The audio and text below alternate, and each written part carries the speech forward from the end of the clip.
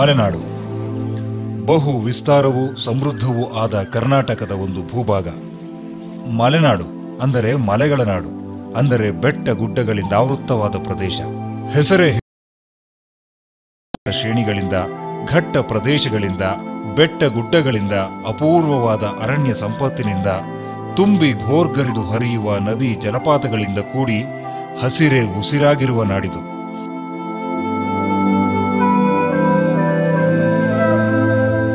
ಮಲೆನಾಡು ಎಂದೊಡನೆ ಥಟ್ಟನೆ ನೆನಪಾಗುವುದು, ಎಡೆಬಿಡದೆ ಸುರಿಯುವ ಮಳೆ, ತುಂಬಿ ಹರಿಯುವ ನದಿ ಜಲಪಾತಗಳು,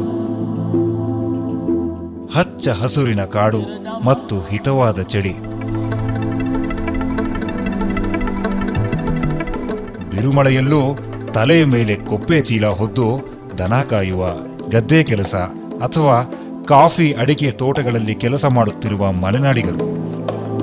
ಹಾಗೂ ಸಂಪದ್ಭರಿತ ಕಾಫಿ, ಅಡಿಕೆ, ಮೆಣಸಿನ ತೋಟಗಳು, ಬಾಯಲ್ಲಿ ನೀರೂರಿಸುವ ಮಲೆನಾಡಿನ ಊಟೋಪಚಾರಗಳು. ಇದು ಮಲೆನಾಡಿನ ಮಳೆಗಾಲದ ನಿತ್ಯ ಬದುಕಿನ ಚಿತ್ರಣ. ರಾಷ್ಟ್ರಕವಿ ಕುವೆಂಪು ಅವರು ಹೇಳಿರುವಂತೆ, ಮಲೆನಾಡೆಂದರೆ ಅಲ್ಲೊಂದು ಮನೆ, ಇಲ್ಲೊಂದು ಮನೆ. ಮನೆಯ ಸುತ್ತಲೂ ಅಡಿಕೆ, ತೆಂಗು, ಬಾಳೆ, ಮೆಣಸು, ಏಲಕ್ಕಿ, ಭತ್ತ, ಕಾಫಿ ಹೀಗೆ ಹಲವಾರು ಬೆಳೆಗಳನ್ನು ಬೆಳೆಯುತ್ತಾರೆ. ಕುವೆಂಪುರವರ ಮಲೆಗಳಲ್ಲಿ ಮದುಮಗಳು ಹಾಗೂ ಕಾನೂರು ಹೆಗ್ಗಡತಿ ಕಾದಂಬರಿಗಳು, ಅಪ್ಪಟ ಮಲೆನಾಡಿನ ಸೊಗಡು ಹಾಗೂ ಮಲೆನಾಡಿನ ಸಹಜ ಸುಂದರ ಬದುಕನ್ನ ಕಣ್ಮುಂದೆ ಬಿಡಿಸಿಡುವ ಅದ್ಭುತ ಸೃಷ್ಟಿಗಳು. ಚಿಕ್ಕಮಗಳೂರು, ಶಿವಮೊಗ್ಗ, ಕೊಡಗು, ಹಾಸನ, ಉತ್ತರ ಕನ್ನಡ ಇವು ಮಲೆನಾಡಿನ ಪ್ರದೇಶದ ಪ್ರಮುಖ ಜಿಲ್ಲೆಗಳು.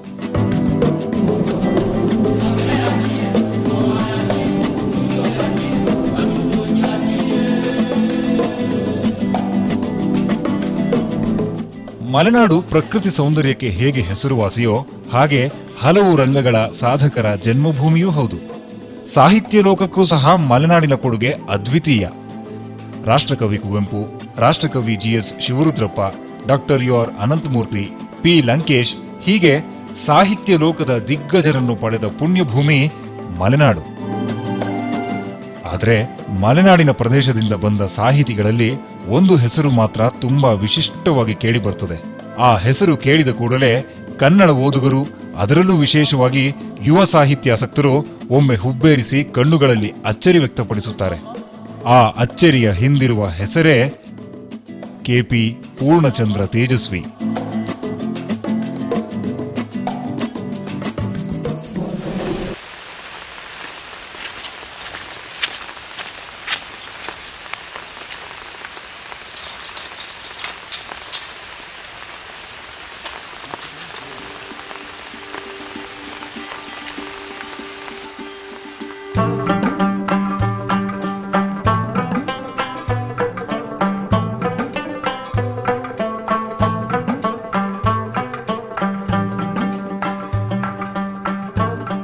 K P Poornachandra Tejaswi.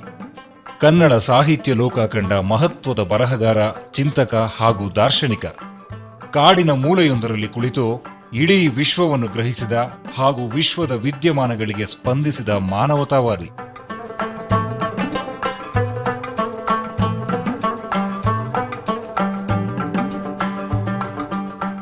ಸಾಮಾನ್ಯರಲ್ಲಿ ಸಾಮಾನ್ಯನಂತೆ ಬದುಕುತ್ತಲೇ ತಮ್ಮ ಆಸಕ್ತಿ ಹಾಗೂ ಕುತೂಹಲವನ್ನ ಹತ್ತು ಹಲವು ಕ್ಷೇತ್ರಗಳಲ್ಲಿ ಹರಿಯಬಿಟ್ಟ ಅದಮ್ಯ ಕುತೂಹಲ ಹೊಂದಿದ್ದ ಬರಹಗಾರ. ಮಲೆನಾಡಿನ ಕಾಡಿನ ಮೂಳೆಯೊಂದನ್ನ ತಮ್ಮ ಕ್ಷೇತ್ರವನ್ನಾಗಿ ಆರಿಸಿಕೊಂಡು ಯಾವ ಬಿಗುಮಾನಗಳೂ ಇಲ್ಲದೆ ಮಂಕುತಿಮ್ಮನ ಕಗ್ಗದ ಸಾಲುಗಳಂತೆ ಎಲ್ಲರೊಳಗೊಂದಾಗಿದ್ದವರು.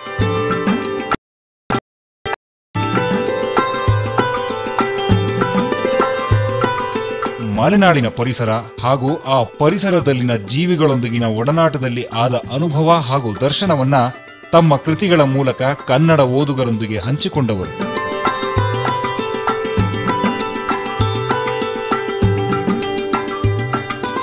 ಹಾವು ಹಿಡಿಯೋರು ಮೀನು ಮಾರೋರು ಸಂತೆಯಲ್ಲಿ ಅಂಗಡಿ ಹಾಕಿ ಕುಳಿತವರು, ತೋಟದ ಕೆಲಸಗಾರರು, ಪೋಸ್ಟ್ಮನ್, ಕೆಇಬಿ ಲೈನ್ಮನ್, ಬಿರಿಯಾನಿ ಹೋಟೆಲ್ನ ಸಾಬಣ್ಣ, ಕಿರಾಣಿ ಅಂಗಡಿ ಭಟ್ ತೇಜಸ್ವಿಯವರ ಲೋಕದಲ್ಲಿ ಅತಿ ಸಾಮಾನ್ಯರು ಅಂತ ಅನ್ನಿಸ್ಕೊಂಡವ್ರಿಗೂ ಮಹತ್ವದ ಪ್ರಾಮುಖ್ಯತೆ ಇತ್ತು.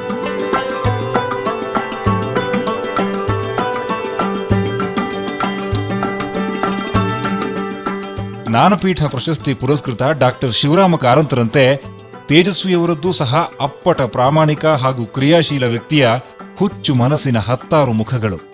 ಕೃಷಿ, ಶಿಕಾರಿ ಫಿಶಿಂಗ್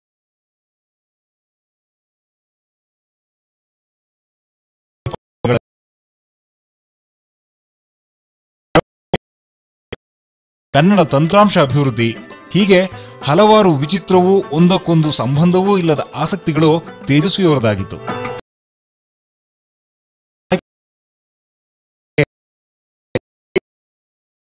ವಿಜ್ಞಾನದಲ್ಲಿ ರಾಮನ್ ಇಫೆಕ್ಟ್ ಅಂತಾರೆ. ಸೊ ಕನ್ನಡದ ಮನಸ್ಸಿಗೆ ಸಂದರ್ಭದಲ್ಲಿ ನೋಡಿದ್ರೆ ತೇಜಸ್ವಿ ಇಫೆಕ್ಟ್ ಅಂತಾನೆ ಒಂದಿದೆ ಅಂತ ಹೇಳ್ಬೋದು. ಏನದು ತೇಜಸ್ವಿ ಎಫೆಕ್ಟ್ ಅಂದ್ರೆ? ಅನ್ನುವ ಪ್ರಶ್ನೆಗೆ ತೇಜಸ್ವಿಯವರ ಲೋಕದೊಳಗೆ ಹೋಗಿ ಉತ್ತರ ಕಂಡುಕೊಳ್ಳುವ ಪ್ರಯತ್ನವೇ ಈ ಚಿತ್ರ. ಬನ್ನಿ ಹಾಗಿದ್ರೆ. ತೇಜಸ್ವಿಯ ರಹಸ್ಯ ವಿಶ್ವದೊಳಗೊಂದು ಸುತ್ತು ಹಾಕಿ ಬರೋಣ. ತೇಜಸ್ವಿ ಕಥನಕ್ಕೆ ಸ್ವಾಗತ.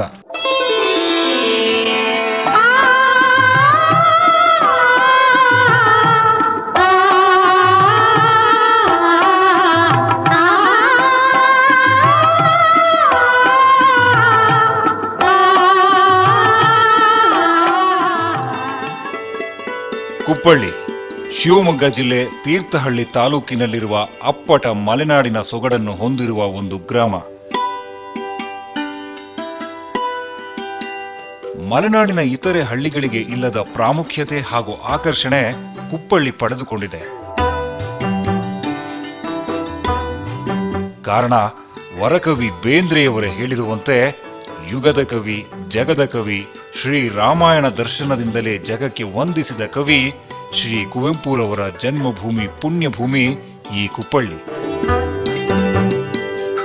ಕುವೆಂಪುರವರೇ ತಮ್ಮ ಕವನದ ಸಾಲುಗಳಲ್ಲಿ ಹೇಳಿರುವಂತೆ ತೀರ್ಥಹಳ್ಳಿಯ ಕಳೆದು ತಾಯಿ ತುಂಗೆಯ ದಾಟಿ ತುಸು ದೂರ ಕ್ರಮಿಸಿದರೆ ಸಿಗುವುದೇ ಈ ಕುಪ್ಪಳ್ಳಿ.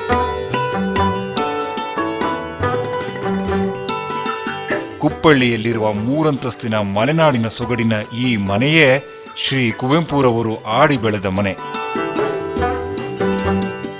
ಶ್ರೀ ಕುವೆಂಪು ಹಾಗೂ ಶ್ರೀಮತಿ ಹೇಮಾವತಿ ದಂಪತಿಗಳ ಮೊದಲ ಮಗುವಾಗಿ ಜನಿಸಿದವರೇ ಪೂರ್ಣಚಂದ್ರ ತೇಜಸ್ವಿ. ತೇಜಸ್ವಿ ಜನಿಸಿದ್ದು ಸೆಪ್ಟೆಂಬರ್ ಎಂಟು ಸಾವಿರದ ಒಂಬೈನೂರ ಮೂವತ್ತೆಂಟರಂದು. ಶಿವಮೊಗ್ಗದ ತನ್ನ ತಾಯಿಯ ಮನೆಯಲ್ಲಿ. ಆದರೆ ತೇಜಸ್ವಿಯವರ ತಂದೆ ಕುವೆಂಪುರವರು ಮೈಸೂರು ವಿಶ್ವವಿದ್ಯಾನಿಲಯದಲ್ಲಿ ಅಧ್ಯಾಪಕ ವೃತ್ತಿ ಕೈಗೊಂಡು ಮೈಸೂರಿನಲ್ಲಿಯೇ ನೆಲೆಸಿದ್ದರಿಂದ ತೇಜಸ್ವಿಯವರ ಬಾಲ್ಯ ಮತ್ತು ಶಿಕ್ಷಣ ಪೂರೈಸಿದ್ದು ಮೈಸೂರಿನಲ್ಲಿಯೇ. ತೇಜಸ್ವಿಯೊಂದಿಗೆ ಆಡಿ ಬೆಳೆದ ಅವರ ಸೋದರ ಮಾವ ಹಾಗೂ ತಂಗಿ ತಾರಿಣಿರವರು ತೇಜಸ್ವಿಯ ಬಾಲ್ಯದ ನೆನಪುಗಳನ್ನು ಮೆಲುಕು ಹಾಕುವುದು ಹೀಗೆ. ತೇಜಸ್ವಿ, ಚಿಕ್ಕಲ್ಲಿ ಅವನಿಗೆ ಪ್ರಾಮಿನೆನ್ಸ್ ಜಾಸ್ತಿ ಕೊಡೋರು ಅಮ್ಮ. ಅಮ್ಮ ಯಾಕೆ ಕೊಡೋರು ಅಂದರೆ ಮೊದಲನೇ ಮಗಳ ಮಗ. ಸರಿ, ನಾನು ಕೊನೆಯವನಲ್ಲ. ನನಗೆ ತೇಜಸ್ವಿ ತಾಯಿ ಅಂದರೆ ಅಕ್ಕ ನನ್ನ ಭಾಳ ಪ್ರೀತಿಸೋರು ಯಾಕೆಂದರೆ ನಾನೇ ಕೊನೆಯವನಲ್ಲ ಈ ಥರ ಹಾಂ. ನನಗೇನು ಅಂದರೆ ಯಾವಾಗಲೂ ಅಮ್ಮ ಅವನ್ನ ಇದು ಮಾಡ್ತಾರಲ್ಲ. ನನ್ನ ಯಾಕೆ ಇದು ಮಾಡಲ್ಲ? ಎಲ್ಲ ಅವರಿಗೇನೆ ಅವನಿಗೆ ಪ್ರೊಟೆಕ್ಷನ್ ಇಲ್ಲ ಅವನು ಯಮ ತರಲೆ ಅಂದರೆ ಇಮ್ಯಾಜಿನೇ ಮಾಡೋಕ್ಕಾಗಲ್ಲ ನಿಮಗೆ? ಎಲ್ಲ ಚಾಡಿ ಹಚ್ಚಿ ಹಾಕೋದು ಎಲ್ಲ ಮಾಡ್ತಿದ್ದ.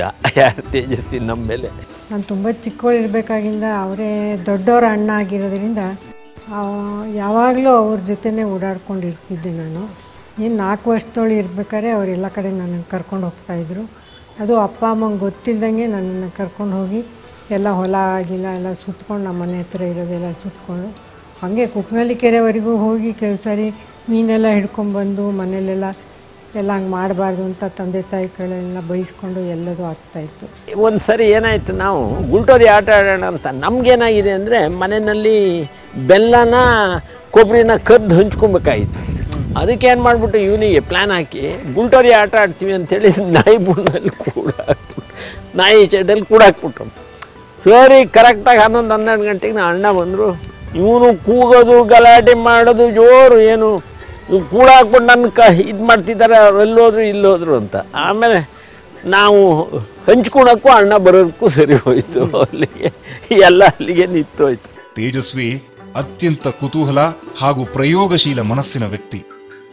ಈ ಪ್ರಯೋಗಶೀಲತೆ ಹಾಗೂ ಕುತೂಹಲಗಳು ತೇಜಸ್ವಿಯವರಿಗೆ ಬಾಲ್ಯದಿಂದಲೇ ಬಂದ ಗುಣಗಳು ಎನ್ನಬೇಕು. ಎಲ್ಲಕ್ಕಿಂತ ಒಂದು ಮುಖ್ಯವಾಗಿ ಸೈಕಲನ್ನು ಒಂದು ಎಲ್ಲ ರಿಪೇರಿ ಮಾಡಿ ಮಾಡಿ ಸರಿ ಮಾಡ್ಕೊಂಡು ಓಡಾಡ್ತಿದ್ದ ಅದು ಬಹಳ ಆಸಕ್ತಿಯುತವಾಗಿ ನಾನು ನೋಡ್ತಾ ಇರ್ತಿದ್ದೆ. ತೇಜಸ್ವಿಯವರ ಹೈಸ್ಕೂಲ್ವರೆಗಿನ ವಿದ್ಯಾಭ್ಯಾಸ ನಡೆದದ್ದು ಮೈಸೂರಿನಲ್ಲೇ. ಈ ಹಂತದಲ್ಲಿ ತುಂಬಾ ಸ್ವಾರಸ್ಯಕರ ಸಂಗತಿ ಎಂದರೆ ತೇಜಸ್ವಿಯವರು ಸಹ ಶಾಲಾ ಕಾಲೇಜು ಹಂತದಲ್ಲಿ ಇಂಗ್ಲಿಷ್ ಭಾಷೆಯಿಂದಾಗಿ ತೊಂದರೆ ಅನುಭವಿಸಿದ್ರು ಎನ್ನುವುದು. ಮುಂದೆ ಸಾಹಿತಿಯಾಗಿ ಬೆಳೆದು ಜಿಮ್ ಕಾರ್ಬೆಟ್, ಕೆನೆತ್ ಆಂಡರ್ಸನ್ ರವರ ಮಹೋನ್ನತ ಕೃತಿಗಳನ್ನು ಇಂಗ್ಲಿಷ್ನಿಂದ ಕನ್ನಡಕ್ಕೆ ಅತ್ಯಂತ ಸಮರ್ಥವಾಗಿ ಅನುವಾದ ಮಾಡಿರುವ ತೇಜಸ್ವಿಯವರನ್ನು ಸಹ ಇಂಗ್ಲಿಷ್ ಭಾಷೆ ಕಾಡಿಸಿದೆ ಎಂಬ ವಿಚಾರ ತೇಜಸ್ವಿಯವರ ಅಣ್ಣನ ನೆನಪು ಓದಿದವರಿಗೆ ತಿಳಿದಿರುತ್ತದೆ. ಎರಡು ಸಾರಿ ಫೇಲ್ ಆಗಿದ್ದಾರೆ ಅವರು. S L ಸಿಲೇ fail P U C intermediate ಒಂದು ವರ್ಷ ಸೇರಿ ಅಲ್ಲೂ ಫೇಲ್ ಏನಾಗಿ ಪುಟ್ಟಪ್ಪನ ಕಡೆ ಇಲ್ಲಿ ಕಳಿಸಿದ್ದು. ಈ ಸ್ನೇಹಿತರು ದಾಸದಲ್ಲಿ ನೀನು ಪಾಸ್ ಆಗಲ್ಲ. ಮೈಸೂರು ಶಿವಮೊಗ್ಗ ಹೋಗು ಅಂತ. ಈಗಿನ ಪದವಿ ಪೂರ್ವ ಶಿಕ್ಷಣ ಅಂದರೆ ಪಿ ಯು ಸಿ ಆಗ ಇಂಟರ್ಮೀಡಿಯೇಟ್ ಆಗಿತ್ತು. ತೇಜಸ್ವಿಯವರು ಮೊದಲ ಇಂಟರ್ಮೀಡಿಯೇಟ್ನಲ್ಲಿ ಆರಿಸಿಕೊಂಡಿದ್ದು ಸೈನ್ಸ್ ವಿಷಯವನ್ನ. ಆದರೆ ಇಂಗ್ಲಿಷ್ ಭಾಷೆಯ ತೊಡಕಿನಿಂದಾಗಿ ಮೊದಲನೇ ವರ್ಷದ ಇಂಟರ್ಮೀಡಿಯೇಟ್ನಲ್ಲೇ ತೇಜಸ್ವಿ ಫೇಲ್ ಆಗಿದ್ರು. ಅವರು ತುಂಬ ಬುದ್ಧಿವಂತರೇನೆ. ಆದರೆ ಒಂಥರ ಹಲ್ಮಿಡಿ ಕಟ್ಟಿ ನಾನು ರ್ಯಾಂಕ್ ಬರಬೇಕು. ಇದರಿಂದ ಏನೋ ಮುಂದಕ್ಕೆ ಹೋಗ್ಬೇಕು. ಈಗೆಲ್ಲ ಮಾಡ್ತಾರೆ ನೋಡಿ ಪೇರೆಂಟ್ಸು ಮಾಡಿಸ್ತಾರೆ ಮಕ್ಕಳು ಮಾಡ್ತಾರಲ್ಲ. ಆ ಥರ ಛಲದಿಂದ ಏನು ಅವರು ಓದ್ತಾ ಇರಲಿಲ್ಲ. ವಿಷಯ ವಿಷಯ ಅಂತ ತಿಳ್ಕೊಂಡ್ರೆ ಸಾಕು. ರ್ಯಾಂಕ್ ಬಂದ್ರೇನೋ ಅಥವಾ ಬರೆದಿದ್ರೇನೋ ಅನ್ನೋ ಒಂದು ಮನೋಭಿಪ್ರಾಯ. ಅವರು ಕುವೆಂಪುಗೆ ಕಂಪ್ಲೇಂಟ್ ಮಾಡ್ತಾರೆ. ನಾವೆಲ್ಲ ಇಂಗ್ಲೀಷಲ್ಲಿ ತುಂಬ ಚೆನ್ನಾಗಿ ಬರೆದಿದ್ದು ನಮಗೆ ಸರಿಯಾಗಿ ಮಾರ್ಕ್ಸ್ ಕೊಟ್ಟಿಲ್ಲ ಅಂದ್ಬಿಟ್ಟು. ಅಣ್ಣೇಗೌಡ್ರಂತ ಪ್ರೊಫೆಸರ್ ಅಣ್ಣೇಗೌಡ್ರಂತ ಅಂತ ಅವರು. ಇಂಗ್ಲೀಷ್ ಪ್ರೊಫೆಸರು ಸರಿ, ಕುವೆಂಪು ಅವಾಗ ಬಿ ಸಿ ಆಗಿದ್ದರು ಪೇಪರ್ಸ್ ಎಲ್ಲ ತರಿಸ್ತಾರೆ ಅವರು. ಅವ್ರೇನು ಇಪ್ಪತ್ತೆರಡು ಮಾರ್ಕ್ಸು ಏನೋ ಕೊಟ್ಟಿರ್ತಾರೆ ಇವ್ರಿಗೆ. ಸೊ ಅದೆಲ್ಲ ಹೊಡೆದು ಕೊನೆಗೆ ಏಳೇ ಮಾರ್ಕ್ಸ್ ಕೊಡ್ತಾರೆ ಕುವೆಂಪು. ತಿರ್ಗಿ ಅವ್ರು ಅಣ್ಣೇಗೌಡ್ರು ಕರೆದು ಬೈತಾರೆ, ಅಲ್ಲ ರೀ, ಇಷ್ಟೆಲ್ಲ ತಪ್ಪರ್ದಿರಿ ಯಾಕೆ ಇಷ್ಟೊಂದು ಮಾರ್ಕ್ಸ್ ಕೊಟ್ಟಿದ್ದೀರಿ ನೀವು ಅಂತ? ಅಯ್ಯೋ, ನಾವು ಅಲ್ಲ, ವಿದ್ಯಾರ್ಥಿಗಳಿಗೆ ಇಷ್ಟೊಂದು ಸಿಟ್ಟಾಗಿ ಮಾಡೋದು ಅಂದರೆ ಎಷ್ಟು ಮಗ ಅಂದ ತಕ್ಷಣನೇ ಈಗಿನ ಆ ಥರ ತಂದೆ ತಾಯಿ ಇರಕ್ಕೆ ಸಾಧ್ಯನೇ ಇಲ್ಲ ನನ್ನ ಪ್ರಕಾರ. ಕೆರೀರಿಸ್ಟ್ ಅಲ್ಲ ಅವರು. ಈಗಿನ ಎಲ್ಲ ತಂದೆ ತಾಯಿಗಳು ಮಕ್ಕಳು ಹುಟ್ಟುಡ್ತಾನೆ ಕೆರೀರಿಸ್ಟ್ ಆಗಿರ್ತಾರೆ ಏನು ಓದಿದರೆ ಏನಾಗ್ಬೋದು ಏನು ತೊಗೊಂಡ್ರೆ ಏನು ಮುಂದಕ್ಕೆ ಆಗ್ತೀವಿ ಯಾವುದರಲ್ಲಿ ಅಪರ್ಚುನಿಟೀಸ್ ಇದೆ, ಏನೇನೋ ಯೋಚನೆ ಮಾಡ್ತೀವಿ ನೋಡಿ ಈಗ. ಈಗ ಎಲ್ಲ ತಂದೆ ತಾಯಿಗಳು ಮಕ್ಕಳು ಯೋಚನೆ ಮಾಡ್ತಾರೆ. ಆದರೆ ಅವರು ಆ ರೀತಿ ಯೋಚನೆ ಮಾಡಿದವರಲ್ಲ ಅವರು ಸುಮ್ಮನೆ ಸ ಕನ್ನಡ ಸಾಹಿತ್ಯ ಓದಬೇಕು, ಓದ್ತೀನಿ. ಅರ್ಥ ಆಗುತ್ತೆ ಅರ್ಥ ಆಗುತ್ತೆ. ಯಾರಾದರೂ ಕೇಳಿದ್ರೆ ಮಾತಾಡ್ಬೇಕಾ ಮಾತಾಡ್ತಾರೆ. ಗೊತ್ತಿಲ್ಲದೆ ಏನಿರಲಿಲ್ಲ. ಸೊ ಒಂದು ರ್ಯಾಂಕೇ ತೆಗಿಬೇಕು ಅನ್ನೋ ಒಂದು ಹಠ ಇಲ್ಲದೆ ಇರಲಿಲ್ಲ ಅವರಲ್ಲಿ ಅವ್ರು ಏನು ಅಂದರೆ ಅವರು ಮೂಲಭೂತವಾಗಿ ಒಳ್ಳೆ ಮನುಷ್ಯರಾದ್ರೆ ಸಾಕು, ಜೀವನ ಚೆನ್ನಾಗಿ ಮಾಡಿದ್ರೆ ಸಾಕು ಅನ್ನೋದು ಅಷ್ಟೇ ಅವರ ಮೂಲಭೂತ ಗುಣ.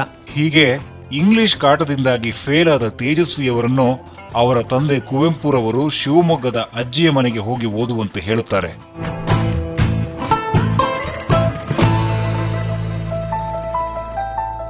ತೇಜಸ್ವಿಯವರ ಅಣ್ಣನ ನೆನಪು ಓದಿದವರಿಗೆ ಕಡಿದಾಳು ಶಾಮಣ್ಣ ಎಂಬ ಹೆಸರು ಚಿರಪರಿಚಿತವಾಗಿರುತ್ತದೆ. ಮೈಸೂರಿನಿಂದ ಶಿವಮೊಗ್ಗಕ್ಕೆ ಮುಂದಿನ ವಿದ್ಯಾಭ್ಯಾಸಕ್ಕೆಂದು ಹೋದ ತೇಜಸ್ವಿಯವರಿಗೆ ಪರಿಚಯವಾದವರೇ ತೇಜಸ್ವಿಯವರ ದೀರ್ಘಕಾಲದ ಗೆಳೆಯ ಒಡನಾಡಿ ಶ್ರೀ ಕಡಿದಾಳು ಶಾಮಣ್ಣ ಅವರು.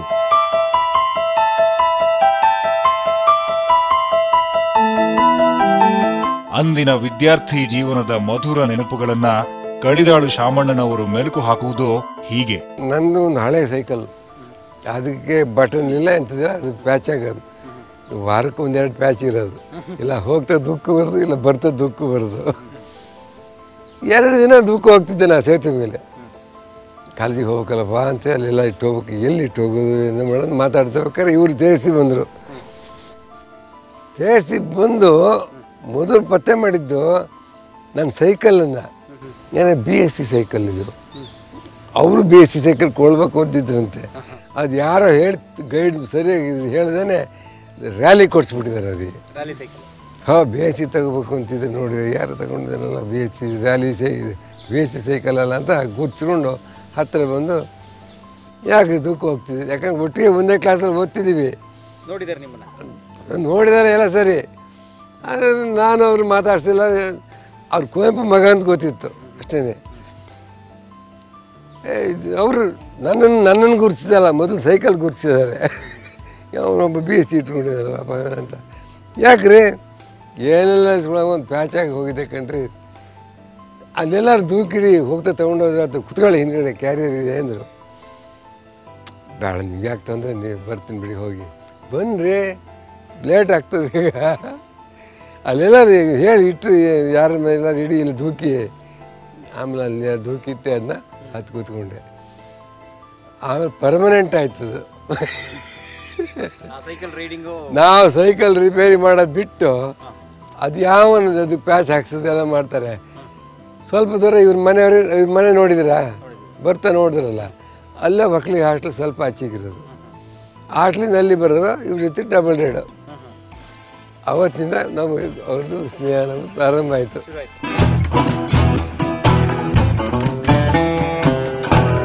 ಸ್ನೇಹಿತರಾದ ನಂತರವಂತೂ ತೇಜಸ್ವಿ ಶಾಮಣ್ಣ ಜೋಡಿ ಮಾಡಿದ ಸಾಹಸ ಕಾರ್ಯಗಳಿಗೆ ಇತಿಮಿತಿಯೇ ಇಲ್ಲ. ಅಂದಿನ ಆ ಸ್ವಾರಸ್ಯಕರ ಘಟನೆಗಳನ್ನ ಶಾಮಣ್ಣನವರ ಬಾಯಲ್ಲೇ ಕೇಳಬೇಕು. ನಮಗವರಿಗೂ ತೇಜಸ್ಸಿಗೂ ತುಂಬ ಸ್ನೇಹ ಇದು ಎಲ್ಲ ಹತ್ರ ಆಗೋ ಕಾರಣ. ತೇಜಸ್ವಿ ಇದ್ದಕ್ಕಿದ್ದಂಗೆ ಮುತ್ತಣ್ಣ ಅಂತ ಒಬ್ಬ ಇದ್ದಾನೆ, ಐ ಎಸ್ ಆಫೀಸರು. ಇದರಲ್ಲಿ ಇದ್ದ, ಹೋಮ್ ಸೆಕ್ರೆಟ್ರಿ ಆಗಿದ್ದ. ಅವನು ಚೀಫ್ ಸೆಕ್ರೆಟ್ರಿ ಆಗಬೇಕಾಗಿತ್ತು, ಮುತ್ತಣ್ಣ ಅಂತ ಕೊಡಗಿನವರು. ಅವ್ರ ತಂದೆ ಶಿಕಾರಿಪುರದಲ್ಲಿ ಸಬ್ ಇನ್ಸ್ಪೆಕ್ಟ್ರು. ಹಂಗಾಗಿ ಇಲ್ಲಿ ಓದ್ತಿದ್ದ. ನಮ್ಮ ಹಾಸ್ಟ್ಲಾಗೂ ಇದ್ದ ಅವನು ಮುತ್ತಣ್ಣ. ಅಲ್ರಿ, ನಿಮ್ಮೆಲ್ಲ ನಿಮ್ಮ ಇದರಲ್ಲಿ ಮುತ್ತಣ್ಣ ಅಂತ ಇದ್ದಾನಲ್ರಿ ಮರ ಹಾಸ್ಟ್ಲಾಗ ಹೌದು. ಅಲ್ರಿ, ಅವ್ನು ಏನ್ರಿ, ಯಾರು ಪೊಲೀಸ್ನವರು, ಮಗ ಅಂತ ಅವನು? ನನಗೆ ಅನುಮಾನ, ನನಗೆ ಯಾವತ್ತು ನೋಡ್ರು ನನ್ನ ಬಲ್ಪ್ ಕದೀತಾನಲ್ರಿ ಅವ. ಅಲ್ರಿ, ಅವನ ಯಾರು ಹೆಂಗ್ರಿ ಗೊತ್ತು ನಿಮಗೆ ತಿಳಿಸಿ? ಏ ಯಾ ಹೆಂಗೆ ಹೇಳಿದ್ರೆ ನಾವು ಸುಮಾರು ಜನರದ್ದು ಕದ್ದಿದ್ದಾನೆ ಅಂತ ಅವರೇ ಎಲ್ಲ ಹೇಳಿರೋದು. ನಿಮ್ಮ ನಂದು ಇಲ್ಲ ಅಂತ ಹುಡುಕಾಡ್ತಿದ್ದೆ ನಾನು ಬಲ್ಪು ಯಾವತ್ತೂ ಒಂದಿನ ನೋಡ್ತೀನಿ ಇಲ್ಲ. ಬಲ್ಪ್ ಇಲ್ಲ ಏನಾಯಿತು ಅಂತ ನೋಡ್ರೆ ಆಮೇಲೆ ಅವನು ಯಾರೋ ಹೇಳಿದ ಸಚ್ಚಿ ಅಂತ ಕ್ರಿಕೆಟ್ ಪ್ಲೇಯರ್ ಇದ್ದ. ಸಚ್ಚಿ ಅಂತ ಅವನು ಹೇಳ್ದ ಅವ್ನು ಇದೇ ಕೆಲಸ ಮಾಡ್ತಾನೆ ರೀ ಆ ಮುತ್ತಣ್ಣ ಅಂತೇಳಿ ಹೇಳ್ತಿದ್ದಾನೆ ಅವನಿಗೆ ಮಾಡ್ಲಾಗಿದ್ದಾನೆ ಅಂತ ಹೌದನ್ರಿ ಅವನು ಮಾಡ್ಲಾಗಿದ್ದಾನೆ. ನಂದು ಬಲ್ಪ್ ಇಲ್ಲ ನಿನ್ನೆಯಿಂದ ಬಲ್ಪ್ ಇಲ್ಲ ಅನ್ನೋದು ಹೋಯ್ತು. ಅವನೇ ಇರ್ಬೇಕು ಕೇಳ್ರಿ ಅವನು ಚಿಕ್ಕಕ್ಕಿದ್ದಾನೆ ಮುತ್ತಣ್ಣ ಅವ್ನು ನಮ್ಮ ಜೊತೆಗೆ ಓದ್ತಿದ್ದವನು. ಬಂದ್ರೆ ಹಾಟ್ಲಿಗೆ ಹಾಟ್ಲಿಗೆ ಬಂದು ನಾನು ಕೇಳೋಣ ನೋಡೋಣ, ಕೇಳೋಣ ಒಂದು ಕೆಲಸ ಮಾಡಿ. ನೀವು ಕೇಳಬೇಡಿ, ಅವನದು ಟ್ರಂಕ್ ಇದೆ. ಸ್ವಲ್ಪ ಇಲ್ದಿರ್ಬೇಕಾದ್ರೆ ಈಗ ಹಾಕಲ್ಲ ಅವನು. ಸ್ವಲ್ಪ ಎತ್ತು ನೋಡ್ರಿ ಗೊತ್ತಾಗ್ತದೆ ನಿಮ್ಮ ಬಲ್ಪ್ ಇದೆಯಲ್ಲ ಹೌದಾ? ಬರ್ತೀನಿ ಅಂತೇಳಿ ಬಂದರು. ಸೊ ಅವತ್ತಿನಿಂದ ಇನ್ನೂ ನಮ್ಮ ಹೆಚ್ಚು, ನಮ್ಮ ಸ್ನೇಹ ಬಂದು ನೋಡಿದ್ರೆ ಆ ಮುತ್ತಣ್ಣನ ಟ್ರಂಕ್ ಅವನು ಇಲ್ಲಿ ಇರಲಿಲ್ಲ. ನಮಗೆಲ್ಲ ಮಂಚ ಕೊಡ್ತಿರಲಿಲ್ಲ. ನೆಲ ಮೇಲೆ ಮಲಗಬೇಕು. ಒಂದು ಹಾಸಿ ಸುರುಳಿ ಇರೋದು. ಒಂದು ಟ್ರಂಕ್ ಇರೋದು. ಮೂರು ಜನ ಒಂದು ರೂಮಲ್ಲಿ ಮಲಗ್ತಿದ್ದು. ಮುತ್ತಣ್ಣ ರೂಮ್ ನನಗೆ ಗೊತ್ತಿತ್ತು ರೂಮ್ಗೆಲ್ಲ ಬೀಗ ಆಗ್ತಿರಲಿಲ್ಲ. ನಾನು ಸ್ವಲ್ಪ ಹತ್ತಿತ್ತು ಎಲ್ಲ ಹೋಗಿದ್ದಾನೆ ಅಂತ ನೋಡಿಕೊಂಡು ನಿಧಾನ ಹೋಗಿ ಬಾಗಿಲಿತ್ತು ನೋಡಿದ್ರೆ ಇಷ್ಟು ಇದಾವೆ ಬಲ್ಪು. ಓ ತೇಸಿ ಕರೆದೆ ಬನ್ನಿ. ಇಲ್ಲಿ ನೋಡಿ ಮುತ್ತಣ್ಣಂದು ಬೇಗ ನಿಮ್ದು ಯಾವ್ದು ಹುಡ್ಕೊಳ್ಳಿ ನಿಮ್ದು ಯಾವ್ದು ಬಲ್ಪ್ ಅಂತೇಳಿ ಹುಡ್ಕೋದೆ ಅಂತ ಒಂದು ಇಷ್ಟು ತೆಗೆದು ಜೇಬಿ ಹಾಕೊಳ್ರಿ. ಹುಡ್ಕೋದೆ ಬಂದ್ಬಿಟ್ಟಾನ ಹೆಂಗು ರಾಶಿ ಇದಾವ ಇಷ್ಟ. ನಾಲ್ಕೈದು ಬಲ್ಪ್ ತೆಗೆದು ಜೇಬಿ ಹಾಕೊಡ್ರಿ ಅಲ್ರಿ ಅವ್ನು ಬಂದ್ಕೊಳ್ಳಿ ಯಾರ್ಯಾರು ಏನು ನಿಮ್ದು ಯಾವ್ದು ಹುಡುಕ್ರಿ ಎಲ್ಲಿ ಎಲ್ಲಿ ಹುಡುಕ್ತಾನೆ ಬಂದ್ರಿ ಏನು ಸಾಯ್ತೀರಿ ಈಗ? ತಗೊಂಡ್ರು. ಸೊ ಅವತ್ತಿಂದ ನಮ್ಗೆ ಸ್ವಲ್ಪ ಇತರೆ ಚಟುವಟಿಕೆಗಳು ಎಲ್ಲ ಪ್ರಾರಂಭ ಆದವು ನಮ್ಮ ಹಾಸ್ಟೆಲಲ್ಲಿ ಹಾಸ್ಟ್ಲ್ ಮುಖಾಂತರ ಮುತ್ತಣ್ಣನ ಈ ಟ್ರಂಕಿನ ವ್ಯವಹಾರದ ಬಲ್ಪಿನ ಮುಖಾಂತರ ಟೇಸ್ಟಿನ ಭಾಳ ಹತ್ತಿರ ಆದರು. ಮತ್ತೆ ನಿಮ್ಮ ಕಾಲೇಜಿನ ಡ್ರೀಮ್ ಗರ್ಲ್ ಶಾಂತಾ ಜಯತೀರ್ಥ ಅವ್ರ ಬಗ್ಗೆ? ಓ ಹೌದು. ಶಾಂತ ಜಯತೀರ್ಥ ಈಗ ಆಮೇಲೆ ಎಲ್ಲೋ ಒಂದ್ಸರಿ ಸಿಕ್ಕಿದ್ರು ಆಮೇಲೆ ನೋಡಿಲ್ಲ.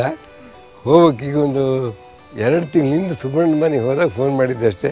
ಸುಬ್ಬಣ್ಣ ಹಿಮಗ ಸುಬ್ಬಣ್ಣ ಆ ಮನೆ ಸ್ವಲ್ಪ ದೂರದಲ್ಲೇ ಶಾಂತ ಇರೋದು. ಅವ್ರು ಆಕಾಶವಾಣಿಯಲ್ಲಿ ಏನೋ ಕೆಲಸ ಮಾಡ್ತಿದ್ರು.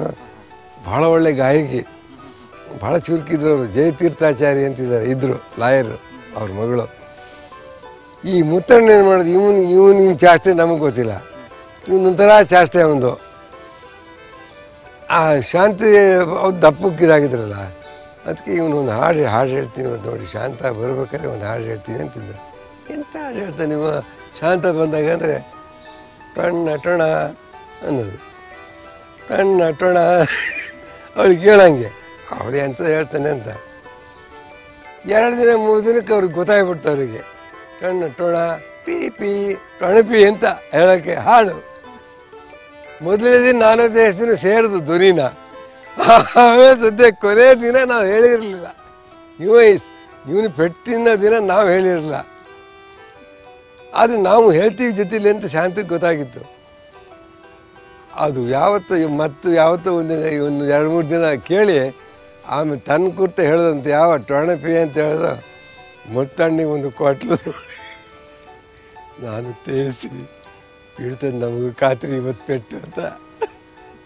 ನಿಧಾನಕ್ಕೆ ಹಂಗೆ ಹಿಂದಕ್ಕೆ ತುಂಬ ನಿಂತಿದ್ದು, ನಮಗೇನು ಮಾಡಲಿಲ್ಲ ಆ ಶಾಂತಿ ಹೊಡೆದು ಇನ್ನೊಂದು ದಿನ ಹೇಳಿದ್ರೆ ನಾನು ಏನು ಮಾಡ್ತೀನಿ ನಿಮ್ಗೆ ಗೊತ್ತಿಲ್ಲ, ನನಗೇನೆ ಅಂತ ಹೇಳಿ ಹೋದ್ಲು. ಮುತ್ತಣ್ಣ ಅವನ್ನ ನಮಗೆಲ್ಲ ವಾರಣ ಮಾಡ್ದ. ಮರ ಸಾವಸಲ ನಂಗೆ ಎರಡು ಪೆಟ್ಟು ತಿಂದು, ನಾನು ಮಾತ್ರ ಹೇಳ್ತೀನಿ, ನೀವು ಹೇಳ್ತಿದ್ವಿ ಅಂತ. ಹೇಳೋ ಮರ, ಕೈ ಮುಗಿದವ್ರಿ ಮರ, ಶಾಂತಿ ಅಂತ ಶಾಂತ ದೇವಿ ಮರ ಆ ಮುತ್ತಣ್ಣ ನೋಡಿ ಆಮೇಲೆ ಎಷ್ಟು ದೊಡ್ಡ ಹುದ್ದೆಗೆ ಹೋದ. ಆಮೇಲೆ ಇಂಗ್ಲೀಷ್ ಇಂಗ್ಲೀಷೆಲ್ಲ ತುಂಬ ಚೆನ್ನಾಗಿತ್ತು ಅವನಿಗೆ. ಮುತ್ತಣ್ಣ ಅನಂತಮೂರ್ತಿಯವರು ನಮಗೆ ಮಹಾಭಾರತ ತೆಗುತ್ತಿದ್ರು ನಾನ್ ಡಿಟೇಲ್ ಇತ್ತು ಒಂದು ಗಾಂಧೀಜಿಯವ್ರ ಮೇಲೆ, ಒಂದು ನಾನ್ ಡಿಟೇಲ್ ಪುಸ್ತಕ ಇತ್ತು. ಅದು ತಗೋತೀವಿ ಅಂತ ಮಾಡ್ತೇವೆ ಇಂಗ್ಲೀಷಲ್ಲಿ ಇದ್ರೂ ಕನ್ನಡದಲ್ಲೇ ಹೇಳೋದು ಜಾಸ್ತಿ ಅವರು. ನಮಗೆ ಖುಷಿಯೋ ಖುಷಿ ಯಾಕಂದ್ರೆ ಅರ್ಥ ಆಗ್ತಿತ್ತು. ಇಂಗ್ಲೀಷಲ್ಲಿ ಹೇಳೋದು ನಮಗೆ ದೇವರೇ ಗತಿ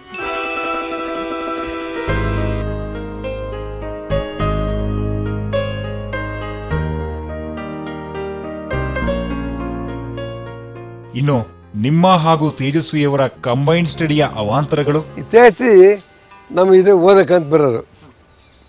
ರಾತ್ರಿ ಕಂಬೈನ್ಡ್ ಸ್ಟಡಿ ಅವಾಗ ಅವ್ರ ಮನೆಗೆ ಹೋಗ್ತಾ ಬರ್ತಾ ಜಾಯಿಂಟ್ ಸ್ಟಡಿ ಮಾಡ್ಬೇಕಾದ್ರೆ ನಿದ್ರೆ ಬರ್ತದಲ್ಲ ಅಂತ. ನಿದ್ರೆ ಬರ್ತದೆ ಅಂತ ಗೋಪಿ ಹೋಟ್ಲಿಗೆ ಹೋಗಿ ಅಲ್ಲೆಲ್ಲ ಲೇಟಾಗಿ ಗೋ ಹೋಟ್ಲ್ ಬಾಗ್ಲ ಕರೀದ್ರೆ ಚಾಗಿ ಕಾಫಿ ಕುಡ್ಕೊಂಬರೋದು ಹೋಗಿ. ಸರಿ ಅಲ್ಲಿ ಹೋದಾಗ ಕಾಫಿ ಕುಡ್ಕೊಂಬರ್ತಿದ್ದು ನನಗೇನು ಹೇಳಿದೆ ಅಂದರೆ ಅದಕ್ಕೆ ಯಾಕ್ರಿ ದುಡ್ಡು ಹೋಗಿ? ನಮ್ಮ ಮನೆಯವ್ರಿಗೆ ಹೋದರೆ ಅಲ್ಲೇ ಸಿಗ್ತದೆ ಕಾಫಿ ತಗೊಬರೋದು. ಅದೇ ಹೆಂಗೆ ಇದು ಹೋಗೋದು ಅಂದರೆ, ಇವತ್ತು ಬೇಡ, ನಾಳೆ ನಾನು ಏರ್ಪಾಡು ಮಾಡಿರ್ತೀನಿ. ಹಿಂದ್ಗಡೆ ಬೋಲ್ಟ್ ತೆಗೆದು ಇಟ್ಬಿಡ್ತೀನಿ ಕಾಂಪೌಂಡ್ ಹಾರಿ ನೆಟ್ಟಿಗೆ ಅಡುಗೆ ಮನೆಗೆ ಹೋಗ್ಬೋದು. ಡಿಕಾಕ್ಷನ್ ತೆಗೆ, ಹಾಲು ಎಲ್ಲ ತಗೊಂಬಂದರೆ ಎಷ್ಟು ಬೇಕಾದ್ರೆ ಮಾಡ್ಕೋಬೋದಲ್ಲ ಇಲ್ಲಿ. ಏನೇಳ್ರಿ ಕದ್ಕೊ ಬರೋದು ಅಂತ ಹೇಳೋರು ಏನಂತಾರೆ ಸಿ ಆ ಸೀತಮ್ಮನವ್ರು ಅವರೆಲ್ಲ? ಕೊಳ ಗಿಲ್ಸ್ ಬಾರಿಸ್ತಾನೆ, ಹೆಂಗೆ ಹಿಂಗೆ ಅಂತೇಳಿ ಪಾಪ ಪ್ರೀತಿಯಿಂದ ಕರೆದ್ರೆ ಕಾಂಪೌಂಡ್ ಹಾರಿ ಕದಿಯೋಷ್ಟು ಕೆಲಸ ಮಾಡಿದ್ರೆ. ಏ, ಕಳ್ಳು ಕಳ್ತಾನೆ ಅಲ್ರಿ, ನೀವು ಯಾಕ್ರಿ ಬನ್ರಿ ಸುಮ್ಮನೆ ಜೊತೆಗೆ ಅನ್ನೋದವರು.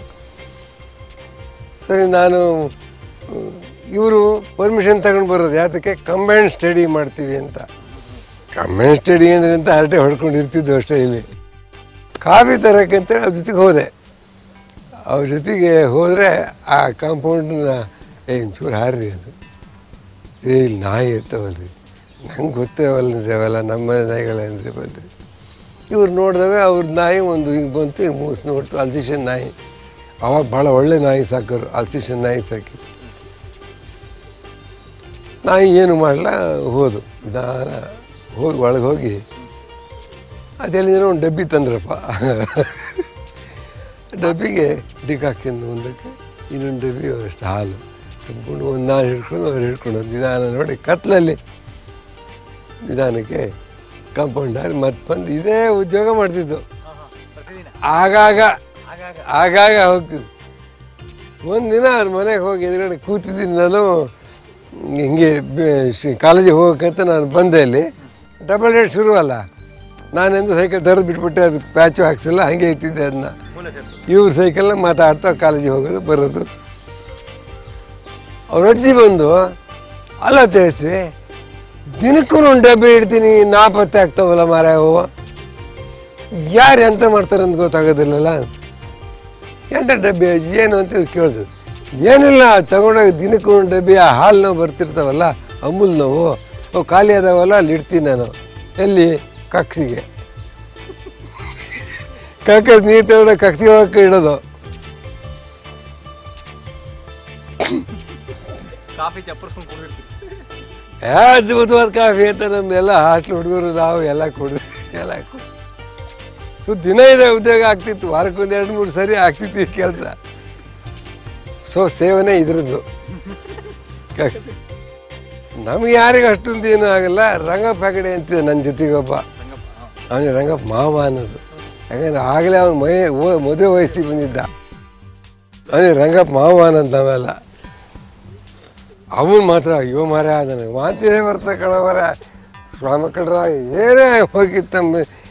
ಥತ್ ಯಾಕೆ ಅಕ್ಕಿಸಿದ್ರೆ ಬಿ ನೀ ತಗೊಂಬಂದ್ರಲ್ಲ ಅವತ್ತು ಅವಾಗ ಹೇಳೋದವ. ಅದೇ ಹೆಂಗೆ ಒಂದು ಚೂರು ನೀರು ಕಕ್ಕಸಿ ಇಟ್ಕೊಂಡ್ರು ಏನು ಜೀವ ನನ್ನ ಮರ ಅದು ಹೆಂಗೆ ಇದಾಯ್ತು ಅಂತ ಇತ್ತೇಸಿ ಹೇಳೋದು.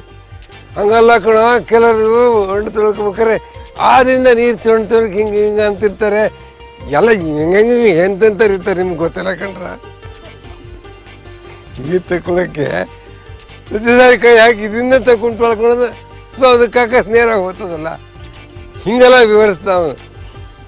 ತೇತಿ ಸುಳ್ಳ ಎಲ್ಲ ಹೇಳ್ಬೇಡ ನಮಗೂ ವಾಂತಿ ಬರಂಗೆ ಮಾಡ್ತೀವಿ ಸಾಯ ಅವತ್ತು ಬೇಡ ಅಂತಂದ್ರೆ ಭಾಳ ಚೆನ್ನಾಗಿದೆ ಕುಡಿತಿದ್ದೀಯಲ್ಲ ನೀನು ಅಂತ. ಸೊ ಅವತ್ತಿನಿಂದ ರಂಗ ಪೆಗಡೆ ಭಾಳ ಹತ್ತಿರ ಆಗ್ಬಿಟ್ರು ಇವರಿಗೆ.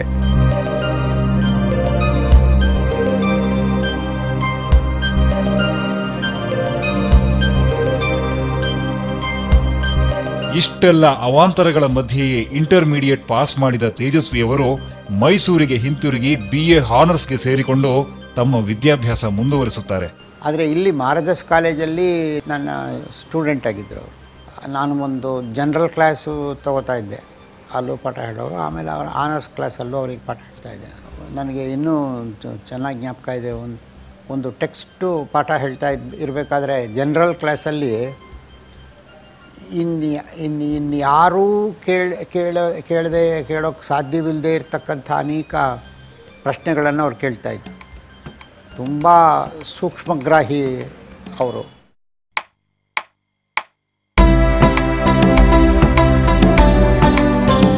ಸಮಾಜವಾದಿ ಚಳುವಳಿ ಅತ್ಯಂತ ಉಚ್ಛ್ರಾಯ ಸ್ಥಿತಿಯಲ್ಲಿದ್ದ ಕಾಲ ಅದು.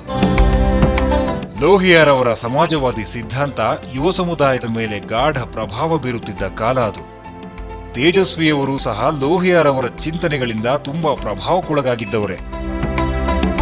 ಅಬಚೂರಿನ ಪೋಸ್ಟ್ ಆಫೀಸು ಕಥಾ ಸಂಕಲನಕ್ಕೆ ಬರೆದ ಮುನ್ನುಡಿಯಲ್ಲಿ ತೇಜಸ್ವಿಯವರೇ ಹೇಳಿಕೊಂಡಿರುವಂತೆ ಅವರನ್ನು ತುಂಬ ಪ್ರಭಾವಿಸಿರುವ ಅಂಶಗಳೆಂದರೆ ಕುವೆಂಪುರವರ ಕಲಾಸೃಷ್ಟಿ, ಶಿವರಾಮ ಕಾರಂತರ ಜೀವನ ದೃಷ್ಟಿ ಹಾಗೂ ಪ್ರಯೋಗಶೀಲತೆ ಮತ್ತು ಲೋಹಿಯ ತತ್ವಚಿಂತನೆ.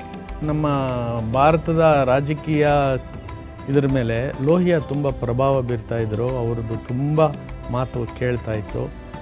ಆಗ ಕಾಂಗ್ರೆಸ್ಸನ್ನು ಮತ್ತು ನೆಹರು ವಿರುದ್ಧ ಮಾತನಾಡುವವರೇ ಇರಲಿಲ್ಲ ಮಾಧ್ಯಮಗಳೂ ಮಾತಾಡ್ತಾ ಇರಲಿಲ್ಲ. ಅಂಥ ಸಮಯದಲ್ಲಿ ತುಂಬ ತೀವ್ರವಾಗಿ ಲೋಹಿಯ ನೆಹರೂನ ಕ್ರಿಟಿಸೈಸ್ ಮಾಡ್ತಾಯಿದ್ರು ನಮಗೆ ಅವ್ರ ಬಗ್ಗೆ ತುಂಬ ಆಸ್ಥೆಯಿಂದ ಅವರ ಭಾಷಣಗಳನ್ನು, ಲೇಖನಗಳನ್ನು, ಪುಸ್ತಕಗಳನ್ನೆಲ್ಲ ಓದೋದಕ್ಕೆ ಪ್ರಾರಂಭಿಸಿದ್ವಿ. ಅದಕ್ಕೆ ಪ್ರಾರಂಭಿಸ್ತಿದ್ದಂಗೆ ಅವರ ಶಿಷ್ಯರು ಕರ್ನಾಟಕದಲ್ಲಿ ಒಬ್ಬರು ಇದ್ದಾರೆ, ಅವರು ಶಾಂತವೇರಿ ಗೋಪಾಲ್ ಗೌಡ ಅನ್ನೋದು ನಮಗೆ ಗೊತ್ತಾಯಿತು. ಸೊ ಹಾಗಾಗಿ ನಾವು ಶಾಂತವೇರಿ ಗೋಪಾಲ್ ಗೌಡರು ಮತ್ತು ಲೋಹಿಯ ಕಡೆ ವಾಲಿದ್ವಿ ನಾವು. ಲೋಹಿಯ ತತ್ವಜ್ಞಾನ ತನ್ನ ಮೇಲೆ ಪ್ರಭಾವ ಬೀರಿದೆ ಅಂತ ಹೇಳಿದ್ರಲ್ಲ, ಲೋಹಿಯ ತತ್ವಜ್ಞಾನ ಅಂದರೆ ಇಷ್ಟೇ ಲೋಹಿಯ ತತ್ವಜ್ಞಾನ ಅಂತ ಹೇಳಿದ್ರೆ ಸಮಾನತೆಯನ್ನು ಕಾಣುವ, ಕಟ್ಟುವ, ಯಾವುದನ್ನು ಕುವೆಂಪು ಅವರು ದರ್ಶನ ಅಂತ ಕರೀತಾರೆ.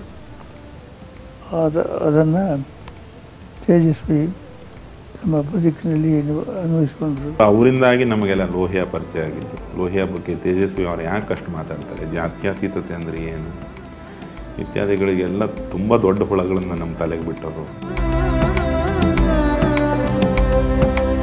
ತೇಜಸ್ವಿಯವರು ಬರಹಗಾರನಾಗಿ ರೂಪುಗೊಂಡಿದ್ದು ಈ ಕಾಲಮಾನದಲ್ಲೇ. ತೇಜಸ್ವಿಯವರ ಮೊದಲ ಕತೆ ಲಿಂಗಬಂಧ ಪ್ರಕಟವಾಗಿದ್ದು ಸಾವಿರದ ಒಂಬೈನೂರ ಐವತ್ತೇಳರಲ್ಲಿ ಪ್ರಜಾವಾಣಿಯ ದೀಪಾವಳಿ ವಿಶೇಷಾಂಕದಲ್ಲಿ. ಪ್ರಜಾವಾಣಿ ಆ ಕಾಲದಲ್ಲಿ ಸಣ್ಣ ಕಥೆಗಳಿಗೆ ಬಹಳ ಗೌರವಯುತವಾದಂಥ ಒಂದು ಪ್ರಶ ಪ್ರಶಸ್ತಿ ಇಟ್ಟಿತ್ತು. ಮೊಟ್ಟ ಮೊದಲನೇ ಸಲ ಪ್ರಶಸ್ತಿ ಬಂದು ರಾಮಚಂದ್ರ ಶರ್ಮರಿಗೆ ನಾಡು ಒಡೆಯಿತು ಅನ್ನುವ ಕತೆಗೆ. ರಾಮಚಂದ್ರ ಶರ್ಮರಿಗೆ ಮೊಟ್ಟ ಮೊದಲನೇದು ಬಂದಿದ್ದು ನೆನಪಿದೆ ನನಗೆ. ನಾನು ಫಿಫ್ಟಿ ಫೋರಲ್ಲೇ ಬಂತದು. ಅದೇ ಶುರುವಾಗಿತ್ತು, ಆಗ್ತಾನೇ ಶುರುವಾಗಿತ್ತದು.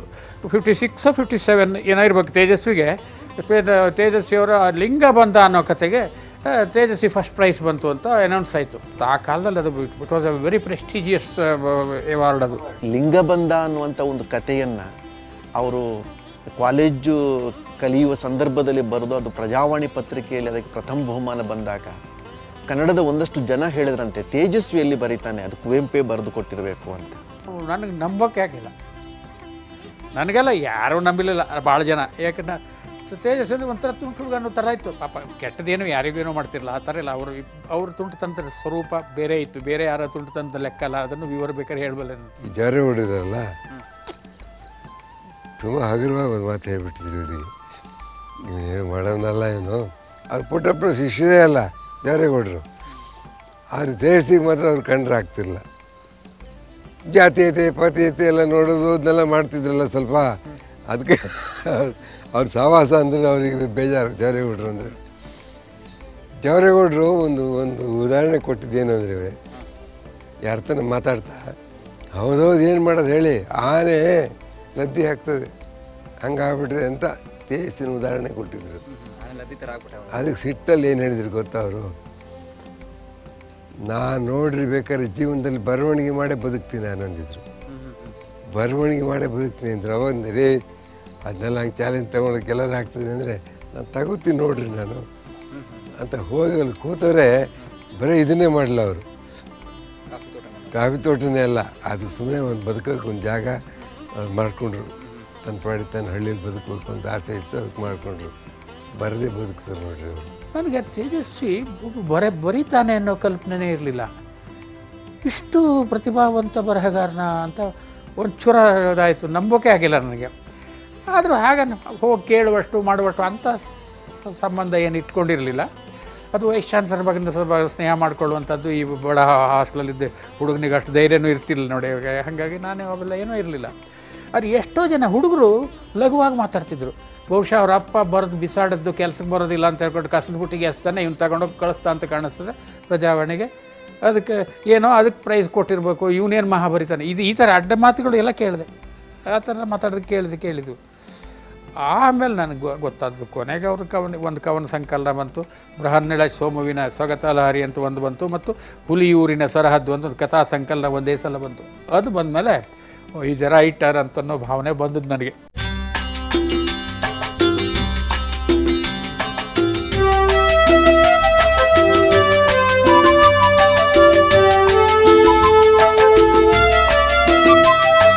ತೇಜಸ್ವಿಯವರು ಅರವತ್ತರ ದಶಕದಲ್ಲಿ ಮೈಸೂರಿನ ಮಹಾರಾಜ ಕಾಲೇಜಿನಲ್ಲಿ ಎಂಎ ಪದವಿ ಓದುತ್ತಿದ್ದಾಗ ಪರಿಚಯವಾದವರೇ ಮುಂದೆ ತೇಜಸ್ವಿಯವರ ಬಾಳ ಸಂಗಾತಿಯಾದ ರಾಜೇಶ್ವರಿಯವರು. ತೇಜಸ್ವಿ ಹಾಗೂ ರಾಜೇಶ್ವರಿಯವರದ್ದು ಸತತ ಆರು ವರ್ಷಗಳ ಅಪೂರ್ವ ಪ್ರೇಮ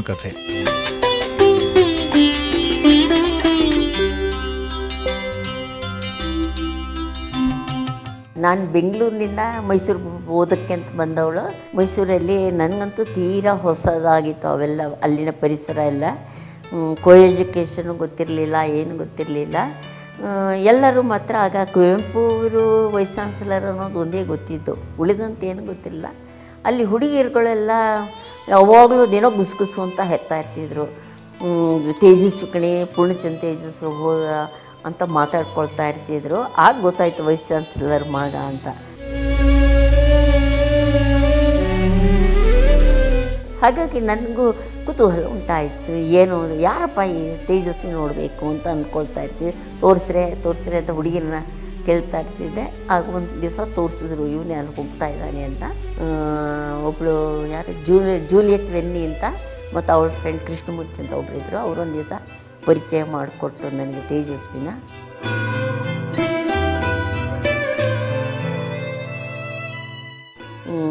ಅರವತ್ತೊಂದನೇ ಇಸ್ವಿಲಿ ಅಂದರೆ ಇನ್ನೇನು ಪರೀಕ್ಷೆ ಎಲ್ಲ ಮುಗಿದು ಮನೆಗೆ ಹೋಗಬೇಕು ಅಂತ ಹೇಳ್ತಿರುವಾಗ ನನ್ನ ಚಡಪಡಿಕೆ, ನಾನು ಅವ್ರನ್ನ ಪ್ರೀತಿಸ್ತಾ ಇದ್ದ ಚಡಪಡಿಕೆ, ಅವ್ರ ಚಡಪಡಿಕೆ ಇಬ್ಬರು ನಮಗೆ ಬಹಳ ಗೊತ್ತಾಗ್ತಾ ಇತ್ತು. ಅದನ್ನೇನು ಬಾಯಲ್ಲಿ ಹೇಳಬೇಕು ಅನ್ನೋ ಥರಕ್ಕೇನಿರಲಿಲ್ಲ.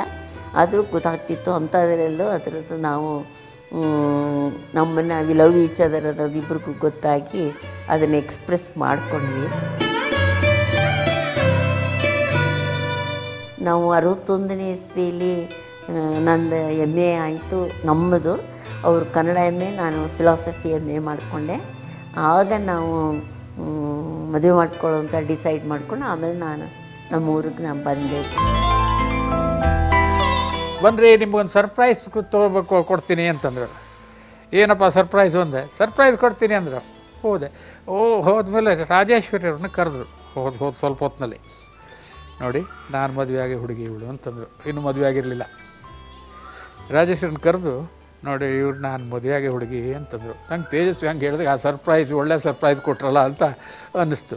ರಾಜೇಶ್ವರಿ ನನಗೆ ತಕ್ಷಣ ನೆನಪು ಬಂತು ಇವಳನ್ನೆಲ್ಲ ನೋಡಿದ್ದೀನಲ್ಲ ಅಂತ. ಆಮೇಲೆ ಒಂದು ಸ್ವಲ್ಪ ಹೊತ್ತ ಬೇಕಾಯ್ತು ನನಗೆ. ಆಮೇಲೆ ಮಹಾರಾಜಾಸ್ ಕಾಲೇಜಿನ ನನಗಿಂತ ಜೂನಿಯರ್ ಆಗಿರೋ ಹೆಣ್ಮಕ್ಳಲ್ಲಿ ಈ ಕಡೆ ನೋಡಿದ ನೆನಪಲ್ಲ ಅಂತ ನನಗಷ್ಟೇ. ತೇಜಸ್ವಿ ಹಾಗೂ ರಾಜೇಶ್ವರಿಯವರ ನಡುವಿನ ಪ್ರೀತಿಯ ವಿಷಯ ಕುವೆಂಪುರವರ ಕಿವಿಗೂ ಸಹ ತಲುಪಿತ್ತು. ಅವ್ರಿಗೆ ಗೊತ್ತಾಗಿದೆ. ಒಂದು ಹುಡುಗಿನ ಪ್ರೀತಿಸಿದ ನೀವು ಅಂತ ಗೊತ್ತವರಿಗೆ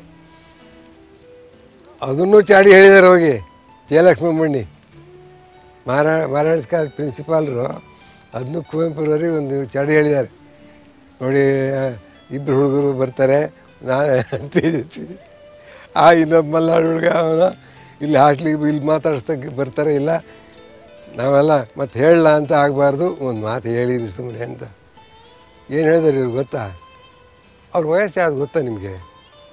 ಅಂದ್ರಂತ ವಯಸ್ಸಿನೊಂದು, ಅಲ್ಲ, ದೊಡ್ಡವರೇ, ಎಲ್ಲ ಜವಾಬ್ದಾರಿಗಳು ಅವ್ರಿಗೆ ಇರ್ತದೆ. ತಲೆ ಕೆಡಿಸ್ಕೊಬಿಡಿ ಅಂದಾರೆ ಇವರು. ಜಯಲಕ್ಷ್ಮಣಿ ಆತ ಆವತ್ತಿಂದ ಸ್ಟಾಪ್ ಹೇಳಕ್ ಹೇಳಕ್ಕೆ ಹೋಗಿಲ್ಲ. ಸಾವಿರದ ಒಂಬೈನೂರ ಅರವತ್ತೊಂದರಲ್ಲಿ ತೇಜಸ್ವಿ ಹಾಗೂ ರಾಜೇಶ್ವರಿ ಅವರು ತಮ್ಮ ತಮ್ಮ ಶಿಕ್ಷಣ ಮುಗಿಸಿದ ನಂತರ ತೇಜಸ್ವಿ ಮೈಸೂರಿನಲ್ಲೇ ಉಳಿದ್ರೆ ರಾಜೇಶ್ವರಿಯವರು ಬೆಂಗಳೂರಿಗೆ ವಾಪಸ್ ಬರ್ತಾರೆ. ಸಾವಿರದ ಒಂಬೈನೂರ ಅರವತ್ತೊಂದರಿಂದ ಸುಮಾರು ಮೂರ್ನಾಲ್ಕು ವರ್ಷಗಳ ಕಾಲ ತೇಜಸ್ವಿ ಹಾಗೂ ರಾಜೇಶ್ವರಿಯವರ ನಡುವೆ ನಡೆದ ಪತ್ರ ಸಂಭಾಷಣೆ ಅತ್ಯಂತ ಸ್ವಾರಸ್ಯಕರವಾಗಿದೆ. ಶ್ರೀಮತಿ ರಾಜೇಶ್ವರಿಯವರು ಆಗಿನ ಆ ಎಲ್ಲ ಪತ್ರಗಳನ್ನು ಜೋಪಾನವಾಗಿ ಕಾದಿಟ್ಟು ಅವರೇ ಬರೆದಿರುವ ನನ್ನ ತೇಜಸ್ವಿ ಎಂಬ ಪುಸ್ತಕದಲ್ಲಿ ಆ ಎಲ್ಲ ಪತ್ರಗಳನ್ನು ಪ್ರಕಟಿಸಿದ್ದಾರೆ. ಅವತ್ತಿಗೆ ಹೇಗಾಗ್ತಾ ಇರ್ತಿತ್ತು ಅಂದರೆ ಬೆಳಗ್ಗೆ ಒಂದು ಕಾಗದ ಹಾಕೋದ್ರೆ ಸಂಜೆಗೆ ತಲುಪಿಡ್ತಿತ್ತು ಬೆಂಗಳೂರಿಗೆ ಅನ್ನುವಂಥ ವ್ಯವಸ್ಥೆ ಇತ್ತು. ಈಗ ಮೊಬೈಲು ಎಲ್ಲ ಇದೆ ಬಟ್ ಆಗ ಕಾಗದವೇ ಬಹಳ ಅದರದ್ದು ಪ್ರಧಾನ ಪಾತ್ರ ಆಗ್ತಾ ಇರ್ತಿತ್ತು. ಒಮ್ಮೆ ತೇಜಸ್ವಿಯವರು ರಾಜೇಶ್ವರಿಯವರಿಗೆ ಕೋಪದಲ್ಲಿ ಬರೆದ ಪತ್ರದ ಶೈಲಿ ಈ ರೀತಿ ಇದೆ. ಒಂದು ಸಲ ಏನಾಯಿತು ಮನೆಗೆ ಬರ್ತೀನಿ ಅಂತ ಫೋನಲ್ಲಿ ಹೇಳಿದ್ರು. ಫೋನು ಇರಲಿಲ್ವೇನೋ, ಕಾಗದದಲ್ಲೇ ಬಹುಶಃ ಬರೆದಿದ್ರು, ಬರ್ತೀನಿ ಅಂತ. ಅದನ್ನು ಓದ್ತೀನಿ. ಇವ್ರದ್ದು ಹೇಗಿತ್ತು ವ್ಯಕ್ತಿತ್ವ ಈ ಮೂಲಕ ತಿಳಿಸೋಕ್ಕಾಗಿ ನಾನು ಹೇಳ್ತೀನಿ. ಇದು ಅರವತ್ತೊಂದನೇ ಇಸ್ವಿಲಿ ಕಾಗ್ತಾ ಬಂದಿದ್ದು. ಇವ್ರು ಯಾವ ಕಾಗದಕ್ಕೂ ತಾರೀಖಂತೂ ಹಾಕ್ತಾನೇ ಇರಲಿಲ್ಲ. ನಾನು ಪೋಸ್ಟರ್ ಕಾಗದದ ಮೇಲೆ ಸೀಲ್ ಇರುತ್ತಲ್ಲ ಪೋಸ್ಟಲ್ ಸೀಲ್ ಅದ್ರ ನೋಡ್ಕೊಂಡು ಡೇಟ್ ಕಂಡ್ಕೋಬೇಕಾಗಿತ್ತು. ಈಗ ನನ್ನ ಪುಸ್, ನನ್ನ ತೇಜಸ್ವಿ ಪುಸ್ತಕಕ್ಕೆ ಬರೆಯುವಾಗ ಆ ಮುಖಾಂತರ ತಾರೀಖುಗಳನ್ನ ನಾನು ಪತ್ತೆ ಹಚ್ಕೊಂಡೆ. ರಾಜೇಶ್ ಇಲ್ಲಿ ಬಂದು ನನಗೆ ರೇಗಿ ಹೋಗಿದೆ. ಹಾಳಾದವಳೆ, ಯಾವುದೋ ದರಿದ್ರ ಫೋನ್ ನಂಬರ್ ಕೊಟ್ಟು ಫೋನ್ ಮಾಡಿ ಮಾಡಿ ಸತ್ತೆ. ಆಮೇಲೆ ನಿನ್ನೆ ಎಲ್ಲ ಅದನ್ನೇ ಹುಡುಕಿ ಹುಡುಕಿ ಸತ್ತೆ. ಈಗ ಬೆಳಿಗ್ಗೆ ಎಲ್ಲ ಹುಡುಕಿ ಹುಡುಕಿ ಸತ್ತೆ. ಹಳದವಳಿಗೆ ಕ್ರಾಸ್ ನಂಬರ್ನಾರು ಕೊಡಲಿಕ್ಕೆ ಏನಾಗಿತ್ತು? ತರಲೆ ಅಂದರೆ ತರಲೆ ಮಾಡಿಟ್ಟಿದ್ದಿ. ನಿನ್ನೆ ತ್ರೀ, ಮೂರು ತ್ರೀ ಪಿ ಎಮ್ಗೆ ಬಂದೆ. ಅಂದರೆ ಹದಿನೈದರ, ನಿನ್ನೆ ರಾತ್ರಿ ರೈಲಿಗೆ ಹೋಗಬೇಕೆಂದು ಬಂದೆ. ನೀನ್ನ ಹುಡುಕಿ ಸತ್ತು, ಇವತ್ತಾದರೂ ಸಿಗುತ್ತಾಳೆ ಎಂದು ಇದ್ದರೆ ಇವತ್ತು ಬೇರೆ ತರಲೆ ತರ್ತಾರೆ ಅಲ್ಲೇ ಇವತ್ತು ರಾತ್ರಿ ರೈಲಿಗೆ ಹೋಗುತ್ತೇನೆ. ತಮ್ಮಂಗನ ವ್ಯಕ್ತಿತ್ವಕ್ಕೆ ಸಾಧ್ಯವಾದರೆ ಟೌನ್ ಹಾಲಿನ ಹತ್ತಿರ ಫೋರ್ ಪಿ ಎಮ್ಗೆ ಬನ್ನಿ ಸಿಗುತ್ತೇನೆ. ಅಂತೂ ನನಗೆ ರೇಗ ಅಂದರೆ ರೇಗು. ನಿನ್ನನ್ನು ಮಾತಾಡಿಸ್ಲೇಬಾರದೆ ಅಂತ ರೇಗಿದೆ ತರಲೆ ತತ್. ಸಿಕ್ಸ್ಟೀನ್ತ್ ಫೋರ್ ಪಿ ಎಮ್ಗೆ ಟೌನ್ ಹಾಲ್ ಹತ್ತಿರ ಒಕ್ಕರಿಸಿರಿ ಪೂಚಂತೆ. ಈ ಥರಕ್ಕೇನೋ ಕಾಗದ ಬರೆದಿದ್ರು ಸರಿ. ಆದರೆ ಅವರೇ ಮನೆಗೆ ಬಂದರು. ನನಗೆ ತುಂಬ ಆಶ್ಚರ್ಯ ಆಯಿತು. ಅಡ್ರೆಸ್ ಹೇಗೆ ಹುಡ್ಕೊಂಡು ಬಂದಿದ್ದಾರೆ ಅಂದ್ಕೊಂಡು ಕೇಳಿದರೆ ಪೋಸ್ಟ್ ಆಫೀಸ್ಗೆ ಹೋಗಿ ಪೋಸ್ಟ್ ಮ್ಯಾನನ್ನು ಕೇಳಿಕೊಂಡು ಅಡ್ರೆಸ್ ಹುಡ್ಕೊಂಡು ಬಂದಿದ್ರು. ಅವರು ಅವ್ರ ಫ್ರೆಂಡ್ ಶ್ಯಾಮ್ ಸುಂದರ್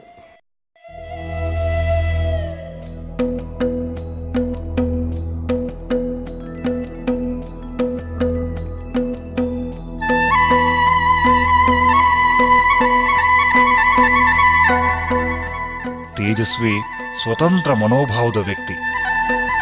ಹಾಗಾಗಿ ಎಂಎ ಪದವಿಯ ನಂತರ ಯಾವುದೇ ಅಧಿಕಾರ ಅಥವಾ ಸರಕಾರಿ ಹುದ್ದೆಯನ್ನು ಬಯಸದೆ ಯಾರ ಹಂಗಿಗೂ ಸಿಕ್ಕಿಕೊಳ್ಳದೆ ತಮ್ಮಿಷ್ಟದ ಬದುಕನ್ನು ಬದುಕುವ ನಿರ್ಧಾರ ಕೈಗೊಂಡು ನಗರದಿಂದ ಗ್ರಾಮ ಜೀವನದ ಕಡೆ ಮುಖ ಮಾಡಿ ಕೃಷಿಯನ್ನು ಆರಿಸಿಕೊಂಡರು ತೇಜಸ್ವಿ.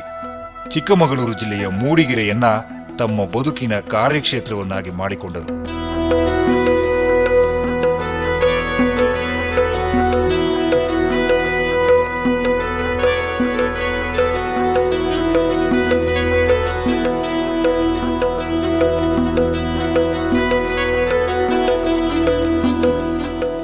ಆದರೆ ತೇಜಸ್ವಿಯವರೇ ಪರಿಸರದ ಕತೆ ಕೃತಿಯಲ್ಲಿ ಹೇಳಿಕೊಂಡಿರುವಂತೆ ಅವರು ಮೂಡಿಗೆರೆಗೆ ಬಂದು ನೆಲೆಸಿದ್ದರ ಹಿಂದಿನ ಉದ್ದೇಶ ಕಾಫಿ ತೋಟದ ಲಾಭಕ್ಕಾಗಲಿ, ವಿದ್ಯಾವಂತರು ಹಳ್ಳಿಗೆ ಹಿಂತಿರುಗುವ ಆದರ್ಶಕ್ಕಾಗಲಿ, ಅಥವಾ ಕೃಷಿಯ ಮೇಲಿನ ಪ್ರೀತಿಯಿಂದಾಗಲಿ ಖಂಡಿತ ಅಲ್ಲ.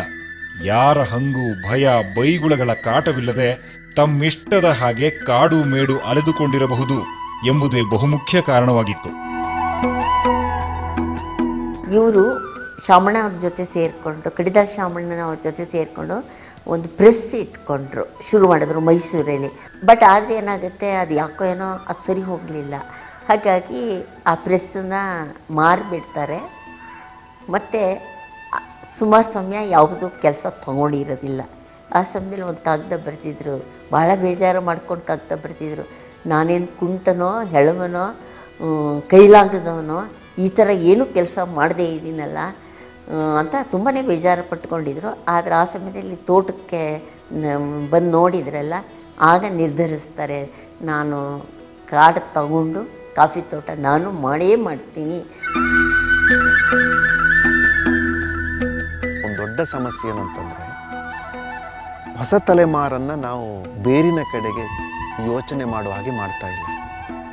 ಎಲ್ಲ ಸುಖ ದುಡ್ಡಿನಲ್ಲಿದೆ ಮತ್ತು ಎಲ್ಲ ಸುಖ ನಗರದಲ್ಲಿದೆ ಅನ್ನುವ ಕಾರಣಕ್ಕಾಗಿ ಒಂದು ದೊಡ್ಡ ವಲಸೆ ಆರಂಭ ಆಗಿದೆ. ಶಿಕ್ಷಣ ಅವರ ಎರಡೂ ಕಡೆ ರೆಕ್ಕೆ ಕಟ್ಟಿಕೊಂಡು ಬೇರು ಬಿಟ್ಟು ಹೊರಗಡೆ ಹೋಗುವ ಹಾಗೆ ಮಾಡ್ತಾ ಇದೆ. ಪದವಿ ಪತ್ರಗಳು ಮರಣ ಪತ್ರಗಳಾಗ್ತಾ ಇದೆ. ಗ್ರಾಮದ ಪಾಲಿಗೆ, ಕೃಷಿಯ ಪಾಲಿಗೆ, ನೆಲದ ಪಾಲಿಗೆ. ಈ ಹಿನ್ನೆಲೆಯಲ್ಲಿ ಕುವೆಂಪು ಅವರ ಮಗನಾದಂಥ ತೇಜಸ್ವಿ ಅವರಿಗೆ ನಗರವನ್ನು ಆಯ್ಕೆ ಮಾಡಿಕೊಳ್ಬೋದಿತ್ತು ಅವರಿಗೆ ಇದ್ದಂಥ ಪದವಿ ಅಪ್ಪನ ಹೆಸರು ಎರಡು ಆಧಾರದಿಂದ ಯಾವುದಾದ್ರೂ ಸಾಹಿತ್ಯ ಅಕಾಡೆಮಿಗೆ, ಸಾಹಿತ್ಯ ಪರಿಷತ್ತಿಗೆ ಅಥವಾ ವಿಶ್ವವಿದ್ಯಾನಿಲಯದ ಪೀಠಗಳಲ್ಲಿ ಪೀಠಸ್ಥರಾಗಬಹುದಿತ್ತು.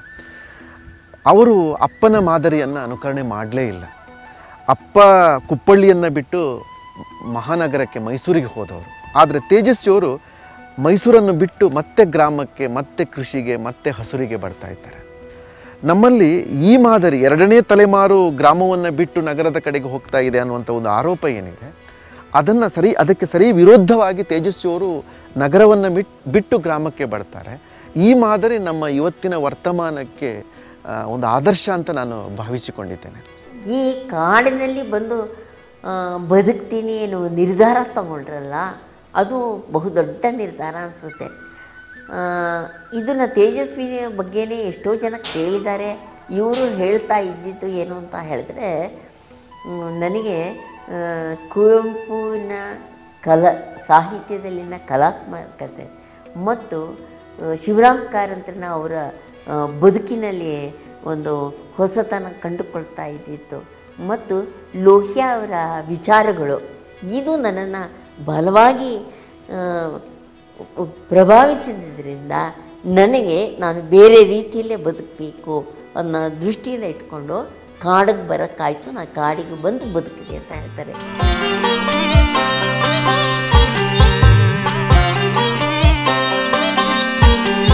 ಹೀಗೆ ತಮ್ಮ ಪಾಡಿಗೆ ತಾವು ಇಚ್ಛಿಸಿದ್ದನ್ನ ಮಾಡಿಕೊಂಡು ಬದುಕುವ ನಿರ್ಧಾರ ಕೈಗೊಂಡು ಮೈಸೂರಿನ ನಗರ ಜೀವನವನ್ನು ತ್ಯಜಿಸಿ ಹಳ್ಳಿಯ ಬದುಕನ್ನ, ಕೃಷಿಯನ್ನ, ಅಲ್ಲಿನ ಪರಿಸರವನ್ನು ಆರಿಸಿಕೊಂಡ ತೇಜಸ್ವಿಯವರು ಕೃಷಿಯಲ್ಲಿ ಅಲ್ಲಿನ ಕಾಡಿನ ಪರಿಸರದಲ್ಲಿ ಊಹೆಗೂ ನಿಲುಕದ ಸಮಸ್ಯೆಗಳನ್ನು ಸಂಕಷ್ಟಗಳನ್ನು ಎದುರಿಸಿದ್ದಾರೆ.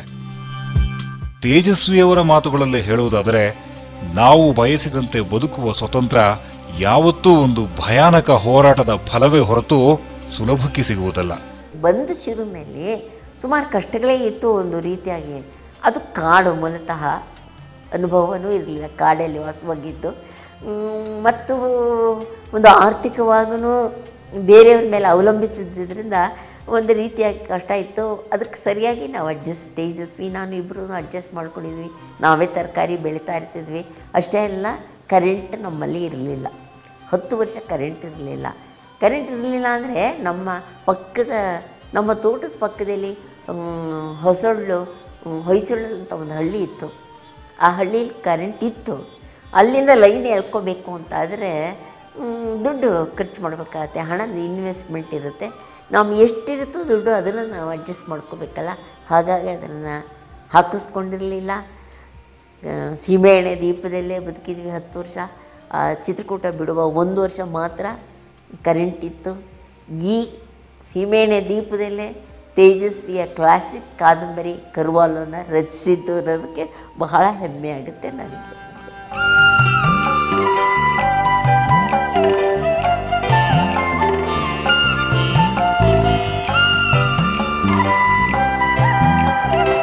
ತೇಜಸ್ವಿ ಹಾಗೂ ರಾಜೇಶ್ವರಿ ಅವರ ಮದುವೆ ನಡೆದದ್ದು ಸಾವಿರದ ಒಂಬೈನೂರ ಅರವತ್ತಾರರಲ್ಲಿ. ಅತ್ಯಂತ ಸರಳವಾಗಿ ಕುವೆಂಪುರವರು ರೂಪಿಸಿದ ಮಂತ್ರ ಮಾಂಗಲ್ಯ ವಿವಾಹ ಪದ್ಧತಿಯ ಪ್ರಕಾರ. ಸೊ ತೇಜಸ್ವಿಯವರು ಮದುವೆ ಆಗಬೇಕು ಅಂತ ತೀರ್ಮಾನಿಸಿದಾಗ ಅತ್ಯಂತ ಸರಳವಾಗಿ ಮದುವೆ ಆಗಬೇಕು. ಇದನ್ನು ನಾವು ಎಲ್ಲರಂತೆ ಈಗಿನ ನೀವು ಕೆಲವು ಲಗ್ನ ಪತ್ರಿಕೆಗಳು ನೋಡಿದ್ರೇ ಮೂರ್ಛೆ ಹೋಗೋಂಗೆ ಇರ್ತವೆ ಅವು. ಗೊತ್ತಾಯ್ತಾ?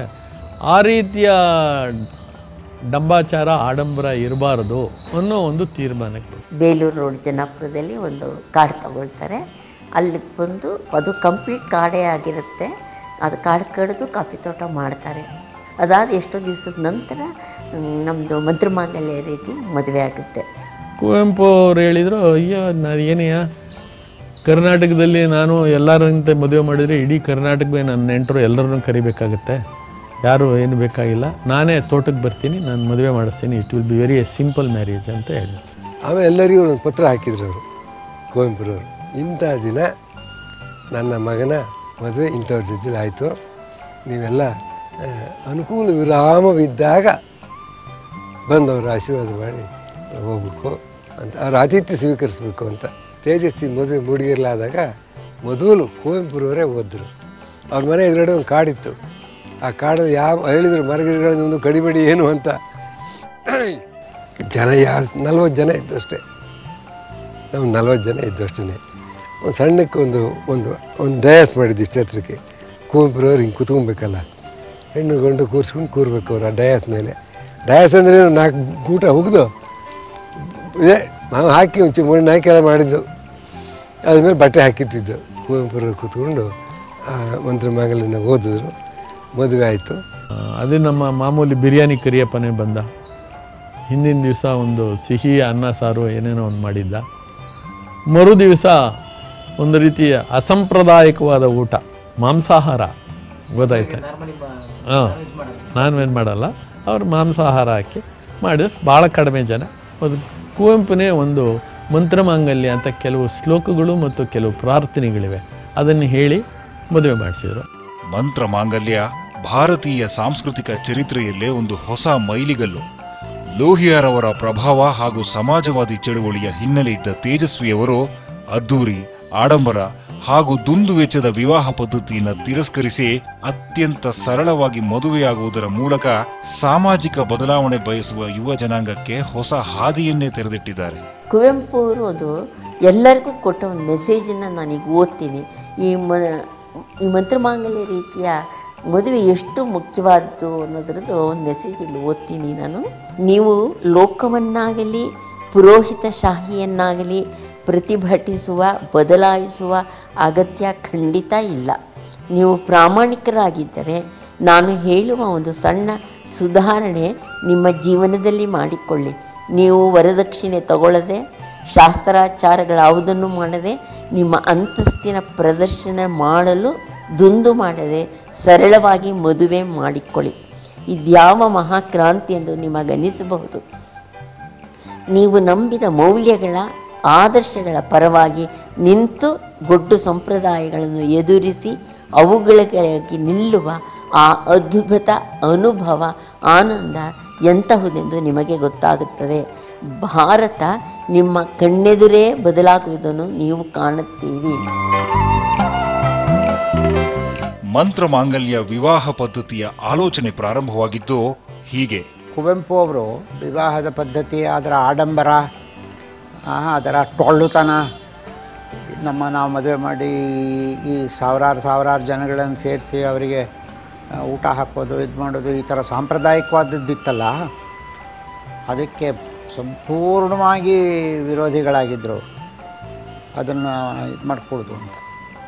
ಆಮೇಲೆ ನನಗೆ ಹೇಳಿದರು, ನೋಡಿ, ನಾವು ಒಂದು ಪುಸ್ತಕ ಮಾಡಬೇಕು, ಮಾಡೋಣ, ನೀವೇ ಮಾಡಿ.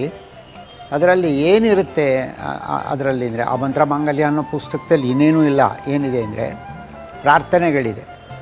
ಕೆಲವು ಪ್ರಾರ್ಥನೆಗಳು ಅದಕ್ಕೆ ಅರ್ಥ ಅಷ್ಟೇ ಇಷ್ಟು ಹೇಳಿಬಿಡೋಣ ನಾವು ದೇವತೆಗಳು ಅದರಿಂದಲೇ ಸುಪ್ರೀತರಾಗ್ತಾರೆ ಅವ್ರಿಗೆ ಹಾಗೆ ಹೇಳುವಾಗಲೂ ತುಂಬ ನಂಗೂ ನಗು ಬರ್ತಿತ್ತು, ಅವರಿಗೂ ನಗು ಬರ್ತಿತ್ತು ಅಂತ ದೇವತೆಗಳು ಯಾಕೆ ಸುಪ್ರೀತಪರಾಗ್ತಾರೆ ನಾವು ನಾವು ಮದುವೆ ಮಾಡಿದ್ರೆ ಇಟ್ಟು ಏನು ಮಾಡಿದ್ರೆ ಇಷ್ಟು ಅವರಿಗೆ? ಬೇರೆ ಬೇರೆ ಧರ್ಮಗಳಲ್ಲಿ ಯಾವ ರೀತಿ ಮದುವೆ ಮಾಡ್ತಾರೆ? ಒಂದು ಒಂದು ಲಿಸ್ಟ್ ಮಾಡಿ. ಜೈನರು, ಬೌದ್ಧರು ವೀರಶೈವರು ದಲಿತ್ ಇರ್ಬೋದು ಎಲ್ಲ ಹೇಗೆ ಮಾಡ್ತಾರೆ? ಮಕ್ಕಳಿಗರಲ್ಲೆಲ್ಲ ಮಾಡೋದು ನನಗೆ ಗೊತ್ತಿದೆ. ಅದೇನು ಬೇಕಾಗಿಲ್ಲ ಹೇಳೋದನ್ನ. ಸರಿ ಸರಿ. ಪ್ರೊಫೆಷನ್ಕರು ಅದನ್ನೆಲ್ಲ ಪಾಪ ಒಂದು ದೊಡ್ಡ ಇಷ್ಟು ತಪ್ಪು ಒಂದು ಇದನ್ನೇ ಮಾಡ್ಕೊಬಂದರು. ಒಂದು ವಾರದಲ್ಲಿ ರೆಡಿ ಮಾಡ್ಕೊಂಬಂದ್ರು. ರೆಡಿ ಮಾಡ್ಕೊ ಬಂದ ಮೇಲೆ ಅವರಿಬ್ಬರೇ ಕೂತ್ಕೊಂಡು ಎಲ್ಲರಿಗೂ ಅನ್ವಯಿಸಂಗಿರ್ಬೋದು. ಎಲ್ಲ ಒಬ್ಬನು ಸುಧಾರಿತ ರೀತಿಯಲ್ಲಿ ಮದುವೆ ಆಗ್ಬೇಕು ನಾನು ಅಂತ ಅಂತಕ್ಕಂಥವನು ಪ್ರತಿಯೊಬ್ಬರಿಗೂ ಅನ್ವಯ ಆಗಂಗೆ ಇರಬೇಕು. ಅದು ಎಲ್ಲಿಂದ ಸ್ಟಾರ್ಟ್ ಆಗ್ತದೆ ಅಂತ ಹೇಳಿದ್ರೆ ತಾಳಿ ಕಟ್ಟುವ ದಿನದಿಂದ ಸ್ಟಾರ್ಟ್ ಆಗ್ತದೆ. ಅದಕ್ಕಿಂತ ಹಿಂದಿಂದನೂ ಇರ್ತದೆ ಆಲೋಚನೆಗಳು. ಆದರೆ ಅದು ಕಾಂಕ್ರಿಟೈಸ್ ಆಗದೆ ಅಲ್ಲಿಂದ ಅಲ್ಲಿಂದ. ಅಲ್ವಾ?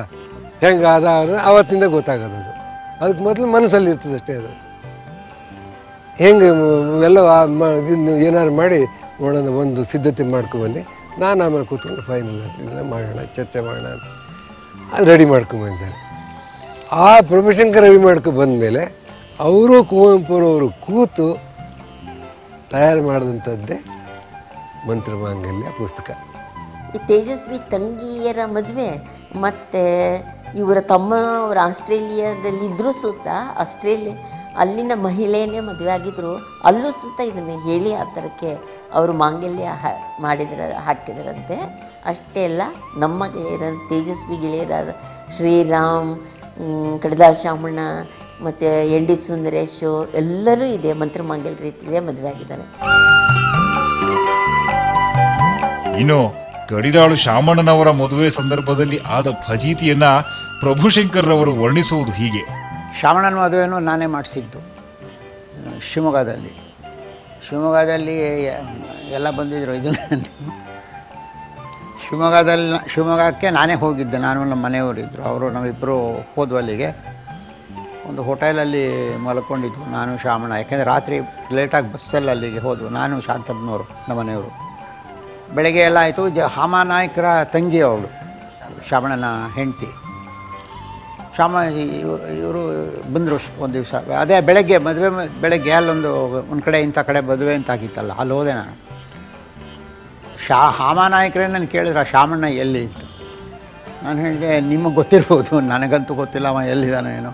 ಇಲ್ಲಿ ಇಲ್ಲಿ ಬೆಳಗ್ಗೆ ಒಂಬತ್ತು ಗಂಟೆಗೆ ಮದುವೆ ಅಂತಿದೆ, ಅದರಿಂದ ನಾನು ಎಂಟು ಮುಕ್ಕಾಲ್ಗೆ ಅಲ್ಲಿ ಬಂದಿದ್ದೀನಿ, ಅವನು ಬರ್ತಾನೆ ಸುಮ್ಮನೆ ಇರಿ ಅವನು ಬಂದು ತಮಾಷೆ ಏನಂದರೆ, ಕೊಂದು, ಬಂದು ಕೂತ್ಕೊಂಡ ಈ ಮಾಂಗಲ್ಯ ಕಟ್ಟೋದ್ರಲ್ಲಿ ನಂಬಿಕೆ ಇರೋರಿಗಾದರೆ ಮಾಂಗಲ್ಯ ಎಲ್ಲಿ ಅಂತ ನಾನು ಕೇಳ್ತಿದ್ದೆ ಅವಾಗ ಇವನು ಕೇಳಿದೆ, ಎಲ್ಲ ಆ ಮಾಂಗಲ್ಯ? ಅಂದರೆ. ಅವ ಜೇಬೆಲ್ಲ ಹುಡುಕ್ಬಿಟ್ಟು ಅಯ್ಯೋ ಮರ್ತುಬಿಟ್ಟೆ ನಾನು ಒಗೆಯೋಕ್ಕೆ ಹಾಕ್ಬಿಟ್ಟಿದ್ದೀನಿ ಪಾಯ್ಜಾಮೆ ಅದರಲ್ಲಿ ಮಾಂಗಲ್ಯ ಇತ್ತು ಅಂತ ಹೇಳ್ದ ಅವ್ರು. ನೀವು ಹೋಗಿ ಅಂತ ಹೇಳಿದೆ. ಯಾಕೆಂದರೆ ನಾವು ಈ ಕಾಲ, ಟೈಮು, ನಿಮಿಷ, ಗ- ಗಂಟೆ ಇಂಥದನ್ನೆಲ್ಲ ನಾವು ಲೆಕ್ಕಿಸ್ತಾನೇ ಇರಲಿಲ್ಲ. ಅದೆಲ್ಲ ನೋಡ್ಕೊಂಡು ಮಾಡಬೇಕು, ಹಾಗೆ ಹೀಗೆ ಅಂತೆಲ್ಲ ಏನಲ್ಲ. ಸರಿ, ನಾನು ಅಲ್ಲೇ ಇದ್ದೆ, ಅಷ್ಟೊತ್ತಿಗೆ ಹಮಾನಾಯಕರು ಬಂದರು, ಅವ್ರ ತಂದೆ, ನಂಗೆ ಹಮಾನಾಯಕರ ತಂದೆ ನಂಗೆ ಭಾಳ ಆತ್ಮೀಯವಾಗಿ ಗೊತ್ತಿತ್ತು ಮೊದಲೇ. ಅವ್ರ ಮಗಳಿಗೆ ತಾನೇ ಮದುವೆ ಇದು. ಅವರು ಎಲ್ಲ ಬಂದರು, ಆಮೇಲೆ ಈ ಶಾಮಣ ಅದು ಯಾರದೋ ಒಂದು ಸ್ಕೂಟ್ರ್ ಇಟ್ಕೊಂಡು ಹೋಗಿ ಒಂದು ಮಾಂಗಲ್ಯ ತೊಗೊಂಡು ಬಂದ. ಸವಾಸ ಮರ ನಾಳೆ ನಾವು ಅಲ್ಲಿ ಯಾರು ಬರ್ತೀವೋ, ಯಾರು ಬರೋ, ಯಾರು ಏನಿದೆಯೋ, ಆ ಮಾಂಗಲ್ಯ ಅಂತ ಒಂದು ಇದೆ ಮಾಡಿಟ್ಟಿನಿ ನಿನ್ನ ಜೇಬಾಗಿ ಇಟ್ಕಾತ್ಲಾಗ ನಾಳೆ ಮಂಗಲ ಕಟ್ಟಕ್ಕೆ ಬೇಕಲ್ಲ ನಂದು ನಾನೇನು ಹೇಳಿದ್ದೆ ಅಂದರೆ ನಾನು ಹಳೆ ಬಟ್ಟೆನೇ ಒಗೆದು ಹಾಕ್ಕೊಂಡು ಹೋಗಿ ಮದುವೆ ಮಾಡ್ಕೊಂಡವನು. ಹೊಸ ಬಟ್ಟೆ ಅಂತ ಬೇಕಾಗಿಲ್ಲ ಅಂತ ಹೇಳ್ತಿದ್ನಲ್ಲ, ಅದಕ್ಕೆ ನಮ್ಮ ಅಮ್ಮ ಇಟ್ಕೊಬಿಡಿ ನೀನೇ ಹತ್ತಲ ಜೇಬಲ್ಲಿ, ನಾವು ಯಾರು ಬರ್ತೀವೋ ಇಲ್ಲವೋ ಕರಿತೀವೋ ಇಲ್ಲೋ ಯಾರಿಗೆ ಗೊತ್ತು ಜೇಬ ಇಟ್ಕೊಂಡಿದ್ದೆ ಅದನ್ನ. ಮಾರನೇ ದಿನ ನಾವು ನಮ್ಮ ಅಮ್ಮ, ಅಪ್ಪ ಕೂರಿಸ್ಕೊಂಡು ನಾನೇ ಕಾರ್ ಬಿಟ್ಕೊಂಡು ಅಲ್ಲಿಗೆ ಹೋಗಿದ್ದೆ. ಮದುವೆ ಆದಮೇಲೂ ಹೆಣ್ಣು ಕೂರಿಸ್ಕೊಂಡೇ ಬಂದಿದ್ದು ನಾನು ಕಾರಲ್ಲಿ. ನಾನೇ ಡ್ರೈವ್ ಮಾಡಿಕೊಂಡು, ಅದಕ್ಕೆ ಇನ್ನೊಬ್ಬಿಲ್ಲ. ಆ ಬಟ್ಟೆ ಇಸ್ತ್ರಿ ಕೊಟ್ಟಿದ್ದೆ, ಒಗೆದಿದ್ನಲ್ಲ? ಶಿವಮೊಗ್ಗದಲ್ಲಿ ಇಸ್ತ್ರಿ ಕೊಟ್ಟರೆ ಅದು ಒಳಗದೆ ಅದು ಪಾಪ ಆ ದ್ವಾಬಿ, ಅವ್ರು ಬೆಳಗ್ಗೆ ಎಲ್ಲ ಹೋಗ್ಬೇಕಾಗಿದೆ ಪಾಪ, ಅವನು ಅವ್ನ ಹೆಂಡತಿ ಹತ್ರ ಕೊಟ್ಟು, ಇಸ್ತ್ರಿ ಮಾಡಿಕೊಟ್ಟು ಹೇಳಿದ್ದಾನೆ ನೋಡು, ಇಲ್ಲಿ ಸರ ಎಲ್ಲ ಇಲ್ಲೇ ಇಟ್ಟು ಇಟ್ಟಿದ್ದು ಇಲ್ಲೇ ಇದೆ. ಯಾಕೆ ಹಿಂಗೆ ಮಾಡಿದ್ದಾರೆ ಅಂತೂ ಗೊತ್ತಿಲ್ಲ. ಜೋಪಾನಾಗಿ ಇದನ್ನು ಇಸ್ತ್ರಿ ಮಾಡಿ ಕೊಡು ಅವರಿಗೆ ಅಂತ. ಅವನು ಹೋದ, ಇವರು ನೀ ಬಾಗಿಲು ಹಾಕೊಂಡು ನೀರು ತರಕ್ಕೆ ಹೋಗಿದ್ದೆ ಅವನ ಹೆಂಡತಿ. ನೀರು ತರ ಬರೋ, ಬರೋರಿಗೆ ಕಾದು ನಿಂತು ಆ ಇಸ್ತ್ರಿ ಮಾಡೋ ಬಟ್ಟೆ ಇಸ್ಕೊಂಡು ತಗೊಂಡಾಗ ಹೇಳಿದ್ಲು. ನೋಡಿ ಮಾಂಗಲ್ಯ ಎಲ್ಲ ಇಲ್ಲಿ ಇಟ್ಟಿರಿ? ಓ, ಹೌದಾ? ನಾನು ನೋಡಿಕೊಂಡೆ. ಆಮೇಲೆ ಮಾಂಗಲ್ಯನೂ ಕಟ್ಟೋ ಹೊತ್ತಲ್ಲಿ ನನ್ನ ತಂಗಿ ಮದುವೆ ನಂದು ಒಟ್ಟಾಯಿತು. ಯಾಕಾಯಿತು ಅಂದರೆ ನನ್ನ ತಂಗಿ ಹಠ. ನಿನ್ನ ಜೊತೆಲಿ ಆದ್ರೆ ಮಾತ್ರ ನನ್ನ ಮದುವೆ ಮಂತ್ರ ಮಾಂಗಲ್ಯ ಆಗ್ತದೆ. ಇಲ್ಲ ಅಂದರೆ ಇನ್ನೇನಾದ್ರು ಮಾಡಿ ಕೊಡ್ತಾರವರು ಆಗಲಿ ಅಂಥೇಳಿ ಅವಳಿಗೆ ಗಂಡು ಗೊತ್ತಾಗೋರಿಗೆ ನಾನು ಕಾದು ಎಲ್ಲ ಮಾಡಿ ಮದುವೆ ಆಯಿತು. ಮಾಂಗಲ್ಯ ಪ್ರಭುಶಂಕರೇ ಬಂದು ಮಂಗಲ್ ಧಾರಣೆ ಮಾಡಿಸಿದ್ದು. ಒಲವಿನ ಮದುವೆಗಳು, ಅಂದರೆ ಇಂಟರ್ ಕ್ಯಾಸ್ಟು ಪ್ರೇ, ಪ್ರೀತಿ, ಪ್ರೇಮ ವಿವಾಹ ಅಂತಾರಲ್ಲ, ಅದಕ್ಕೆ ನಾನು ಒಲವಿನ ಮದುವೆಗಳು ಅಂತೀನಿ. ಅವು ಅವಾಗ ಒಂದು ರೀತಿ ಜಾಸ್ತಿ ಆಗ್ತಾಯಿದ್ವಿ ಅವುಗಳಿಗೆಲ್ಲ ನಾವು ತುಂಬ ಸಪೋರ್ಟ್ ಮಾಡ್ತಾಯಿದ್ವಿ ಅವ್ರಿಗೆ ಎಲ್ಲಿ ಮದುವೆ ಆದರೂ ಅಲ್ಲಿ ಹೋಗ್ತಾ ಇದ್ವಿ ರಿಜಿಸ್ಟರ್ ಮ್ಯಾರೇಜ್ ಮಾಡಿಸ್ತಾ ಇದ್ವಿ, ಲಾಯರ್ಗಳು ಸಹಾಯ ಕೊಡ್ತಾ ಇದ್ವಿ, ಅವ್ರ ಪರವಾಗಿ ಭಾಷಣಗಳು ಮಾಡ್ತಾ ಇದ್ವಿ. ಅವ್ರ ತಂದೆ ತಾಯಿಗಳು ಯಾರಾದರೂ ಸಿಕ್ಕಿರೋರಿಗೆ ಇದಕ್ಕೆ ನೀವು ಒಪ್ಪಿ ಅಂತ ಹೇಳ್ತಾ ಇದ್ವಿ. ಹೀಗೆಲ್ಲ ಮೂಡಿಗೆರೆನಲ್ಲಿ ಒಂದು ಪ್ರೇಮ ಸೇನೆ ಅನ್ನೋದೇ ಒಂದು ಸಂಘಟನೆ ಶುರುವಾಗಿತ್ತು. ಭದ್ರಾವತಿಯಿಂದ ಬಿ ಕೃಷ್ಣಪ್ಪ ಅಂತ ಇದ್ರಲ್ಲ, ದಲಿತ ಸಂಘರ್ಷ ಸಮಿತಿಯವರು, ಅವರೆಲ್ಲ ಬೇಕಾದಷ್ಟು ಜನನ ಕರ್ಕೊಂಡು ಮೂಡಿಗೆರೆಯಲ್ಲೇ ರಿಜಿಸ್ಟರ್ ಮ್ಯಾರೇಜ್ ಮಾಡೋರು. ಅಲ್ಲಿ ಮಾಡಿದ್ರೆ ಗಲಾಟೆ ಆಗುತ್ತೆ ಅಂತೇಳಿ ಇಲ್ಲಿಗೆ ಕರ್ಕೊಂಬಂದು ಇಲ್ಲಿ ಯಾರಾದರೂ ಒಬ್ಬರು ಲಾಯರ್ ಹಿಡ್ಕೊಂಡು ರಿಜಿಸ್ಟರ್ ಮ್ಯಾರೇಜ್ಗಳಾಗಿ ಹೋಗಿ ಹಿಂಗೆ ಬೇಕಾದಷ್ಟು ನಮ್ಮ ಪರ ವಿರೋಧ ಎಲ್ಲ ಅವಾಗ ಬೇಕಾದಷ್ಟು ಇತ್ತು ಅಯ್ಯೋ, ನಾವು ಅದು ಇಲ್ಲಿಂದ ಯಾವುದಕ್ಕಾದರೂ ಸರಿ, ಮಂತ್ರ ಮಾಂಗಲ್ಯ ಅಂದರೆ ನಾವೇ ಅಂತಲ್ಲ, ಮಂತ್ರ ಮಾಂಗಲ್ಯ ಮದುವೆ ಇದೆ, ಇದಕ್ಕೆ ಬರಬೇಕು ಅಂತ ಅಂದರೆ ನಾವು ಏನಾದ್ರು ಮಾಡಿ ಸಮುದ್ರ ದಾಟಿ ಹೋಗೋದಾದ್ರೆ ಸಹ್ಯ ಆಂಜನೇಯ ಅವತಾರ. ಹೋಗಿ ಮದುವೆ ಹಾಜರಾಗ್ತಿದ್ವಿ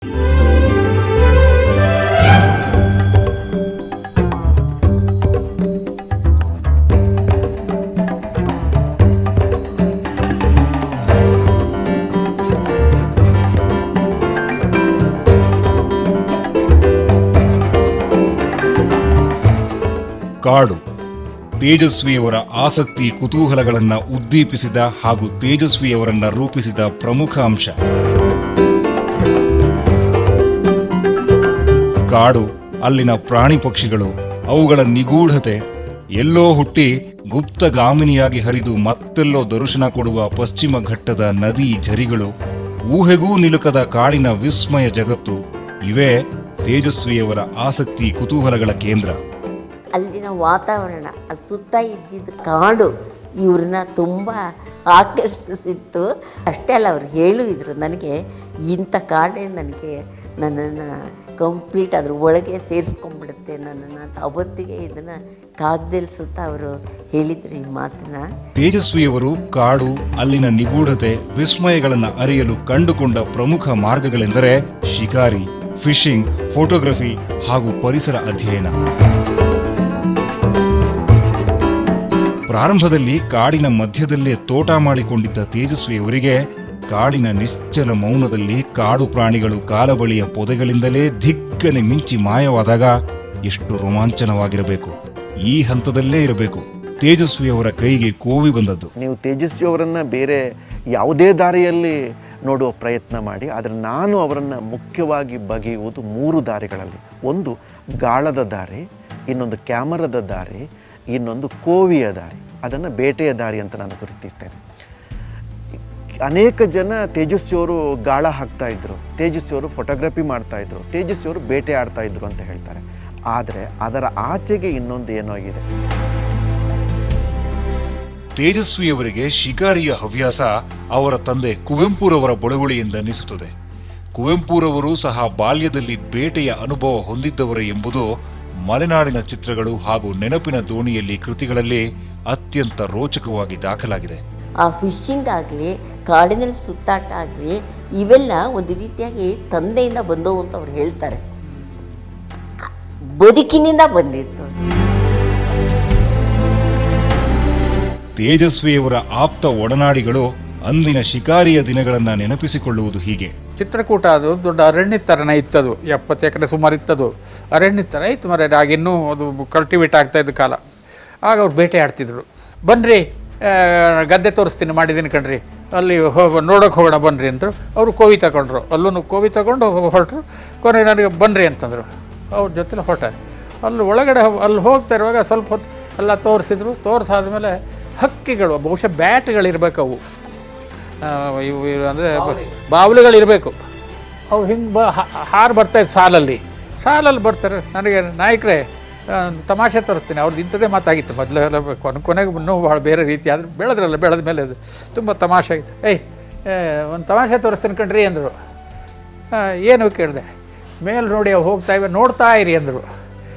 ಹಕ್ಕಿಗಳ ಸಾಲಲ್ಲಿ ಹೋಗೋದು ನಮ್ಮೂರಲ್ಲೂ ನಾವು ಹಳ್ಳಿಲಿ ಬೆಳೆದವರು. ಅದೇನು ವಿಶೇಷ ಏನಿಲ್ವಲ್ಲ ಹೋಗ್ತಿದ್ವಲ್ಲ ಬೇ ಹಕ್ಕಿ ಹಕ್ಕಿಗಳು ಏನು ನೋಡೋದು ಅಂತ ಅನಿಸ್ತೆ ನೋಡಿ, ನೀವು ನೋಡ್ತಾ ಇರಿ, ಯಾವುದಾದ್ರೂ ಒಂದು ಹಕ್ಕಿಯನ್ನು ಕರೆಕ್ಟಾಗಿ ನೋಡಿಕೊಂಡು ಎಷ್ಟನೇ ನಂಬರು ಅಂತಲ್ಲ ಕರೆಕ್ಟ್ ಲೆಕ್ಕ ಇಟ್ಕೊಂಡು ಇಡಿ ನೋಡಿ, ನನಗೆ ಹೇಳಿ ನಂಬರ್ ಹೇಳಿ.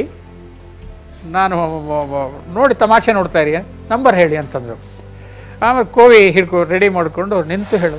ನಾನು ಎಷ್ಟು, ಐದನೇದೋ, ನಾಲ್ಕನೇದೋ, ಆರನೇದೋ, ಏನು ಹೇಳಿ, ಯಾವುದೋ ಒಂದು ನಂಬರು ಈಗ ನೋಡ್ಕೊಂಡು ಹೇಳಿದೆ. ಆಮೇಲೆ ಹೇಳಿದ್ರೆ, ಕಣ್ಣು ತೆಗಿಬೇಡಿ ಅಂದರು. ಆ, ನಿಮ್ಮ ದೃಷ್ಟಿಯನ್ನು ಆ ಹಕ್ಕಿಯಿಂದ ತೆಗಿಬೇಡಿ ಕಣ್ಣನ್ನು ಅನ್ಸಿದ್ರು ನಾ ಸುಮ್ಮನೆ ನೋಡ್ತಾ ಇದ್ದೆ. ಇದ್ದಕ್ಕಿದ್ದಂತೆ ನಂಬರ್ ಹೇಳಿದ ಮೇಲೆ ಡಮ್ ಅನ್ಸಿದ್ರು. ಬಿತ್ತಲ್ರಿ ಹಕ್ಕಿ? ಅದೇ ಸೇಮ್ ಇದು ಬಿತ್ತು. ನನಗೆ ನಂಬೋಕೆ ಆಗಿಲ್ಲ. ನನಗೆ ಇದು ಏನಿದೆ ಏನು ಒಳ್ಳೆ ಪಾರ್ಥ ಸಾಹಸ ಆಯ್ತಲ್ಲಪ್ಪ ಇದು ಅಂತ ಅನ್ನಿಸ್ತು. ಯಾವ ಥರದ ತೇಜಸ್ವಿ. ನನಗಿದೇನು ನಮ್ಮ ಸ್ನೇಹಿತ ಅನ್ನೋದನ್ನೇ ನಂಬೋಕ್ಕಾಗದಿದ್ದಷ್ಟು ಪ್ರತಿಭಾವಂತ. ಇರೋ, ಅಲ್ಲಿಗೆ, ಅಲ್ಲಿ ಮೊದಲೇ ಎಲ್ಲ ತುಂಟು ಹುಡುಗ ಅಂತ ಇದ್ದ ಕಲ್ಪನೆಗೆ ಹೆಂಗೆ ಟ್ರಾನ್ಸ್ಫಾರ್ಮೇಷನ್ ಆಗ್ತಾ ಇದ್ದದ್ದು ಆಶ್ಚರ್ಯ ಆಯಿತು. ನಾನು ಬೆರಗಾಗ್ಬಿಟ್ಟೆ. ಆಗಂತೂ ತೇಜಸ್ವಿಗೆ ಒಂದು ಶಿಕಾರಿ ಅಂದರೆ ಒಂದು ಅಬ್ಸೆಷನ್ ಶಿಕಾರಿ ಅಂದರೆ ಏನಾದರೂ ಮಾಡಬೇಕು, ಯಾವ ಯಾವ ರೀತಿಯಾದರೂ ಮಿಕ್ಕಿಗಳನ್ನು ನೋಡಿಬೇಕು ಅಂತೇಳಿ ಒಂಥರ ಬಹಳ ಪ್ರಯತ್ನ ಪಡೋರು. ಆವಾಗೇನಾಗೋಯ್ತು ಅಲ್ಲಿಗೆ ನಾನು ಪ್ರತಿ ವಾರ ಬರ್ತಾ ಇದ್ನಲ್ಲ, ಅವ್ರ ಹತ್ರ ಒಂದು ಗ ಡಬಲ್ ಬ್ಯಾರಲ್ ಗನ್ ಇತ್ತು, ಆಮೇಲೆ ಶಿಕಾರಿ ಆಡೋದಕ್ಕೆ ಬೇಕಾದಷ್ಟು ಜಾಗಗಳಿದ್ವು.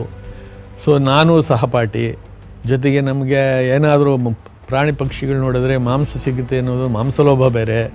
ಗೊತ್ತಾಯ್ತಾ? ಈ ರೀತಿಯಾಗಿ ನಾನು ಅವರು ಎರಡು ಶನಿವಾರ, ಭಾನುವಾರ ಸಿಕ್ಕಾಬಟ್ಟೆ ಎಷ್ಟು ಸಾಧ್ಯವೋ ಅಷ್ಟು ಸುತ್ತಿ ಏನೇನು ಸಿಗುತ್ತೋ ಅದನ್ನೆಲ್ಲ ಹೊಡೆದು ಅದು ಸೋಮವಾರ ಕಾಲೇಜ್ಗೆ ಹೋಗ್ತಾ ಇದ್ದೆ ನಾನು. ನಾವು ಚಿತ್ರಕೂಟದಲ್ಲಿ ಇದ್ದಾಗ ಶುರುವಿನಲ್ಲಿ ಕಿವಿ ಜೊತೆಗೆ ಶಿಕಾರಿ ಹೋಗ್ತಾ ಇರ್ತಿದ್ರು. ಆಗ ಅಲ್ಲಿ ಸುಮಾರು ಕಾಡು ಕುರಿ ಕಾಡು ಕೋಳಿ ಎಲ್ಲ ತುಂಬ ಶಿಕಾರಿ ಮಾಡ್ಕೊಂಡು ಬರ್ತಾ ಇರ್ತಿದ್ರು. ತೇಜಸ್ವಿಯವರ ಕರ್ವಾಲೋ ಹಾಗೂ ಪರಿಸರದ ಕಥೆ ಕೃತಿಯನ್ನ ಓದಿದವರಿಗೆ ತೇಜಸ್ವಿಯವರ ಆಪ್ತ ಒಡನಾಡಿ ಶಿಕಾರಿಯ ಸ್ನೇಹಿತ ಕಿವಿ ಎಂಬ ನಾಯಿಯ ಪರಿಚಯ ಚೆನ್ನಾಗೇ ಇರುತ್ತೆ. ತೇಜಸ್ವಿಯವರೊಂದಿಗೆ ಶಿಕಾರಿಯ ಖಾಯಂ ಒಡನಾಡಿಯಾಗಿದ್ದುದು ಅವರ ನಾಯಿ ಕಿವಿ. ಅವರ ಹತ್ರ ಒಂದು ನಾಯಿ ಇತ್ತು ಕಿವಿ ಅಂತ. ವೆರಿ ಇಂಟೆಲಿಜೆಂಟ್ ಡಾಗ್ ಶಿಕಾರಿ ವಿಷಯದಲ್ಲಿ ಭಾಳ ಬುದ್ಧಿವಂತ ನಾಯಿ ಅದು. ಅದನ್ನು ನಾವು ಕರ್ಕೊಂಡು ಹೋಗ್ತಾ ಇದ್ವಿ. ಅದು ಒಂದು ಸುಮಾರಾಗಿ ಎಲ್ಲ ನಾಯಿಗಳು ಬುಗಳ್ತಾವಲ್ಲ, ಹಂಗೆ ಬುಗಳ್ತಾ ಇರ್ತದಲ್ಲ ಪ್ರಾಣಿಗಳನ್ನು ಕಂಡ್ರೆ ಅದರ ವಾಯ್ಸ್ ಬದಲಾಗೋದು. ನಮಗೆ ಅದು ಕೂಗಿದ ತಕ್ಷಣ ಗೊತ್ತಾಗೋದು, ಇದು ಪ್ರಾಣಿಯನ್ನು ನೋಡಿದೆ ಅಂತ ನಾವು ಅಲರ್ಟ್ ಆಗ್ತಾ ಇದ್ವಿ. ಅದೊಂಥರ ರಿಲೇಷನ್ಶಿಪ್ ಆ್ಯಂಡ್ ಎಕ್ಸ್ಪೀರಿಯನ್ಸ್ ಅದು. ಅದಕ್ಕೆ ಪ್ರಾಣಿನ ನೋಡ್ಬಿಟ್ಟು ಅದಕ್ಕೆ ತಲೆ ಕೆಟ್ಟೋಗೋದು. ಯಾವುದಕ್ಕೆ? ಕಿವಿಗೆ. ಕಿವಿ ವಾಯ್ಸ್ ಕೇಳಿ ನಾವೆಲ್ಲ ಅಲರ್ಟ್ ಆಗಿ ಏನು ಮೈ ರೋಮಾಂಚಿತರಾಗಿ ಯಾವ ಎಲ್ಲಿ ಬರ್ಬೋದು, ಏನು ಬರ್ಬೋದು ಅಂತ ಎಲ್ಲ ಗನ್ಗಳು ಹಿಡ್ಕೊಂಡು ಕಾಯ್ತಾ ಇರೋರು. ಇದ್ರ ಜೊತೆಗೆ ಅದು ನಾವಿಬ್ಬರೇ ಟೀಮ್ ಇರ್ತಾ ಇರಲ್ಲ ನಮ್ಮದು ಟೂ ಮ್ಯಾನ್ ಆರ್ಮಿ ಅದು. ಅದಕ್ಕೆ ಅದು ಬೇರೆ ಕಡೆ ಹೋಗದೆ ಅವ್ರ ಕಡೆ ಹೋಗಂಗೆ ಒಂದು ಪೆಟ್ಲಂಗೋವಿ ಅಂತ ಒಂದು ಒಂದು ಸಲ್ಫರ್ ಹಾಕಿ ಒಂದು ಇದು ಮಾಡಿಕೊಟ್ಟಿರೋರು ನನಗೆ. ಅದನ್ನು ಅದರಲ್ಲಿ ಹಾಕ್ಬಿಟ್ಟು ಹಿಂಗೆ ಮುಡಿದ್ರೆ ಢೋಮ್ ಅನ್ನೋದು. ಓ, ಈ ಕಡೆಯಿಂದ ಶಬ್ದ ಬರ್ತಾ ಇದೆ ಅಂತೇಳಿ ಹಂದಿ ಆ ಕಡೆಗೆ ಓಡೋದು. ಅವ್ರು ಆ ಕಡೆ ನಿಂತಿರೋರು. ಸೊ ಹೀಗೆ ಪ್ರತಿದಿನ, ಆಮೇಲೆ ನಮ್ಮದು ಡಾಮ್ ಡಾಮ್ ಕೇಳಿಸಿರೆ ಮನೇಲಿ ಇರ್ತಾ ಇದ್ರಲ್ಲ, ಓ, ಏನೋ ನಡೀತಾ ಇದೆ ಅಂತ ಮನೆಯವ್ರಿಗೆ ಒಂಥರ ರೋಮಾಂಚನ. ಈ ರೀತಿಯಾಗಿ ಚೆನ್ನಾಗಿ ನಮ್ಮ ಒಳ್ಳೆ ಅನುಭವಗಳೆಲ್ಲ ಇದು. ಬೇಕಾದಷ್ಟು ದಿವಸ ಸಿಕ್ಕಿವೆ, ಬೇಕಾದಷ್ಟು ದಿವಸ ನಮ್ಮ ಕಣ್ಣೆದುರು, ಒಂದೊಂದು, ಒಂದು ದಿವಸ ಅಂತೂ ಒಂದು ಎಮ್ಮೆ ಥರದ ಒಂದು ಹಂದಿ ನಮ್ಮ ಕಣ್ಣೆದ್ರೆ ನಡ್ಕೊಂಡು ಹೋಯ್ತು ಗನ್ ತಪ್ಪಂತು ಹೊಡಿಲೇ ಇಲ್ಲ. ಏನ್ರಿ ಇಂಥ ಕೆಲಸ ಆಗೋಯ್ತು ಅಂತ. ಎಲ್ಲೋಗುತ್ತೆ, ಸಿಗುತ್ತೆ ಬನ್ನಿ ಇನ್ನೊಂದು ದಿವಸ ಅಂತ ಮಾತಾಡಿಕೊಂಡು ಬಂದ್ವಿ. ಆಮೇಲೆ ಈಗ ನಾಯಿನ ಕಾಫಿ ತೋಟದಲ್ಲಿ ಕರ್ಕೊಂಡು ಹೋದ್ರೆ ಕಾಫಿ ಗಿಡದ ಕೆಳಗಿರುವ ಕೋಳಿ ಕಾಡು ಕೋಳಿಗಳಿರ್ತಾವೆ ನೋಡಿ, ಅದನ್ನು ಹಾರಿಸೋದು ಅದು. ಹಾರಿಸಿದ್ರೆ ಇವರು ಫ್ಲೈಯಿಂಗ್ ಶಾಟ್ ಹೊಡೆದು ಹೊಡೆಯೋಕ್ಕೆ ಇವ್ರಿಗೆ ಇಂಟ್ರೆಸ್ಟ್ ಇರೋದು. ಅಂದರೆ, ಎಲ್ಲರೂ ನಾವೆಲ್ಲ ಮ್ಯಾಗ್ಝೈನ್ನಲ್ಲಿ ಅಲ್ಲಿ ಇಲ್ಲಿ ಇಂಗ್ಲೀಷ್ ಫಿಲಮ್ಗಳಲ್ಲಿ ನೋಡಿರೀವಿ. ಫ್ಲೈಯಿಂಗ್ ಶಾಟ್ಸ್ ಹೊಡೆದು ಒಳ್ಳೆ ಡಕ್ಕು, ಗೀಸು ಎಲ್ಲ ಹೊಡಿತೀವಿ ಅಂತ ನಾವು ಅಲ್ಲಿ ಇಲ್ಲಿ ನೋಡಿರೇವು. ಅದನ್ನಾರೆ ಏನು ರೀ ಆನಂದ್ ಮಕ್ಕಳು ಹೊಡಿತಾರೆ ನಮ್ಮಿಂದ ಹೊಡೆಯೋಕ್ಕಾಗಲ್ವಾ? ನೋಡೋಣ ಅಂಥೇಳಿ ನಾಯಿನ ಬಿಟ್ಟ ತಕ್ಷಣ ಹಾರಿಸೋದು. ನಾವು ಹೊಡೆದು ಬೀಳಿಸ್ತಾ ಇದ್ವಿ. ಹೀಗೆ ಅವ್ರಿಗಂತೂ ಒಂದು ರೀತಿ ಶಿಕಾರಿ ಅಂದರೆ ಒಂಥರ ರೋಮಾಂಚನ ಇತ್ತು ಅವ್ರಿಗೆ. ಅದರಲ್ಲಿ ತರಾವರಿ ಅಡುಗೆ ಮಾಡ್ತಾ ಇರ್ತಿರ್ಬೇಕಾಗ್ತಿತ್ತು ಆಗಲೇ ನಾನು ಹೊಸದಾಗಿ ಅಡುಗೆ ಮಾಡೋಕ್ಕೆ ಕರೀದೆ, ಕರೀತಾ ಇದ್ದಿತ್ತು ರಾತ್ರಿ ಹತ್ತು ಗಂಟೆ ಆಗೋಗಿರೋದು. ಆ ಸಂದರ್ಭದಲ್ಲಿ ಒಟ್ಟಾರೆ ಇವರಿಗೆ ಬಿರಿಯಾನಿ ಮಾಡು ಅಂತ ಹೇಳ್ತಿದ್ರು. ನಾನು ಹೊಸದಾಗಿ ಕಲಿತಿದ್ದಿದ್ದು ಇಷ್ಟೊತ್ತಿನೆಲ್ಲ ಒಗ್ಗರಣೆ ಕೊಡಬೇಕಲ್ಲಪ್ಪ ಅಂತ ಕೆಲ ಶುರುನೆಲ್ಲ ಅಂತ ಹೊತ್ಕೊಂಡು ಮಾಡಿದ್ದೀನಿ. ಆಮೇಲೆ ಅದು ಅಭ್ಯಾಸ ಆಯಿತು. ಓ, ಇವ್ರಿಗೆ ಸಂತೋಷ ಅಂತ. ಅವತ್ತಿಂದ ಅಭ್ಯಾಸ ಆಗಿತ್ತು. ಕೊನೆಯವರೆಗೂ ಇವ್ರಿಗೆ ಬಿರಿಯಾನಿ ಅನ್ನೋದು ಭಾರಿ ಪ್ರೀತಿ ಇತ್ತು. ಆ ಕಾಡು ಕುರಿ ಮಾಂಸನ ಒಣಗಿಸು ಇಡ್ತಾ ಇರ್ತಿದ್ದೆ ನೋಡಿ ಆ ಮಟ್ಟಿಗೆ. ಶುರುನಲ್ಲಿ ಅದು ಮೊದಲು ಬಿರಿಯಾನಿ ಅಂತೆ, ಫ್ರೈ ಅಂತೆ ಸಾರಂತೆ ಎಂತೆಂಥದ್ದು ಮಾಡಾದ್ಮೇಲೆ ಅದರದ್ದು ವಡೆ ಅದಕ್ಕೆಲ್ಲ ಐಡಿಯಾ ಕೊಡ್ತಾ ಇದ್ದಿ ತೇಜಸ್ವಿನೇ. ಸರಿ ಸ್ಪ್ರಿಂಕ್ಲರಿಗೆ ನಾನು ಸ್ಪ್ರಿಂಕ್ಲರ್ ಇಡಕ್ಕೆ ಅಂತೇಳಿ ಹೋಗ್ತಿದ್ದೆ. ಅವಾಗ ನನ್ನ ಜೊತೆಲಿ ಎರಡು ಜನ ಇದ್ದರು ಹೆಲ್ಪರು ಇಡ್ತಾ ಹೋಗೋತ್ತಿಗೆ ಒಂದು ಏಳೆಂಟು ಹಂದಿಗಳು, ಕಾಡಂದಿಗಳು ಹೊಂಡದಿಂದ ಇಳಿತಾ ಬರ್ತಿತ್ತು. ಅದ್ರ ಜೊತೆಲಿ ಮರಿಗಳು ಇತ್ತು ನಾನೇನು ಮಾಡಿದೆ ಅವ್ರನ್ನ ಅಲ್ಲೇ ಬಿಟ್ಟೆ. ಅವರು ಬೆಳನ ನೀವು ಗಲಾಟೆ ಮಾಡಬೇಡಿ, ಅದು ಎಲ್ಲಿ ಇಳಿತದೆ ನೋಡ್ಕೊಳ್ಳಿ ಅಂತೇಳಿ ಕೇಳಿ. ಎಲ್ಲಿ ಕೂಡ್ತದೆ ನೋಡ್ಕೊಳ್ಳಿ ಅಂತ ಹೇಳಿದೆ. ಅವರು ಹೀಗೆ ನೋಡ್ಕೊಂಡಿದ್ದು ನಾನು ಬಂದೆ ನಮ್ಮ ಸೌಕರ್ ಹತ್ರ ಹೇಳಿದೆ, ಮಾಲೀಕರ ಹತ್ರ, ಸೌಕರ್ ಹತ್ರ ಹೇಳಿದೆ, ಈಗ ನೋಡಿ ಸರ್ ಕಾಡಂದೆಗಳು ಬಂದುಂಟು ಅಂತ. ಎಲ್ಲೋ ಎಲ್ಲೋ ಅಂತ ಹೇಳಿದೆ. ಹಿಂಗೆ ಹೊಂಡದಲ್ಲಿ ಉಂಟು ಸರ್ ಅದು ಅಲ್ಲೇ ಅಡ್ಕೊಂಡು ಉಂಟು ಅಂತ ಸರಿ ಅಂತ ಹೇಳಿದ್ರು ಅವರು, ಯಾರ್ಯಾರು ಫೋನ್ ಮಾಡಿದ್ದು ಜಗದೀಶ್ ಅವರಿಗೆ, ಹಳೆಮಡಿಗೆರೆ ಜಗದೀಶ್ ಅಂತ ಹೇಳಿದರು. ಅವರಿಗೆ ಆಮೇಲೆ ರಘುಣ್ಣವ್ರು ಫೋನ್ ಮಾಡಿದರು. ಆಮೇಲೆ ಅಮರಣ್ಣವ್ರು ಇದ್ದರು ಅವ್ರಿಗೆ ಫೋನ್ ಮಾಡಿದ್ದು ಭೂತನ್ ಕಾಡು ಎಲ್ಲ ಬಂದರು ಎಲ್ಲ ತಗೊಂಡು ಹಳೆ ಮುಡುಗಿರಿಂದ ಮತ್ತು ಇನ್ನೊಬ್ಬ ನನ್ನ ಜೊತೆಲಿ ಓದಿದ್ದು ಒಬ್ಬ ಇದ್ದ, ವಿಲಿಯಮ್ಸ್ ಅಂತೇಳಿ. ಅವರು ಎಲ್ಲ ಬಂದರು. ಎಲ್ಲ ಗಂಡಿ ಗಂಡಿ ಕೂತ್ಕೊಂಡ್ರು. ಅದರಲ್ಲಿ ಒಂದು ಎರಡು ಮೂರು ಜನ ಒದ್ರಕ್ಕೆ ಇಳಿದ್ರು ಹೊಂಡದಲ್ಲಿ. ಹೊಂಡದಲ್ಲಿ ಇಳಿದ್ರು ಒದ್ರಿದ್ರು ಹಂದಿಗಳು ಹೇಳಲೇ ಇಲ್ಲ. ಅವ್ರು ಏನ್ಬೋದು ಅವರು ಆ ಸೈಡಿಗೆ ಹೋದ್ರು ಹಂದಿ ಈ ಸೈಡಲ್ಲಿತ್ತು ನಾನು ಮೇಲುಗಡೆನೇ ಇದ್ದೆ. ಎಲ್ಲ ನಿನ್ನ ತಲೆ ಹಂದಿನೂ ಏನಿಲ್ಲ, ಒಂದು ದಿನ ಹಾಳು ಮಾಡ್ದೆಲ್ಲ ನಮ್ಮದು ಅಂತೇಳಿ ಬೈದರು. ಇಲ್ಲ ಸರ್, ಹಂದಿ ಉಂಟು ಇಲ್ಲದೆ ಎಲ್ಲೂ ಹೋಗಿಲ್ಲ, ನಾನೇ ಇಳಿತೀನಿ ಅಂತೇಳಿ ಹೇಳಿದೆ.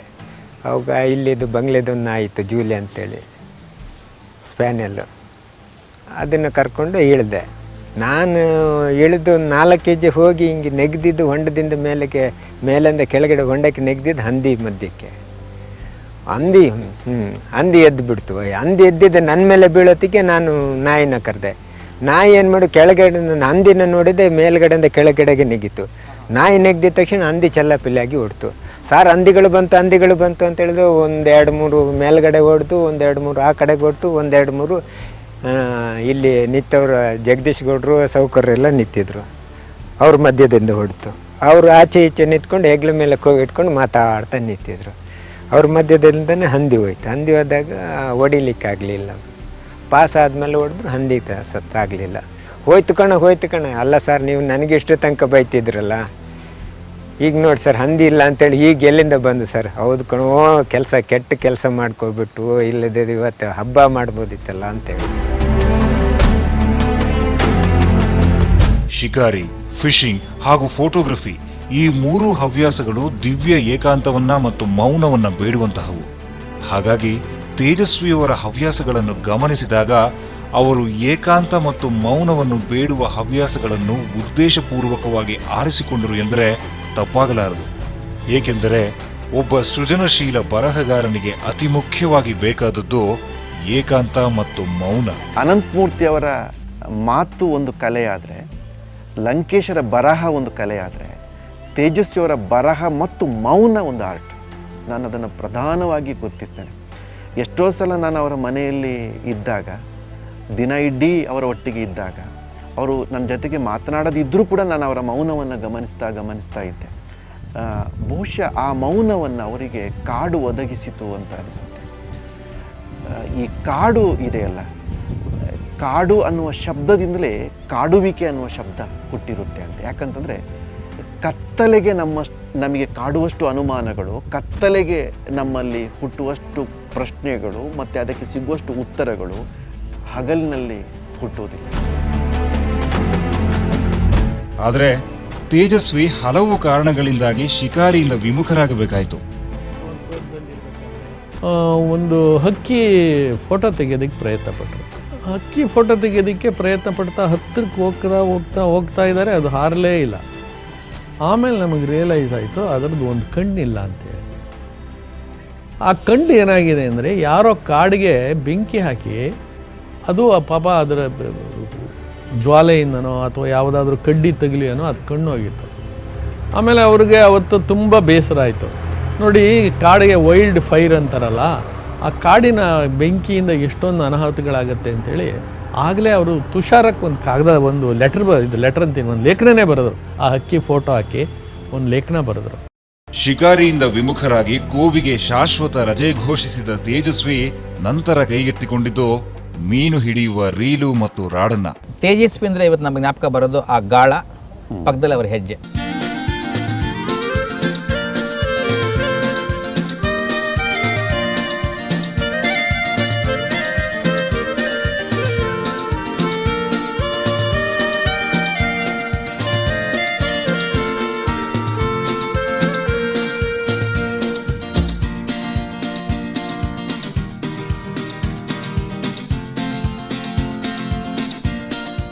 ಸುತ್ತಲಿನ ಪರಿಸರ ಪ್ರಕೃತಿಯ ಬಗ್ಗೆ ತಣಿಯದ ಕುತೂಹಲ ತೇಜಸ್ವಿಯವರದ್ದು. ಪ್ರಕೃತಿಯ ಬಗೆಗಿನ ಈ ಅದಮ್ಯ ಕುತೂಹಲವನ್ನ ತಣಿಸಲು ತೇಜಸ್ವಿ ಕಂಡುಕೊಂಡಿದ್ದ ಹಲವು ಮಾರ್ಗಗಳಲ್ಲಿ ಫಿಶಿಂಗ್ ಅತಿ ಮುಖ್ಯವಾದದ್ದು. ಜೋಪಾನ ಬನ್ನಿ ಜಾರುತ್ತೆ ಜಿಗಣೆ ಇರುತ್ತೆ ಎಲ್ಲ ಹತ್ಕೊಂಡು ಬಿಡುತ್ತೆ. ಸ್ವಲ್ಪ ಪ್ಯಾಂಟ್ ಗಿಂಟೆಲ್ಲ ಮೇಲೆ ಎತ್ಕೊಳ್ಳಿ. ತುಂಬ ಚೆನ್ನಾಗಿದೆ ಸ್ಪಾಟ್ ತೇಜಸ್ವಿಯವರು ಕೂತು ಫಿಶಿಂಗ್ ಮಾಡೋಂಥದ್ದು.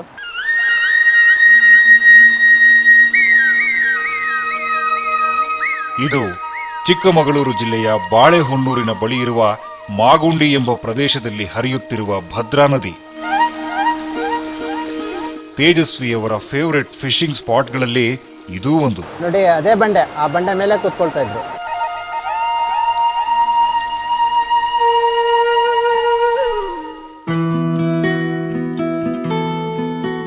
ಫಿಶಿಂಗ್ ತೇಜಸ್ವಿಯವರಿಗೆ ಬಾಲ್ಯದಿಂದಲೇ ಬಂದ ಹವ್ಯಾಸ. ಚಿಕ್ಕನ್ನಲ್ಲೇ ಕುಕ್ನಲ್ಲಿ ಕೆರೆಗೆ ಹೋಗಿ ನಾನು ಒಂದು ಮೂರು ನಾಲ್ಕು ವರ್ಷದೊಳೇನು ನನ್ನೂ ಕರ್ಕೊಂಡೋಗಿ, ಆ ದಡದ ಮೇಲೆ ನಿಂತ್ಕೊಂಡು ಅವ್ನು ಮೀನು ಎಸೆಯೋದು ನಾನೆಲ್ಲ ಗಂಟು ಕಟ್ಟು, ತೇಜಸ್ವಿ ಅಂತೂ ಎಷ್ಟು ಆಳಾಳಕ್ಕೆ ಹೋಗ್ತಿದ್ದ ಅಂದರೆ ನನಗೆ ಭಯ ಆಗಿ ನಾನೇ ಕಿರ್ಚ್ಕೊತಾ ಇದ್ದೆ, ಹೋಗ್ಬೇಡ, ಬಾರೋ ಬಾರೋ ಅಂತ. ಅವು ಇವತ್ತಿಗೂ ಹೇಗೆ ಕಣ್ಣಿಗೆ ಕಟ್ಟಂಗಿದೆ ಅಂದರೆ ಅವ್ನು ತಿರುಗಿ ನಿಂತ್ಕೊಂಡು ಹೇ ಕತ್ತೆ, ಬಡ್ಕೊಂಬೇಡ, ಏನಾಗಲ್ಲ ಸುಮ್ಮನಿರು ಅಂತ ನಂಗೆ ಹೇಳಿದ ಮಾತ್ರ ಅವನು ಯಾವ ಥರ ಹೇಳಿದ್ನೋ ಅದು ಇನ್ನೂ ಕಿವಿನಲ್ಲಿ ಗುಂಗ್ಬಿಟ್ಟಿರುತ್ತೆ ಅನಿಸುತ್ತೆ. ಮೀನು ಹಿಡಿಯೋದಂದರೆ ತೇಜಸ್ವರಿಗೆ ಅತ್ಯುತ್ಸಾಹ ಭಾಳ ಉತ್ಸಾಹದಿಂದ ಇರ್ತದೆ ರೀ ಆವಾಗ ನೋಡಿದ್ರು. ತೇಜಸ್ವಿಯವರು ಮೀನು ಹಿಡಿಯಲು ಹೋಗುವಾಗ ಮಾಡಿಕೊಳ್ಳುತ್ತಿದ್ದ ಸಿದ್ಧತೆ ಬಹಳ ಕುತೂಹಲಕಾರಿಯಾಗಿದೆ. ಅದು ಏನೋ ಒಂದು ಸ್ಫೂರ್ತಿ ಮೈ ಮೇಲೆ ಬಂದಂಗೆ ಮಾಡ್ಕೊಳ್ತಾ ಇರ್ತದಪ್ಪ.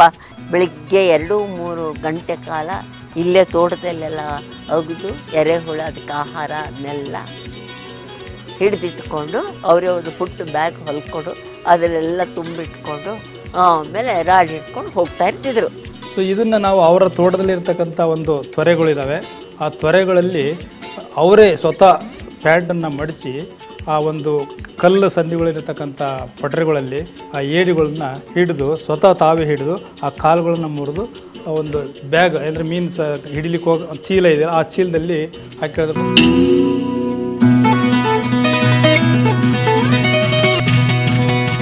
ಇದೇ ರೋಡಲ್ಲಿ ನಾವು ಹೋಗ್ತಾ ಇದ್ದೀವಿ. ಸಾಯಂಕಾಲ ಕರೆಕ್ಟಾಗಿ ಮೂ ನಾ ಮೂರುವರೆ ಅಷ್ಟೊತ್ತು ನಮ್ಮ ಮನೆಗೆ ಬರೋರು ಇಲ್ಲಿ ಸ್ಕೂಟ್ರಲ್ಲಿ ರಾತ್ರಿ ಏಳು ಏಳುವರೆ ತನಕ ಅಲ್ಲೇ ಹೇಮಾವತಿ ನದಿ ಇಲ್ಲಿ ಹೋಗ್ತಿದ್ವಿ. ಮತ್ತು ಮೀನು ಹಿಡಿಯೋಕ್ಕೆ ಹೊರಟಿವಿ ಅಂತಂದರೆ ಒಂದೇ ಟೈಮು ಅಂದರೆ ನಾವು ಹೊರಡೋದು ನಾಲ್ಕು ಗಂಟೆ. ಬೇರೆ ಯಾರಾದರೂ ನೋಡಿದರೆ ತೇಜಸ್ವರ್ ಮೀನು ಹಿಡಿಯೋಕ್ಕೆ ಹೋಗ್ತಾರೆ. ಅಂದರೆ ನಾಲ್ಕು ಗಂಟೆ ಅಂತಲೇ ಅದು ಅರ್ಥ. ನಾಲ್ಕು ಗಂಟೆಗೆ ಹೊರಟ್ರು ಮತ್ತೆ ಪುನಃ ನಾವು ಬರೋದು ಏಳು, ಏಳುವರೆ ಅಷ್ಟೊತ್ತಿಗೆ ಮನೆಗೆ ವಾಪಸ್ ಬರ್ತಾ ಇದ್ವಿ. ತೇಜಸ್ವಿಯವರೊಂದಿಗೆ ಅವರ ಫಿಶಿಂಗ್ ಸಾಹಸಗಳಲ್ಲಿ ಭಾಗಿಯಾಗಿದ್ದ ರಾಘವೇಂದ್ರ ಹಾಗೂ ಬಾಪು ದಿನೇಶ್ ಅವರು ಮೀನುಗಳ ಬಗ್ಗೆ, ಅವುಗಳ ಗುಣಲಕ್ಷಣಗಳ ಬಗ್ಗೆ, ಚಲನವಲನಗಳ ಬಗ್ಗೆ ಗಂಟೆಗಟ್ಟಲೆ ಮಾತನಾಡುವಷ್ಟು ಪಾಂಡಿತ್ಯ ಪಡೆದವರು. ಈ ನದಿಯಲ್ಲಿ ನಾವು ಸಾಮಾನ್ಯವಾಗಿ ನವಂಬರ್ ಡಿಸೆಂಬರ್ನಲ್ಲಿ ಬರ್ತಾ ಇತ್ತು. ಆವಾಗ ನೀರು ಕಡಿಮೆ ಇರ್ತಾ ಇತ್ತು. ಇಲ್ಲಿ ಔಲ್ ಮೀನಿದೆ ಔಲ್ ಮೀನು ಮತ್ತು ಬಾಳೆ ಮೀನು. ಬಾಳೆ ಮೀನು ಮತ್ತು ಹದ್ದಿನ ಮೀನು ಅಂತಾರೆ ಆದರೆ ಹದ್ದಿನ ಒಳ್ಳೆ ಸಿಮೆಂಟ್ ಮೂಟೆ ಇದ್ದಾಗಿರುತ್ತೆ. ಅದ್ರ ಕಣ್ಣು ಸ್ವಲ್ಪ ಮೇಲಿರುತ್ತೆ. ಕಣ್ಣು ಮೇಲ್ಗಡೆ. ಅದಕ್ಕೆ ಹದಿ, ಹದ್ದಿನ ಮೀನು ಅಂತ ಇಲ್ಲಿ ಕರೀತಾರೆ. ಈ ಹದ್ದಿನ ಮೀನಿಗೆ ಏಡಿ ಅಂದರೆ ಭಾರಿ ಇಷ್ಟ, ಕಲ್ಲೇಡಿ. ನಾವು ಆ ಕಲ್ಲೇಡಿನ ಬೈಟ್ ಫಿಶ್ ಆಗಿ ಗಾಳಕ್ಕೆ ಹಾಕಿಬಿಟ್ಟು ಅದನ್ನು ಹಾಕಿ ಇದು ಮಾಡ್ತಾಯಿದ್ವಿ ಈ ಔಲ್ ಮೀನಿಗೆ ಸ್ಪಿನ್ನರ್ಗಳನ್ನ ಹಾಕ್ತಾಯಿದ್ವಿ ಸ್ಪಿನ್ನರ್ ಅಂದರೆ ಅದೊಂದು ಏನಿಲ್ಲ, ಅದನ್ನು ಕಾಯ ಕಾಯೋಗಿಲ್ಲ. ಸ್ಪಿನ್ನರ್ ಹಾಕ್ತಾ ಇರೋದು, ಎಳಿತಾ ಇರೋದು. ನಿಮಗೆ ಹದ್ದ ಯಾವತ್ತು ಸ್ಪಿನ್ನರ್ನ ಎಲ್ಲಿ ನೋಡಿದರೂ ಬಂದು ಅಟ್ಯಾಕ್ ಮಾಡಿಬಿಡುತ್ತೆ. ಯಾವುದು? ಔಲ್ ಮೀನು. ಅದು ಬಂಡೆ ಸೈಡಲ್ಲಿ ಇರುತ್ತೆ. ಆ ಬಂಡೆ ಸೈಡಲ್ಲಿ ಹಾಕಿ ಎಳಿತಾ ಇರಬೇಕು. ನಾವು ಟ ಇದನ್ನು, ಸ್ಪಿನ್ನರ್ನ ಆಗಾಗ ಎಳಿತಾ ಇದ್ದರೆ ಅದು ಬೇಗ ಬಂದು ಅಟ್ಯಾಕ್ ಮಾಡಿಬಿಡುತ್ತೆ. ಈ ಬಾಳೆ ಮೀನಿಗೆ ನಾವು ಬೈಟ್ ಫಿಶ್ ಅಂತ. ಬೈಟ್ ಫಿಶ್ ಅಂದರೆ ನಮ್ಮ ಕೆರೆಲೇ ನಾವು ತೇಜಸ್ವಿಯವರ ಕೆರೆಲೆ ಮನೆ ಪಕ್ಕದಲ್ಲಿ ಒಂದು ಕೆರೆ ಇತ್ತು, ಅಲ್ಲಿ ಸಾಕ್ಕೊಂಡಿದ್ದು ಅದನ್ನು ಬರುವಾಗ ಹಿಡ್ಕೊಂಡು ಬರ್ತಾಯಿದ್ದು ಕಲ್ಲೇಡಿ ಈ ಬೈಟ್ ಫಿಶ್ಗಳನ್ನ ಈ ಬೈಟ್ ಫಿಶನ್ನೇ ಆ ಗಾಳಕ್ಕೆ ಹಾಕ್ಬಿಟ್ಟು ನಾವು ತಂದು ಇಲ್ಲಿ ಹಾಕ್ಬಿಡ್ತಾಯಿದ್ದು ಹಾಗಾಗಿ ಇದು ಗಂಟೆಗಟ್ಟಲೆ ಕಾಯೋದು ಅಂದರೆ ಈ ಬೈಟ್ ಫಿಶ್ ಹಾಕ್ಕೊಂಡು, ಈ ಏಡಿಗಳನ್ನ ಹಾಕ್ಕೊಂಡು. ಈ ಸ್ಪಿನ್ನರ್ಗಳನ್ನ ಹಾಗಲ್ಲ. ಆಗಲೇ ಹಾಕೋದು ನೀವು ಸ್ಪಿನ್ ಮಾಡ್ತಾ ಇರೋದು, ಎಳಿತಾ ಇರೋದು. ಆವಾಗ ಎಲ್ಲಿದ್ದರೂ ಹುಲ್ ಮೀನು ಬಂದ್ಬಿಟ್ಟು ಅಟ್ಯಾಕ್ ಮಾಡ್ತೀವಿ ಹಾವು ಮೀನು ಹೆಚ್ಚು ನೀವು ಇದಕ್ಕೆ ಏರೆಹುಳುಗೆ ಅಟ್ಯಾಕ್ ಮಾಡ್ತದೆ ಏರೆಹುಳು ಏರೆಹುಳು ಏರೆಹುಳು ಅದು ಏನಂದರೆ ನಾವು ಏರೆಹುಳು ಹಾಕ್ಕೊಂಡು ಗಾಳ ಹಾಕ್ಕೊಂಡು ಕೂತಿರೋದು ನಮಗೆ ಗೊತ್ತೇ ಆಗ್ತಾ ಇರಲಿಲ್ಲ. ಏನಾರು ಅದು ನುಂಗಿಬಿಟ್ಟಿದ್ರೆ ಅದು ಗಂಟೆಗಟ್ಟಲೆ ಆದರೂ ನಾವು ಅದು ಎಳೆಯೋದು ಇಲ್ಲ, ಬಿಡೋದು ಇಲ್ಲ ಈ ಟ್ಯಾಗ್ನ. ದಾರನ ಎಳಿತಾ ಇರಲಿಲ್ಲ, ನಮ್ಗೆ ಗೊತ್ತೇ ಆಗ್ತಾ ಇರಲಿಲ್ಲ. ಎಷ್ಟೊತ್ತಾದಮೇಲೆ ಏನೂ ಸಿಗಲಿಲ್ಲ ಅಂತ ನಾವು ದಾರ ಎಳಿತಾ ಇದ್ದರೆ ಹಾವು ಮೀನು ಹಾವು ಮೀನು ಬಂದಿರೋದು. ಯಾಕೆಂದರೆ ಅದು ಯಾವಾಗಲೂ ಈ ಇದನ್ನು ಹೊಟ್ಟೆ ತನಕ ನುಂಗ್ಬಿಡೋದು. ಗಾಳನೇ ಹೊಟ್ಟೆ ಒಳಗೆ ಇಲ್ಲ, ಅರ್ಧ ಭಾಗದಷ್ಟು ಹೋಗಿರೋದು. ನಾವು ನಾವು ಆಮೇಲೆ ಎಳೆದ್ಬಿಟ್ಟು ತೆಗಿಯೋಕ್ಕಾಗ್ತಾ ಇರಲಿಲ್ಲ. ಇಲ್ಲ, ಹೊಟ್ಟೆ ಕುಯ್ದು ಗಾಳ ಬಿಡಿಸ್ಕೊಳ್ಬೇಕಿತ್ತು, ಇಲ್ಲಾಂದರೆ ಅಲ್ಲಿಗೆ ಕಟ್ ಮಾ ಕಟ್ ಕಟ್ ಮಾಡ್ತಾ ಇದ್ದು. ಕಟ್ ಮಾಡಿ ಹೊರಗೆ ತೆಗಿತಾ ಇದ್ದು. ನಾವು ಒಂದೊಂದು ಮೀನಿಗೆ ಒಂದೊಂದು ಥರ ಅದರಲ್ಲಿ ಚಲನೆ ವಲನೆಗಳು ನೀರಲ್ಲಿ ತೋರಿಸ್ತಾರೆ. ಅದನ್ನು ಹೆಚ್ಚು ತೇಜಸ್ವಿಯರು ನಮ್ಗೆ ಹೇಳ್ಕೊಡ್ತಾರೆ. ಫಿಶಿಂಗ್ ಅದ್ರಲ್ಲಿ ಒಂದು ನಿಮ್ಗೆ ಒಂದು ಅಡ್ವಾಂಟೇಜ್ ಏನಂದರೆ ನಿಮ್ಮ ಪಾಡಿಗೆ ನೀವು ಒಬ್ಬರೇ ಕಾಮಾಗಿ ಕೂತ್ಕೊಂಡು ಪರಿಸರದ ಮಧ್ಯೆ ನೀವು ಇದ್ದು ಬಿಡ್ಬೋದು ಯಾರ ತಂಟೆ ತಾಪತ್ತು ಮಾತು ಸುತ್ತಾಡೋಕ್ಕಾಗೋದಿಲ್ಲ ಪ್ರತಿಯೊಂದು ಹವ್ಯಾಸಕ್ಕೂ ಅಥವಾ ಕೆಲಸಗಳಿಗೂ ಅದರದ್ದೇ ಆದ ವಿಶಿಷ್ಟವಾದ ಉಪಕರಣಗಳು ಅಥವಾ ಸಾಧನ ಸಲಕರಣೆಗಳು ಬೇಕಾಗಿರ್ತವೆ. ಹಾಗೆ ಫಿಶಿಂಗ್ಗೆ ಅತಿ ಮುಖ್ಯವಾಗಿ ಬೇಕಾದದ್ದು ಮೀನು ಹಿಡಿಯುವ ಗಾಳ, ರಾಡು ಮತ್ತು ರೀಲು. ಫಿಶಿಂಗ್ ರಾಡು, ರೀಲ್ ಅಂದರೆ ಫೈಬರ್ ಗ್ಲಾಸ್ ರಾಡ್ ಹೆಲ್ಮೆಟ್ ಮಾಡ್ತಾರಲ್ಲ, ಆ ಮೆಟೀರಿಯಲ್ ರಾಡ್ ಅದು. ಉದ್ದಕ್ಕಿರುತ್ತೆ ಅದ್ರ ಕೆಳಗಡೆ ರೀಲ್ ಇರುತ್ತೆ, ಸುತ್ತಂಗೆ. ಅದರಲ್ಲಿ ಸಾಕಷ್ಟು ರೀಲ್ ಎಲ್ಲ ದಾರ ಎಲ್ಲ ಹಾಕೊಂಡಿರ್ತೀವಿ. ಅದು ಮುಂದೆ ಎಲ್ಲ ತುಂಬ ಸೆನ್ಸಿಟಿವ್ ಆಗಿರುತ್ತೆ. ಅಂದರೆ ಒಂಚೂರು ಹಿಂಗೆ ಹೊಡಿತಾನೆ ಟಕ್ ಅಂತ ನಿಮ್ಮ ಕೈಗೆ ಬಂದು ಕಮ್ಯುನಿಕೇಟ್ ಆಗುತ್ತೆ ಹೊಡಿತಾ ಇರೋ ವೈಬ್ರೇಷನ್ ಅದು. ಇದು ಏರಿಯಲ್ ರಾಡ್ ಅಂತ. ನಾವು ಎಷ್ಟು ಬೇಕಾದ್ರೂ ಫಿಕ್ಸ್ ಮಾಡ್ಕೊಳ್ಬೋದು. ಎಷ್ಟು ದೂರಕ್ಕೆ ಬೇಕಾದರೂ ಎ ಸಿಗೆ ಏರಿಯಲ್ ರಾಡ್ ಅಂತ. ಹೀಗೆ ಫಿಕ್ಸ್ ಮಾಡಿಕೊಂಡು, ಇದು ಸ್ಪಿನ್ನರ್ ಅಂತ. ಇದಕ್ಕೆ ಯಾವುದೇ ಬೈಟ್ ಫಿಶ್ ಹಾಕಲ್ಲ ನಾವು.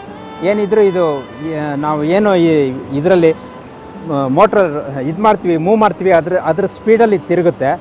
ಇದು ನೀರು ಒಳಗಡೆ ಹೀಗೆ ತಿರುಗ್ತಾ ಇರುತ್ತೆ. ಆವಾಗ ಔಲ್ ಮೀನಾಗಲಿ, ಇನ್ನೊಂದು ಮೀನಾಗಲಿ, ಇದು ಯಾವುದೋ ಒಂದು ಹುಳು ಅಂತ ಹೇಳಿ ಇದನ್ನು ಹಿಂದ್ಗಡೆ ಅಟ್ಯಾಕ್ ಮಾಡುತ್ತೆ. ಮೀನು ಹಿಡಿದಾಗ ಇದನ್ನು ಡ್ರ್ಯಾಗ್ ಅಂತ ಇದು. ಈ ಡ್ರ್ಯಾಗನ್ನು ಬಿಟ್ಟಾಗ ಇಷ್ಟು ದೂರ ಬೇಕಾದ್ರೆ ಎಳ್ಕೊಂಡು ಹೋಗುತ್ತೆ ಮೀನು. ಹೋಗ್ತಾ ಇರುತ್ತೆ. ಮತ್ತು ಮೀನು ಹಿಡಿದಾಗ ಮತ್ತೆ ಅದನ್ನು ತುಂಬ ದೂರದವರೆಗೆ ಕಳಿಸಿಬಿಟ್ಟು ಅದನ್ನು ಸೋಲಿಸಿ ಮತ್ತೆ ಈ ಡ್ರ್ಯಾಗನ್ ಟೈಟ್ ಮಾಡಿ ಮತ್ತೆ ರೋಲ್ ಮಾಡ್ತೀವಿ ಹೀಗೆ. ಮೇಲ್ಗಡೆ ಬರುತ್ತೆ. ಆ ಥರ ಸೋಲಿಸಿ ಸೋಲಿಸಿ ಮೀನನ್ನು ಎಳಿತೀವಿ. ಗಾಳ ಹಾಕಿ ಮೀನು ಹಿಡಿಯುವವನು ನೀರಿಗೆ ಗಾಳ ಎಸೆದ ನಂತರ ಮೌನವಾಗಿರಬೇಕಾದದ್ದು ಅತಿ ಮುಖ್ಯ. ತೇಜಸ್ವಿಯವರು ಈ ಮೌನವನ್ನ ಏಕಾಂತವನ್ನ ಪಡೆದುಕೊಳ್ಳಲು ಮೀನು ಹಿಡಿಯುವ ಹವ್ಯಾಸವನ್ನು ಬೆಳೆಸಿಕೊಂಡಿದ್ದರು ಎಂದರೆ ಅತಿಶಯೋಕ್ತಿಯಾಗಲಾರದು. ತುಂಬಾ ಒಂದು ಸೈಲೆನ್ಸಿನ ಒಂದು ತವರು ಮನೆ ಇದ್ದಂಗಿದ್ರು. ಮೌನದ ಒಂದು ತವರು ಮನೆ ದೊಡ್ಡ ತವರು ಮನೆ ಒಂದು ಮೌನಕ್ಕೆ ಎಲ್ಲಾದರೂ ತಾನು ವಾಸ ಮಾಡಬೇಕು ಅಂತ ಒಂದು ಆಯ್ಕೆ ಕೊಟ್ಟರೆ ಒಂದು ಸಹಜವಾದ, ನಿಸರ್ಗ ಸಹಜವಾದ ಮೌನಕ್ಕೆ ಅದು ತೇಜಸ್ವಿ ಅಂತ ಹೇಳುತ್ತೆ ಅಂತ ನನ್ನ. ಯಾಕಂದ್ರೆ ಅದಕ್ಕಾಗಿ ಅವ್ರು ನೋಡಿ, ಅವರು ಆಯ್ದುಕೊಂಡಂಥ ಅವರ ಹವ್ಯಾಸಗಳು. ಅದು ಫೋಟೋಗ್ರಫಿ ಇರ್ಬೋದು, ಮೀನು ಹಿಡಿಯೋದಿರ್ಬೋದು, ಅದರ ಅವಿಭಾಜ್ಯ ಅಂಗನೇ ಮೌನ. ಮೀನು ಹಿಡಿಯೋರಿಗೆ ಬೇಕಾದ ಮೊದಲ ಕ್ವಾಲಿಫಿಕೇಶನ್ ಅಂತ ಅವ್ನು ಮಾತಾಡಬಾರ್ದು. ಅದು ಫೋಟೋಗ್ರಾಫಿಗೆ ಅದು ಬರ್ಡ್ ವೈಲ್ಡ್ ಫೋಟೋಗ್ರಾಫಿಗೆ ಬೇಕಾದಂಥ ಮೊದಲ ರಿಕ್ವೈರ್ಮೆಂಟ್ ಅಂದರೆ ಮಾತಾಡಬಾರ್ದು. ಸೊ ಆತೇ ಜ್ಯೋತಿರ್ಲಿಂಗವಾದಂಥ ಒಬ್ಬ ಸಾಹಿತಿ. ಮಾತೇ ಒಂದು ಅವಗುಣವಾದಂಥ ಇಂಥ ಹವ್ಯಾಸಗಳನ್ನ ಇಟ್ಕೊಂಡಾಗ ಅದು ಭಾಳ ಅಂದರೆ ಅದು ಅವ್ರು ಭಾಳ ವೈಯಕ್ತಿಕವಾದಂಥ ಒಂದು ಪ್ರಯಾಣ ಆಗಿರುತ್ತೆ ಅದು. ಮೀನು ಹಿಡಿಯುವಾಗ ಮೇನ್ ಈಸ್ ಕಾನ್ಸಂಟ್ರೇಷನ್ ಯಾಕಂದ್ರೆ ಮೀನು ಹಿಡಿಯೋ ಕೂತ್ರೆ ಅವ್ರು ಏನು ಆಗ್ತಿದೆ ಯಾರಿದ್ದಾರೆ ಏನು ಬಿಟ್ಟಿದ್ದಾರೆ ಅನ್ನೋದು ಗಮನಕ್ಕೆ ಬರ್ತಾರಲ್ಲ ಚಿಕ್ಕ ಮೀನು ಹಿಡಿಯಂಗೆ ಇರ್ತಾಯಿರಲ್ಲ ಚಿಕ್ಕದಂದರೆ ಒಂದು ಅರ್ಧ ಕೆ ಜಿ ಒಂದು ಕೆ ಜಿ ಮೀನು ಹಿಡಿದ್ಬಿಟ್ರೆ ಸಿಟ್ಟು ಮಾಡಿಬಿಡೋರು. ಯಾಕೆ ಅದೇ? ಒಂದಿನ ನಾನು ಫಸ್ಟ್ ಬಂದಾಗ ನನಗೆ ಗೊತ್ತಿರಲಿಲ್ಲ. ಮೀನು ಹಿಡಿಯೋದು ಅಂದರೆ ಮೀನು ಹಿಡ್ಕೊಂಡು ಮನೆಗೆ ಬರೋದು ಅಂತ. ಅಂತ ತಿಳಿದ್ಬಿಟ್ಟಿದೆ. ಒಂದಿನ ಅರ್ಧ ಕೆ ಜಿ ಅಷ್ಟು ಮೀನು ಹಿಡ್ಕೊಂಡು ಬರ್ತಾ ಇದ್ದೀನಿ. ಏನು ಸ್ಟೈಲಾಗಿ ಮೀನು ಹಿಡಿದೀನಿ ಬಾರಿ ತೋರಿಸ್ಬಿಡೋಣ ಅಂತ. ಅಲ್ಲಿಂದಲೇ ಅಯ್ಯೋ ನಿನಗೇನಾಯ್ತು? ಇಂಥ ಮೀನು ಹಿಡ್ಕೊ ಬಂದಿದೆಯಲ್ಲ, ನಿನಗೇನೋ ಇದು ಮೀ, ಇಂಥ ಮೀನು ಹಿಡಿಯೋಕೆ ನಾವು ಈ ಹೊಳೆಗೆ ಬರ್ಬೇಕಾ? ಅಂತೇಳಿ ನನಗೆ ಸಿಟ್ಟು ಮಾಡ್ಕೊಂಡ್ರು. ಸಿಟ್ಟು ಮಾಡ್ಕೊಂಡು ಏನು ಸರ್ ಅಂದೆ, ಇಲ್ಲ, ಹಾಗಲ್ಲ. ನಾವು ಹಿಡಿದ್ರೆ ಏನಿದ್ರು ಒಂದು ಎರಡು ಕೆ ಜಿ ಮೂರು ಕೆ ಜಿನಾರು ಇರಬೇಕು. ಇಲ್ಲ ಅಂದ್ರೆ ವಾಪಸ್ ಬಿಡ್ಬೇಕು. ಅದನ್ನ ಹಿಡಿಯೋಕೆ ಇಲ್ಲಿವರೆಗೆ ಬರ್ಬೇಕಾ? ಅಂತ ಹೇಳಿ ಈ ಥರ ನಮಗೆ ಆವತ್ತಿಂದ ನಾವು ಏನಿದ್ರು ದೊಡ್ಡ ಮೀನಿಗೆ ಟ್ರೈ ಮಾಡ್ತಾಯಿದ್ವಿ ಇದ್ರೆ ವಾಪಸ್ ಬಿಟ್ಬಿಡ್ತಿದ್ವಿ ಕೂಡಲೇ. ಮೀನನ್ನ ನದಿಗೆ ಬಿಡ್ತಾಯಿದ್ವಿ ಮತ್ತು ಮನೆಗೆ ತಗೊಂಡೋಗಿ ಎಲ್ಲ ಫ್ರೈ ಮಾಡಿ ತೇಜಸ್ವಿಯವರೇ ಚೆನ್ನಾಗಿ ಮಾಡೋರು. ಎಂತೆಂಥ ಮೀನುಗಳನ್ನೆಲ್ಲ ಹಿಡ್ಕೊಂಬರೋ ನಮ್ಮ ಅಮ್ಮ ಇರ್ಬೇಕಾದ್ರೆ.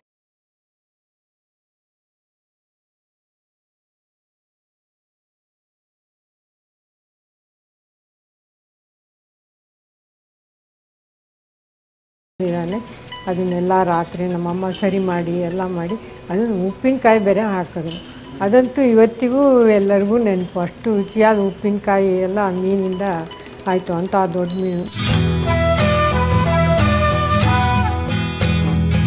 ತೇಜಸ್ವಿಯವರ ಮೇಲೆ ಇಂಗ್ಲಿಷ್ ಸಾಹಿತಿ ಅರ್ನೆಸ್ಟ್ ಹೆಮ್ಮಿಂಗ್ವೇಯ ಪ್ರಭಾವ ಇದ್ದಂತೆ ಕಾಣುತ್ತದೆ. ಹೆಮ್ಮಿಂಗ್ವೇಯ ನೊಬೆಲ್ ವಿಜೇತ ಕಾದಂಬರಿ the old man and the sea ತೇಜಸ್ವಿಯವರ ಅಚ್ಚುಮೆಚ್ಚಿನ ಕಾದಂಬರಿಯಾಗಿತ್ತು. Ernest ಹೆಮಿಂಗ್ವೇದು an old man and the sea ಅಂತ ಒಂದು ಬುಕ್ ಇದೆ. ಅದ್ರ ಬಗ್ಗೆ ಸಾಕಷ್ಟು ಅವರು ಒಂಥರ ಒಂದು ಅಭಿಪ್ರಾಯ ಇಟ್ಕೊಂಡಿದ್ರು. ನನಗೂ ಅವರು ಆ ಬುಕ್ ಕೊಟ್ಟರು ಓದಿ ಇದನ್ನ ಚೆನ್ನಾಗಿದೆ ಅಂತ ಹೇಳ್ಬಿಟ್ಟು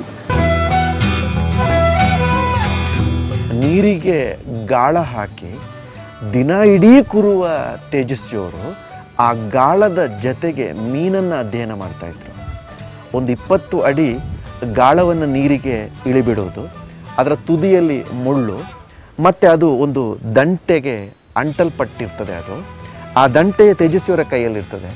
ಎಲ್ಲೋ ಆ ನೀರಿನಲ್ಲಿ ಯಾವುದೋ ಒಂದು ಚಿಕ್ಕ ಮೀನು ಕಚ್ಚುವಾಗ ಗಾಳದ ಮೂಲಕ ಬಂದ ಸಂವೇದನೆ ಧ್ಯಾನದ ಸ್ಥಿತಿಯಲ್ಲಿದ್ದ ತೇಜಸ್ವಿಯವರನ್ನು ಎಚ್ಚರಿಸ್ತಾ ಇದ್ದಂಥ ಮತ್ತು ಶೋಧನೆಗೆ, ವಿಸ್ಮಯಕ್ಕೆ ಎಡೆ ಮಾಡ್ತಾ ಇದ್ದಂಥ ಪರಿ ಇದೆಯಲ್ಲ ಆ ದಾರಿಯಲ್ಲಿ ನಾವು ತೇಜಸ್ವಿಯವರನ್ನು ಅಧ್ಯಯನ ಮಾಡಬೇಕು. I think fishing was only an excuse for him to know by time ಬೇರೆ ಟೈಮಲ್ಲಿ ಕೂತ್ಕೊಂಡು ಡಿಸ್ಟರ್ಬೆನ್ಸ್ ಇರುತ್ತೆ, ಆ ಪ್ರಕೃತಿ ನದಿ ಹರಿತಾರ ನದಿ, ಸುತ್ತಮುತ್ತ ಹಸಿರು, ಅಲ್ಲಿ ಕೂತ್ಕೊಂಡವರು ಈ was becoming one among the ಏನೋ ವರ್ಲ್ಡ್ ಅಂತ ನನಗೆ ಅನಿಸುತ್ತೆ. ಪ್ಲಸ್ ಅವರ ಯೋಚನೆಗಳಿಗೆ, ಅವರು ತಲೆಯಲ್ಲಿರ್ತಕ್ಕಂಥ ಘಟನೆಗಳನ್ನ ಸರಪಳಿ ಎಳೆಯೋಕ್ಕೆ ಒಂದು ದಾರಿ ಅವರಿಗೆ ಅಂತ ನನಗನ್ಸುತ್ತೆ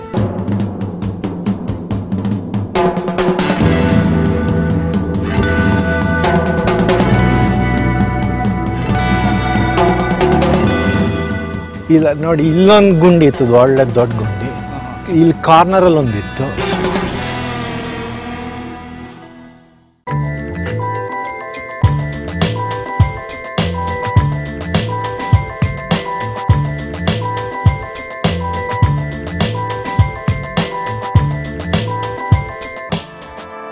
ಫಿಶಿಂಗ್ನಂತೆ ಫೋಟೋಗ್ರಫಿ ಸಹ ಪ್ರಕೃತಿಯೊಂದಿಗಿನ ಅನುಸಂಧಾನಕ್ಕಾಗಿ ತೇಜಸ್ವಿ ಕಂಡುಕೊಂಡಿದ್ದ ಇನ್ನೊಂದು ಮಾರ್ಗ.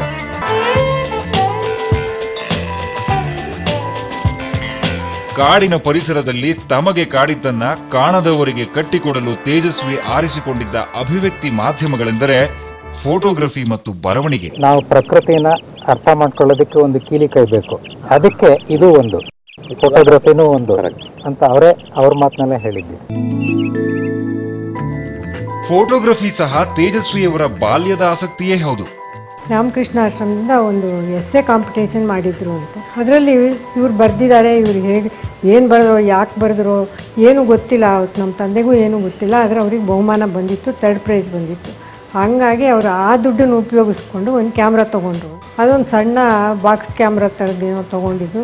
ಅದರಲ್ಲೇ ನಮ್ಮನ್ನೆಲ್ಲ ನ್ಯೂಸ್ ತೆಗೆದು, ಅದು ಸುಮಾರಾಗಿ ಬಂದಿದೆ, ಕರ್ರ, ಕರಿ ಕೂಲೆಲ್ಲ ಅಂತೂ ವಿಪರೀತ ಕರ್ರಿಗೆ ಮುಖ ವಿಪರೀತ ಬಿಳಿಗೆ. ಅದರಲ್ಲೇ ಅವರು ಪ್ರಾರಂಭಿಸಿರೋದು. ಆ ಫೋಟೋಗಳು ಇನ್ನೂ ಕೆಲವಿವೆ ನಮ್ಮ ಮನೆಯಲ್ಲೆಲ್ಲ. ತೇಜಸ್ವಿ ಅವರೇನು ಫುಲ್ ಈ ನಾಗರೊಳೆ ಬಂಡೀಪುರಕ್ಕೆ ಹೋಗಿಲ್ಲ ಅವ್ರು ಯಾವತ್ತು? ಬಟ್ ಸ್ಟಿಲ್ ತುಂಬ ರಿಜಿಸ್ಟರ್ ಆಗಿದ್ದ ಫೋಟೋಗ್ರಾಫರ್ ಅಂತ ಒಂದು ರೀತಿ. ಬಹುಶಃ ಅಷ್ಟು ಜನ, ಹೆಚ್ಚಿನ ಜನ ಮಂದಿಗೆ ಅಷ್ಟು ಗೊತ್ತಿರಲಾರ್ದು, ಯಾಕಂದ್ರೆ ತೇಜಸ್ವಿ ಯಾವ ಮಟ್ಟದಲ್ಲಿದ್ದರು ಅವ್ರ ಪಿಕ್ಚರ್ಸ್ ಏನಿತ್ತು ಅಂತ.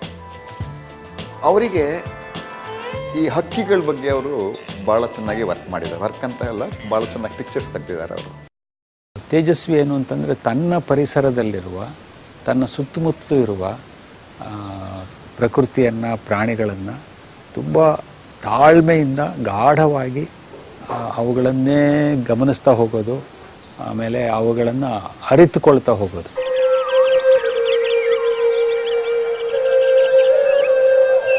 ತೇಜಸ್ವಿ ವರ್ಕ್ ಮಾಡಿದ್ದು ಅವ್ರ ತೋಟದ ಮನೆಗಳಲ್ಲಿ. ಕಾಡಿಗೆ ಹೋಗಲಿಲ್ಲ.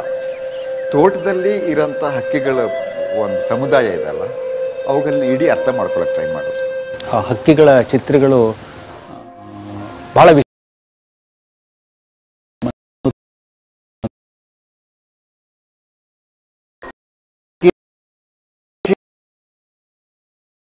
ಆ ಕ್ಲಿಕ್ ಮಾಡ್ತಾ ಇರಲಿಲ್ಲ. ಆ ಗುರಿಯ ಜೊತೆಗೆ ಪಕ್ಷಿಗಳನ್ನು ಅಧ್ಯಯನ ಮಾಡ್ತಾ ಇದ್ರು ತೇಜಸ್ವಿ. ಇನ್ನು ಹಿಡಿಯುವುದೇ ಆಗಲಿ ಫೋಟೋಗ್ರಫಿಯೇ ಆಗಲಿ ಅಥವಾ ಬರವಣಿಗೆಯೇ ಆಗಲಿ ಎಲ್ಲದರಲ್ಲೂ ಅತ್ಯುತ್ತಮ ಎನ್ನಬಹುದಾದ ಮಟ್ಟ ತಲುಪಿದವರು ತೇಜಸ್ವಿ. ಕಾರಣ ಶ್ರದ್ಧೆ ಮತ್ತು ಏಕಾಗ್ರತೆ. ಆ ಹಕ್ಕಿ ಚಿತ್ರ ತೆಗಿಲೇಬೇಕು ಅಂತ ಆ ಹಕ್ಕಿ ಯಾವ ಸಮಯದಲ್ಲಿ ಬರುತ್ತೆ ಅನ್ನೋದನ್ನ ಗೂಡ್ ಕಟ್ಟಿರೋದು ಎಲ್ಲಿರುತ್ತೆ ಬರುತ್ತೆ ಹಾಗೆ ಅಂತ ಎಲ್ಲ ಅದನ್ನ ಸ್ಟಡಿ ಮಾಡ್ತಾ ಇರ್ತಿರ್ತಿದ್ರು ಅವ್ರು ಹೇಳವರು ಹಕ್ಕಿಗಳು ಎಲ್ಲಿ ಸ್ನಾನ ಮಾಡ್ತದೆ ಎಲ್ಲಿ ನೀರು ಕುಡಿತದೆ ಎಲ್ಲಿ ಗೂಡು ಕುಟ್ಟು ಕಟ್ಟುಂಟು ಅಂತ ಹೇಳು ಅಂತ ಹೇಳ್ಕೊಂಡು. ಅವು ನಾನು, ಅವ್ರು ಹೇಳಿದ್ರಿಂದ ನಾನು ಅದ್ರ ಕಡೆ ಕಾಲೇಜ್ ಕೊಟ್ಕೊಂಡು ಅದನ್ನೇ ಗಮನ ಹಾಗೆ ಈ ಥರ ಇಲ್ಲಿ ಇಂಥ ಕಡೆನೂ ಉಂಟು ಅಂತ ಹೇಳೋರು ಹೇಳ್ತಿದ್ದೆ. ಆಮೇಲೆ ಅವರು ವರಂಡದಲ್ಲಿ ಕೂತ್ಕೊಂಡು ಒಂದು ಹಕ್ಕಿ ಆ ಕಡೆಯಿಂದ ಹಾರಿದ್ರೆ ಅದು ಎಲ್ಲಿ ಹೋಗ್ತದೆ, ಎಲ್ಲಿ ಇಳಿತದೆ, ಎಲ್ಲಿಂದ ಮೇಲೆ ಬರ್ತದೆ ಅಂತೇಳಿ ನೋಡೋರು. ಅಕಸ್ಮಾತ್ ಬಾಯಲ್ಲಿ ಹುಲ್ಲು ಕಡ್ಡಿ ಅನ್ನೋದು ಹಿಡ್ಕೊಂಡು ಹೋಗ್ತದೆ, ನೋಡಿ ಇಂಥ ಕಡೆ ಹಕ್ಕಿ ಇಳಿದುಂಟು, ನೋಡಿ ಇಂಥ ಕಡೆ ಹೋಗು. ಅಂತ ಹೇಳೋರು. ನಾನು ಹೋಗ್ಬಿಟ್ಟು ಅದೇ ಜಾಗದಲ್ಲಿ ಹೋಗಿ ಹುಡ್ಕೋತಿದ್ದೆ. ಗೂಡು ಕಟ್ಟುಂಟ ಏನು ಅಂತ ಹೇಳಿ ಕೇಳ್ಕೊಂಡು ನೋಡಿಕೊಂಡು ಗೂಡು ಬಂದು ಹೇಳ್ತಿದ್ದೆ ಅವರಿಗೆ. ಅವರು ಒಂದು ಜಲಪಾತ ಪಕ್ಕದಲ್ಲಿ, ಜಲಪಾತ ಮನೆ ಹತ್ರ, ಜಲಪಾತ ಅಂತ ಹೇಳೋಕ್ಕಾಗಲ್ಲ, ಸಣ್ಣ ಜರಿ, ಬೇಸಿಗೆಲಿ ಭಾಳ ಕಮ್ಮಿ ಆದಾಗ ನೀರು. ಈ ಹಕ್ಕಿಗಳು ಸ್ನಾನಕ್ಕೆ ಬರ್ತಾವೆ ಒಂದು ಕಡೆ. ಈ ಜಾಗನ ಗುರ್ತು ನೋಡಿಕೊಂಡು. ಅದನ್ನು, ಯಾಕಂದ್ರೆ ಮಲೆನಾಡಲ್ಲಿ ಸ್ವಲ್ಪ ಕತ್ತಲೆ ಜಾಸ್ತಿ ಅಲ್ಲ ಲೈಟ್ಗಳನ್ನ ಹೆಂಗೆ ನಿಭಾಯಿಸಬೇಕು ಅಂತ. ಯಾಕಂದರೆ ಅದರಿಂದ ಡಿಜಿಟಲ್ ಯಾರ ಅಲ್ಲಲ್ಲ ಭಾಳ ಡಿಫಿಕಲ್ಟ್ ಇರ್ತಾ ಇತ್ತು. ಒಂದು ಕಡೆ ಆ ಜಾಗಗಳನ್ನ ಪತ್ತೆ ಮಾಡಿ, ಅಂದರೆ ಪ್ರಾಪರ್ ರಿಸರ್ಚ್ ಅಂತ. ನಿಮ್ಮ ಆಸಕ್ತಿ ಅಥವಾ ಕುತೂಹಲದಿಂದ ಗಮನಿಸಿ, ಅದನ್ನು ನಿಮಗೆ ಅದ್ರಲ್ಲಿ ಪಿಕ್ಚರ್ ಇದೆ ಅಂತ ನೀವು ಕಾಣ್ಕೋಬೇಕು. ಈಗ ಅಕಸ್ಮಾತ್ ಒಂದು ಹಕ್ಕಿ ಗೂಡು ಕಟ್ಟಿದ್ರು ಅವ್ರೇನು ಮಾಡ್ತಾರೆ, ಅದನ್ನು ಫೋಟೋ ತೆಗಿಯೋಕ್ಕಾಗದಿದ್ರೆ ಅಲ್ಲಿಂದ ಆ ಗೂಡು ಸಮೇತ ಅವಕ್ಕೆ ಏನು ತೊಂದರೆ ಆಗದಂಗೆ ಮೊಟ್ಟೆ ಆಗಲಿ, ಮರಿ ಆಗಲಿ ಗೂಡನ್ನು ತೆಗೆದು ಸ್ವಲ್ಪ ಸ್ವಲ್ಪ ಸ್ವಲ್ಪ ಸ್ವಲ್ಪ ದಿನ ದಿನ ದಿನ ದಿನ ಸ್ವಲ್ಪ ತೆಗೆದು ತೆಗೆದು ತೆಗೆದು ಅವ್ರಿಗೆ ಬೇಕಾದ ಕಡೆಗೆ ಇಟ್ಕೊಂಡು ಇದು ಮಾಡ್ತಿದ್ರು, ಫೋಟೋ ತೆಗಿತಿದ್ರು. ಆ ಥರ ಎಲ್ಲ ಮಾಡ್ತಿದ್ರು. ಭಾರಿ ಸೂಕ್ಷ್ಮವಾಗಿ ಕೆಲಸ ಮಾಡ್ತಿದ್ರು ಅವರು. ನೂರು ಫೋಟೋ ನೂರೇನು ಇವರು ಹೇಳ್ತಾ ಇದ್ದು ಸಾವಿರ ಅನಿಸೋದೆ ತೆಗೆದ್ರೆ ಅದರಲ್ಲಿ ಒಂದು ಎರಡು ಫ್ರೇಮ್ ಚೆನ್ನಾಗಿರೋ ಸಿಕ್ಕಿದ್ರೆ ಸಫಲವಾದಂತೆ ಅಂದ್ಕೊಳ್ತಿದ್ರು. ಆಗ ಇವರು ಅನುಭವಿಸಿದ ಆ ಯಾತ್ರೆ. ಒಂದೊಂದ್ಸಲ ಒಂದು ವಾರ ಎಲ್ಲ ಪೂರ್ತಿ ಸೊಂಟ ನೋವು ಅಂತ ಓಡಾಡ್ತಾ ಇರ್ತಿದ್ರು. ಅದೆಲ್ಲ ಮರ್ತೋಗುತ್ತೆ ಅಂತ ಹೇಳ್ತಾ ಇರ್ತಿದ್ರು. ನಿಮಗೆ ಯಾವ ಥರ ಪಿಕ್ಚರ್ ಬೇಕು? ಮತ್ತು, ಆ ಪರ್ಟಿಕ್ಯುಲರ್ ಸಬ್ಜೆಕ್ಟ್ ಎಕ್ಸ್ಪ್ರೆಷನ್ ಏನಿರುತ್ತೆ ಅಂತ? ನಿಮಗೆ ಅದನ್ನು ಗಮನಿಸಿ, ನೀವು ನೋಡಿರ್ತೀರಲ್ಲ, ಅದನ್ನು ನೀವು ಪಿಕ್ಚರೈಸ್ ಮಾಡಬೇಕು ಗ್ರಾಸ್ ಮಾಡಬೇಕು ಅಂತ ಮನಸ್ಸಲ್ಲಿ ಇಟ್ಕೊಂಡು ಅದನ್ನು ತೆಗೆದಾಗ. ಅಂದರೆ ನಿಮಗೆ ಏನು ಬೇಕು ಪಿಕ್ಚರು ಅದು ಬಂದಾಗ ನೀವು ಫೋಟೋಗ್ರಾಫರ್ ಕ್ಯಾಮ್ರಾ ಹೊಡೆದಿದ್ದು ಅಥವಾ ಮುಂದೆ ಆಗಿದ್ದು ಹೊಡೆದ್ರೆ ಅಲ್ಲ. ತೇಜಸ್ವಿಯವರು ಕನ್ನಡದ ಹಲವು ಪತ್ರಿಕೆಗಳಿಗೆ ಚಿತ್ರಲೇಖನಗಳನ್ನು ಸಹ ಬರೆದಿದ್ದಾರೆ. ತುಷಾರ ಅನ್ನೋ ಪತ್ರಿಕೆಯಲ್ಲಿ ಎಪ್ಪತ್ತರ ದಶಕದಲ್ಲಿ ತು- ಅದು ಮಣಿಪಾಲ್ದಿಂದ ಬರ್ತಾ ಇತ್ತು ತುಷಾರ ಪತ್ರಿಕೆ ಮಣಿಪಾಲ್ ಗ್ರೂಪ್ನವ್ರದ್ದು ಆ ಪತ್ರಿಕೆ ವಿಶೇಷತೆ ಅಂದರೆ ಮಣಿಪಾಲ್ ಪವರ್ ಪ್ರೆಸ್ ತುಂಬ ಒಳ್ಳೆಯ ಪ್ರಿಂಟ್ ಮಾಡ್ತಿದ್ರು ಆಗ. ಅವರು. ಹೀಗಾಗಿ ಅಲ್ಲಿ ಆ ಪತ್ರಿಕೆಯಲ್ಲಿ ನಮ್ಮ ಕಣ್ಣು ಸೆಳೆದಿದ್ದು ಚಿತ್ರಲೇಖನಗಳು.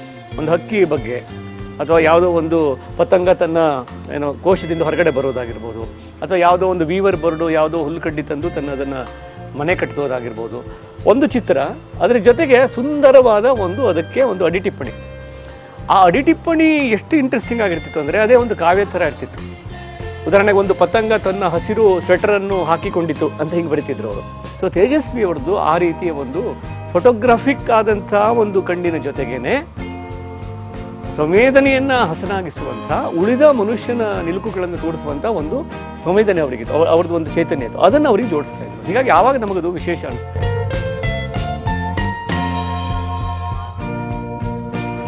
ಅದರಲ್ಲಿ ಎಕ್ಸ್ಪ್ರೆಷನ್ಸ್ ಇದ್ದಾವೆ. ಅಂದರೆ ಆತಂಕ ಇರ್ಬೋದು, ಭಯ ಇರ್ಬೋದು. ಎಲ್ಲ ಮೂಡ್ ಇದಾವಲ್ಲ ಆ ಮೂಡ್ಗಳನ್ನ ತರ್ತಾರೆ ಅವರು. ಸೊ ತೇಸ್ವಿ ಬರ್ಡ್ ಪಿಕ್ಚರ್ಸ್ ಮಾಮೂಲಿ ಜನ ತೆಗೆಯೋದಕ್ಕಿಂತ ಎಲ್ಲಿ ಅವರು ದೇ ಸ್ಟ್ಯಾಂಡ್ ಎಬೋ ಅಂತ? ಅವರೇ ಒಂದ್ಸಲ ಹೇಳ್ತಾ ಇದ್ರು ನಾನು ಎಷ್ಟು ಕ್ಯಾಮ್ರಾ ಕೊಂಡ್ಕೋತೀನಿ ಅಂತಂದರೆ ತಮ್ಮಂದಿರು ಓ, ತಮ್ಮಂದಿರು ತಂಗಿರು ಹೊರದೇಶಗಳಿಂದ ಬರುವಾಗೆಲ್ಲ ಅವಾಗೆಲ್ಲ ಕ್ಯಾಮ್ರಾಗಳಲ್ಲಿ ಸಿಗ್ತಿರ್ಲಿಲ್ವಲ್ಲ ಆ ಲೆನ್ಸ್ ತಗೊಂಬ ಈ ಕ್ಯಾಮ್ರಾ ತಗೊಂಬ. ಅವ್ರು ತಮ್ಮ ಒಂದ್ಸಲ ತಮಾಷೆ ಮಾಡ್ತೀನಿ ಏನೇ ಎಷ್ಟು ಕ್ಯಾಮ್ರಾ ಸಲ ಕೊಟ್ಟರು ಸಾಕಾಗ್ತಾ ಇಲ್ಲ ಏನು ಕ್ಯಾಮ್ರಾ ತಿಂತೀಯಾ? ಅಂತ ಕೇಳ್ತಾ ಇದ್ರು. ಅದನ್ನು ಅವರು ಜೋಕಾಗಿ ಹೇಳ್ತಾ ಇದ್ರು. ಫೋಟೋಗ್ರಫಿಯ ಬಗ್ಗೆ ಭಾಳ ಆಸಕ್ತಿ ಇತ್ತು. ಇದಲ್ಲದೆ ಅವರು ಚಿತ್ರ ಬರಿತಾ ಇದ್ರು. ಅಂದರೆ ಚಿತ್ರ ಬರೀತಿದ್ರು ಅನ್ನೋಕ್ಕಿಂತ ಸ್ವಲ್ಪ ಚಿತ್ರ ಬರೆದ್ರು ಬಟ್ ಹೆಚ್ಚಾಗಿ ಕಂಪ್ಯೂಟರ್ ಮೂಲಕ ಚಿತ್ರಗಳನ್ನು ಸೃಷ್ಟಿ ಮಾಡುವ ಇದು ಇಟ್ಕೊಂಡಿದ್ದೆ. ಹಾಗಾಗಿ ತೇಜಸ್ವಿಯನ್ನು ಒಬ್ಬ, ಬರೇ ಒಬ್ಬ ಲೇಖಕ ಅನ್ನುವ ಚೌಕಟ್ಟಿನಲ್ಲಿ ನೋಡಿದೆ. ಅನೇಕ ರೀತಿಯ ಆಸಕ್ತಿಗಳಿದ್ದ ಒಬ್ಬ ಒಬ್ಬ ಮನುಷ್ಯ ಅಂತ ನೋಡೋದು ಒಳ್ಳೆಯದಂತ ನನಗೆ ಅನಿಸುತ್ತೆ. ನನಗೆ ಮತ್ತೆ ಮತ್ತೆ ಅವರು ಯಾವಾಗಲೂ ಹೇಳೋರು, ಸಿನಿಮಾ ಹೆಂಗಾದರೂ ಬರಲಿ ಕಣಯ್ಯ. ಫೋಟೋಗ್ರಫಿ ಮಾತ್ರ ಕ್ಲಾಸ್ ಆಗಿರಬೇಕು ಅಂತ. ನನಗೆ ಭಾಳ ಆಶ್ಚರ್ಯ ಅನ್ನಿಸ್ತದೆ ಯಾಕಂದರೆ ಎಲ್ಲರೂ ಹೇಳೋದು, ಉಳಿದು ತಾಂತ್ರಿಕ ಇದು ಹೇಗೆ ಆಗಿರಲಿ, ಸಿನಿಮಾ ಭಾಳ ಎಫೆಕ್ಟಿವ್ ಆಗಿ ಬರಬೇಕು ಅಂತ ಹೇಳ್ತಾರಲ್ಲ ಒಬ್ಬ ಸಾಹಿತಿ. ಯಾಕಂದರೆ ಅವರಿಗೆ ಕೊನೆಗೂ, ಏನೋ ಕೃತಿ, ತನ್ನ ಕೃತಿ ತೆರೆ ಮೇಲೆ ಬರ್ತಿದೆ ಅನ್ನುವಾಗ ಅದು ಭಾಳ ಎಫೆಕ್ಟಿವ್ ಆಗಿ ಬರಬೇಕು ಅನ್ನೋ ಆಸೆ ಇರುತ್ತೆ. ಇವ್ರು ಹಂಗಲ್ಲ, ಇವ್ರು ಹೇಳಿದ್ರೆ ಹೆಂಗಾರು ಹೋಗಲೇ ಕತೆ ಹೆಂಗಾರು ಏನು ಮಾಡಿ, ಏನು ಬೇಕಾದ್ರೂ ಮಾಡ್ಕೊಳ್ಳಿ ಫೋಟೋ ಫೋಟೋಗ್ರಫಿ ಟ್ರಿಮ್ ಆಗಿರಬೇಕು ಅಂತ ಯಾವಾಗಲೂ ಈ ಶಬ್ದ ಟ್ರಿಮ್ ಆಗಿರಬೇಕು ಅಂತ.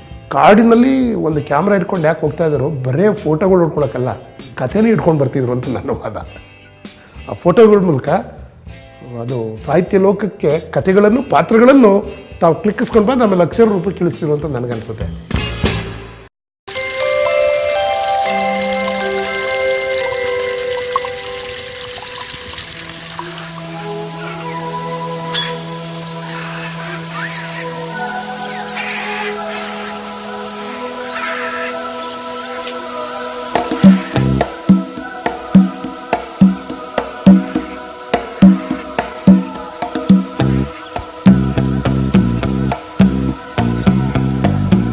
ಶಿಕಾರಿಯೇ ಆಗಲಿ, ಫಿಶಿಂಗ್ ಆಗಲಿ, ಅಥವಾ ಫೋಟೋಗ್ರಫಿಯೇ ಆಗಲಿ, ತೇಜಸ್ವಿಯವರಿಗೆ ಈ ಎಲ್ಲದರ ಹಿಂದಿನ ಮೂಲ ಆಸಕ್ತಿ ಎಂದರೆ ಪರಿಸರದೊಂದಿಗಿನ ಒಡನಾಟ.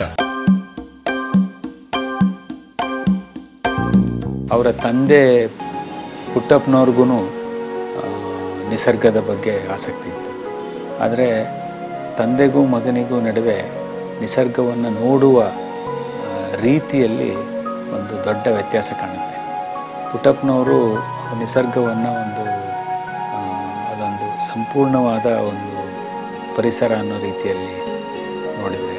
ತೇಜಸ್ವಿಯ ಪರಿಸರದಲ್ಲಿ ಪರಿಪೂರ್ಣವಾದ ನಿಸರ್ಗಕ್ಕಿಂತ ಹೆಚ್ಚಾಗಿ ಒಂದು ರೀತಿ ಮನುಷ್ಯನ ಜೊತೆಗೆ ಜಗ್ಗಾಡ್ತಿರುವ ನಿಸರ್ಗ ಕಾಣಿಸುತ್ತೆ. ಕುವೆಂಪು ಅವ್ರ- ಅವರೊಳಗಡೆ ಇರುವಂಥ ಒಂದು ಸ್ಪಿರಿಚುವಲಿಸಮ್ ಒಂದು ಆಧ್ಯಾತ್ಮಿಕತೆ ಏನಿರ್ತಾರೆ ಒಂದು ಅಧ್ಯಾತ್ಮ ಏನಿದೆಯಲ್ಲ, ಅದು ಇವರಲ್ಲಿ ಬೇರೆ ರೀತಿಯಲ್ಲಿದೆ. ಇವರೊಂದು ನೇಚರು ಮತ್ತು ನೇಚರ್ ಶಬ್ದ ನೋಡಿ ನೇಚರ್ ಅಂದ್ರೇ ಒಂದು ಪ್ರಕೃತಿ. ನೇಚರ್ ಅಂದರೆ ಮನುಷ್ಯನ ಸ್ವಭಾವ ಕೂಡ. ಅಲ್ವಾ? ಸಿ ನೇಚರ್ ಅವ್ರ ನೇಚರ್ ಚೆನ್ನಾಗಿದೆ ಅಂತೀವಿ ನಾವು. ಸೊ ನೇಚರ್ ಅಂದರೆ ಪ್ರಕೃತಿ ಕೂಡ. ಸೊ ಆ ನೇಚರನ್ನು ಈ ಡ್ಯುಯಾಲಿಟಿ ಇದೆಯಲ್ಲ, ಒಂದು ಪ್ರಕೃತಿಯ ವರ್ಣನೆಯೂ ಆಗುವಂಥದ್ದು ಮತ್ತು ಮನುಷ್ಯನ ಸ್ವಭಾವವೂ ಆಗುವಂಥದ್ದು. ಈ ಒಂದು ಏರಿಯಾದಲ್ಲಿ ತೇಜಸ್ವಿಯವರ ಹುಡುಕಾಟ ಇತ್ತು.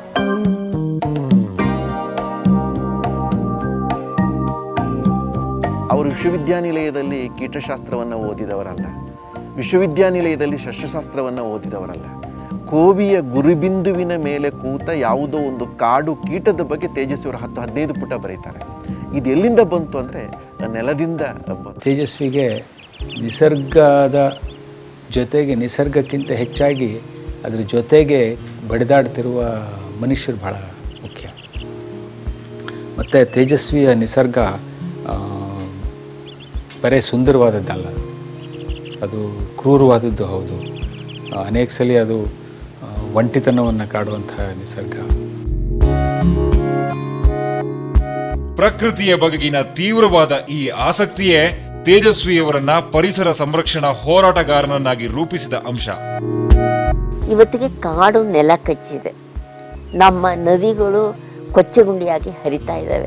ಮನುಷ್ಯ ಇವತ್ತಿಗೆ ಒಂದು ಮಾಸ್ಕ್ ಹಾಕ್ಕೊಂಡು ಉಸಿರಾಡಬೇಕು ಅನ್ನುವಂಥ ಮಟ್ಟಕ್ಕೆ ನಾವು ತಲುಪ್ತಾ ಇದ್ದೀವಿ. ಈ ಮಾತನ್ನ ತೇಜಸ್ವಿ ಅವಾಗಲೇ ಹೇಳ್ತಾ ಇರ್ತಿದ್ರು. ಕುದುರೆಮುಖ ಹೋರಾಟ ಮಾಡಬೇಕಾದ್ರೆ ಕುದುರೆಮುಖದ ಗಣಿಗಾರಿಕೆ ಬಗ್ಗೆ ನಾವು ಯಾವಾಗ ಧ್ವನಿ ಎತ್ತಿದ್ವಿ, ಆ ಧ್ವನಿ ಎತ್ತಿದಾಗ ತೇಜಸ್ವಿ ನಮ್ಮ ಜೊತೆಗೆ ಜಾಸ್ತಿ ನಿಕಟವಾಗಿ ಶುರು ಮಾಡಿದ್ರು. ನಾವು ಒಂದು ದಿವಸ ಅವ್ರ ಮನೆಗೆ ಹೋಗಿ, ನೀವು ಕೂಡ ಈ ಕೇಸಲ್ಲಿ ಭಾಗಿಯಾಗಬೇಕು ಸರ್, ಅದ್ರ ವಿರುದ್ಧ ಒಂದು ಕೇಸ್ ಹಾಕ್ತಿದ್ದೀವಿ ಅಂತ ಹೇಳಿದಾಗ ತೇಜಸ್ವಿ ಅವ್ರು ಹೇಳಿದ್ದು ಅಂತಂದರೆ, ನೋಡ್ರಿ, ನಾನು ಹಾಕ್ತೀನಿ, ಹಾಕಲ್ಲ ಅಂತಲ್ಲ. ಆದರೆ ಯಾರಿಗೆ ಇಮಿಡಿಯೇಟಾಗಿ ತಕ್ಷಣದಲ್ಲಿ ಪರಿಣಾಮ ಬೀಳುತ್ತೆ ಗಣಿಗಾರಿಕೆಯಿಂದ, ಅವ್ರು ಇದಕ್ಕೆ ಇನ್ವಾಲ್ವ್ ಆಗ್ತಾರೇನ್ರಿ? ಅವ್ರು ಇದ್ರಲ್ಲಿ ಭಾಗವಹಿಸ್ತಾರೇನ್ರಿ? ಅವ್ರು ಸೈನ್ ಹಾಕ್ತಿದಾರೇನ್ರಿ? ಕುದುರೆ ಮುಖದಲ್ಲಿರೋ ಜನ. ಅವ್ರುಗಳಿಗೆ ನಮ್ಮ ಮೇಲೆ ಈಗ ತಕ್ಷಣ ಬಿದ್ದು ಅವರದ್ದೆಲ್ಲ ಆದಮೇಲೆ ನಮ್ಮ ಹತ್ರಕ್ಕೆ ಬರುವಾಗ ಫಸ್ಟ್ ಅವ್ರು ಹಾಕಬೇಕು, ನಾನು ಹಾಕಬೇಕು ಅಂತ ಕೇಳಿದ್ರು. ಅವಾಗ ನಾವು ಹೇಳಿದ್ವಿ, ಇಲ್ಲ ಸರ್, ಅಲ್ಲೂ ಕೂಡ ಸುರೇಶ್ ಅಂತ ಹೇಳಿ ಕೆಲವರೆಲ್ಲ ಕುದುರೆಮುಖ ಗಣಿಗಾರಿಕೆ ವಿರುದ್ಧ ಧ್ವನಿ ಎತ್ತಿದ್ದಾರೆ. ಅವರುಗಳು ಕೇಸ್ ಸೈನ್ ಹಾಕಿದ್ದಾರೆ. ಅದಕ್ಕೆ ನಿಮ್ಮ ಹತ್ರ ಬಂದಿದ್ವಿ. ಅವಾಗ ಭಾಳ ಸಂತೋಷ ಆಯಿತು ಅವ್ರಿಗೆ. ಸಹಿ ಹಾಕಿದ್ರು, ಜೊತೆಗೆ ಬೇರೆ ಬೇರೆ ರಾಜಕಾರಣಿಗಳಿಗೆಲ್ಲ ಫೋನ್ ಮಾಡಿದ್ರು, ಈ ಥರ ಮಾಡ್ತಿರೋ ತಪ್ಪು ನೀವು ಅಂತ ಹೇಳಿದ್ರು. ಅವತ್ತಿನ ದಿವಸ ಇದ್ದಂಥ ತುಂಗಾ ನದಿ, ಗಂಗಾ, ಭದ್ರಾ ನದಿ ಬಗ್ಗೆ ಹೇಳಿದ್ರು. ಭದ್ರಾ ನದಿ ಬಗ್ಗೆ ಹೇಳುವಾಗ ಅವ್ರು ಹೇಳಿದ್ರು ಏನು ರೀ ಎಷ್ಟು ಚೆನ್ನಾಗಿತ್ತು ನಾನು ಹೋದಾಗ? ಈಗೆಲ್ಲ ಕೆಂಪು ಕಾಣುತ್ತಲ್ರಿ ಅಂತೇಳಿ ಭಾಳ ವಿಷಾದ ಆಯಿತು. ಪಶ್ಚಿಮ ಘಟ್ಟಗಳು ಪ್ರಪಂಚದ ಅತ್ಯಂತ ಸೂಕ್ಷ್ಮ ಜೀವವೈವಿಧ್ಯದ ಪ್ರದೇಶಗಳಲ್ಲಿ ಒಂದು. ಇಲ್ಲಿ ಯಾವುದೇ ರೀತಿಯ ಮಾನವ ನಿರ್ಮಿತ ಇಂಟ್ರಫರೆನ್ಸ್ ಅವು ತುಂಬ ದೂರಕಾಲೀನವಾದಂಥ ಪರಿಣಾಮಗಳನ್ನು ಬೀರ್ತವೆ. ಏನಯ್ಯ ನೋಡಯ್ಯ ಇದು? ಯಾವಾಗ ನೋಡಿದರೂ ಈ ಥರ ಕೆಂಪು ಮುನ್ನೂರ ಅರವತ್ತೈದು ದಿನವೂ ಹರಿಯುತ್ತೆ. ಇದಕ್ಕೆ ಈ ಕುದುರೆಮುಖದ ಗಣಿಗಾರಿಕೆ ಆದಮೇಲೆ ಈ ಥರ ಆಯಿತು. ಮೊದಲೆಲ್ಲ ಭಾರಿ ತಿಳಿಯಾಗಿತ್ತು. ಮೀನು ಹಿಡಿಯೋಕ್ಕೆ ಬಂದಾಗ ಎಷ್ಟು ಖುಷಿ ಆಗೋದು ತಿಳಿಯಾಗಿತ್ತು. ಈಗ ಇದನ್ನೆಲ್ಲ ಕೊಳೆನೆಲ್ಲ ರಾಡಿ ಮಾಡಿಟ್ಟಿದ್ದಾರೆ ಯಾವಾಗ ನೋಡಿದರೂ ಇದೇ ಥರ ಹರಿಯುತ್ತೆ. ಏನಾರ ಒಂದು ವ್ಯವಸ್ಥೆ ಮಾಡಬೇಕು, ಈ ಗಣಿಗಾರಿಕೆಯನ್ನು ನಿಲ್ಲಿಸ್ಬೇ, ನಿಲ್ಲಿಸ್ಬೇಕು ಈ ಪರಿಸರನ ಉಳಿಸ್ಬೇಕು, ಮುಂದಿನ ನಿಮ್ಮ ಪೀಳಿಗೆಗಾರ ಬೇಕು, ಅಥವಾ ನಿಮ್ಮ ಈ ಮುಂದಿನ ಪೀಳಿಗೆಗಾರ ಈ ಪ್ರಕೃತಿ ಸೌಂದರ್ಯ ಸವಿಬೇಕು, ಈ ಥರ ಎಲ್ಲ ಹೇಳೋರು. ಬೆಳಿಗ್ಗೆ ಹೊತ್ತು ಘಾಟಿ ಹೇಗಿರುತ್ತೆ? ಆ ಒಂದು ಪ್ರಶಾಂತ ವಾತಾವರಣದಲ್ಲಿ ಯಾವ ರೀತಿ ಪ್ರಕೃತಿ ಬಿಹೇವ್ ಮಾಡುತ್ತೆ. ಜೊತೆಗೆ ನಾವು ಅದ್ರ ಜೊತೆ ಹೇಗೆ ಪ್ರತಿಕ್ರಿಯಿಸ್ತೀವಿ ಅಂತ ನೋಡಲಿಕ್ಕೋಸ್ಕರ ತೇಜಸ್ವಿ ಸಾಕಷ್ಟು ಸಲ ಮೂಡಿಗೆರೆಯಿಂದ ಸ್ಕೂಟರ್ನಲ್ಲಿ ಹಾಗೆಯೇ ಬಂದು ಘಾಟಿ ಇಳಿದು ಹಾಗೆಯೇ ಘಾಟಿ ಹತ್ಕೊಂಡು ಹೋಗ್ತಾ ಇದ್ರು. ಅವ್ರು ಬೆಳಿಗ್ಗೆ ಬರ್ತಿರ್ಬೇಕಾದ್ರೆ ದಾರಿ ಉದ್ದಕ್ಕೂ ಕಾಡು ಕೋಳಿಗಳು ಹಿಂಡು ಹಿಂಡೆ ಇರ್ತಾ ಇತ್ತು. ಇವತ್ತು ನೋಡಿದರೆ ನಾವು ಈ ಬರೀ ಎರಡು ಕೋಳಿಗಳನ್ನ ಮುಂದೆ ಬುರ್ರ ಆರೋಗ್ಯಕ್ಕೆ ಎಷ್ಟು ಆಶ್ಚರ್ಯಚಕಿತವಾಗಿ ನೋಡ್ತೀವಿ. ಎಷ್ಟು ಬದಲಾವಣೆ ಆಗಿ ಹೋಗ್ಬಿಟ್ಟಿದೆ. ನಮ್ಮ ಕಣ್ಣು ಮುಂದೆನೆ ನಾವು ಏನು ಆಗಬಾರ್ದು ಅಂತ ಅಂದ್ಕೊಂಡಿದ್ವೋ ಅವೆಲ್ಲ ಆಗೋಗ್ಬಿಡ್ತಾನೆ. ಏನು ನೀನು ನೋಡಬೇಕು ಅಂದ್ಕೊಂಡಿದ್ಯೋ ಅದನ್ನೆಲ್ಲ ಈಗಲೇ ನೋಡ್ಕೊಂಬಿಡು ಇನ್ನು ಮುಂದೆ ಅಂಥ ಅವಕಾಶ ನಮಗೆ ಸಿಗದಲ್ಲೇ ಹೋಗ್ಬೋದು ಅಂತೇಳಿ ತೇಜಸ್ವಿ ಅವತ್ತೇ ಎಚ್ಚರಿಸಿದ್ರು. ನಾವಿವತ್ತು ಟ್ರೈಬಲ್ ಹೆಸರಲ್ಲಿ, ಇದ್ರ ಹೆಸರಲ್ಲಿ ಎಲ್ಲಿ ಟ್ರೈಬಲ್ ಆಗಿ ಕರ್ನಾಟಕದಲ್ಲಿ ಎಷ್ಟು ಉಳಿದಿದೆ?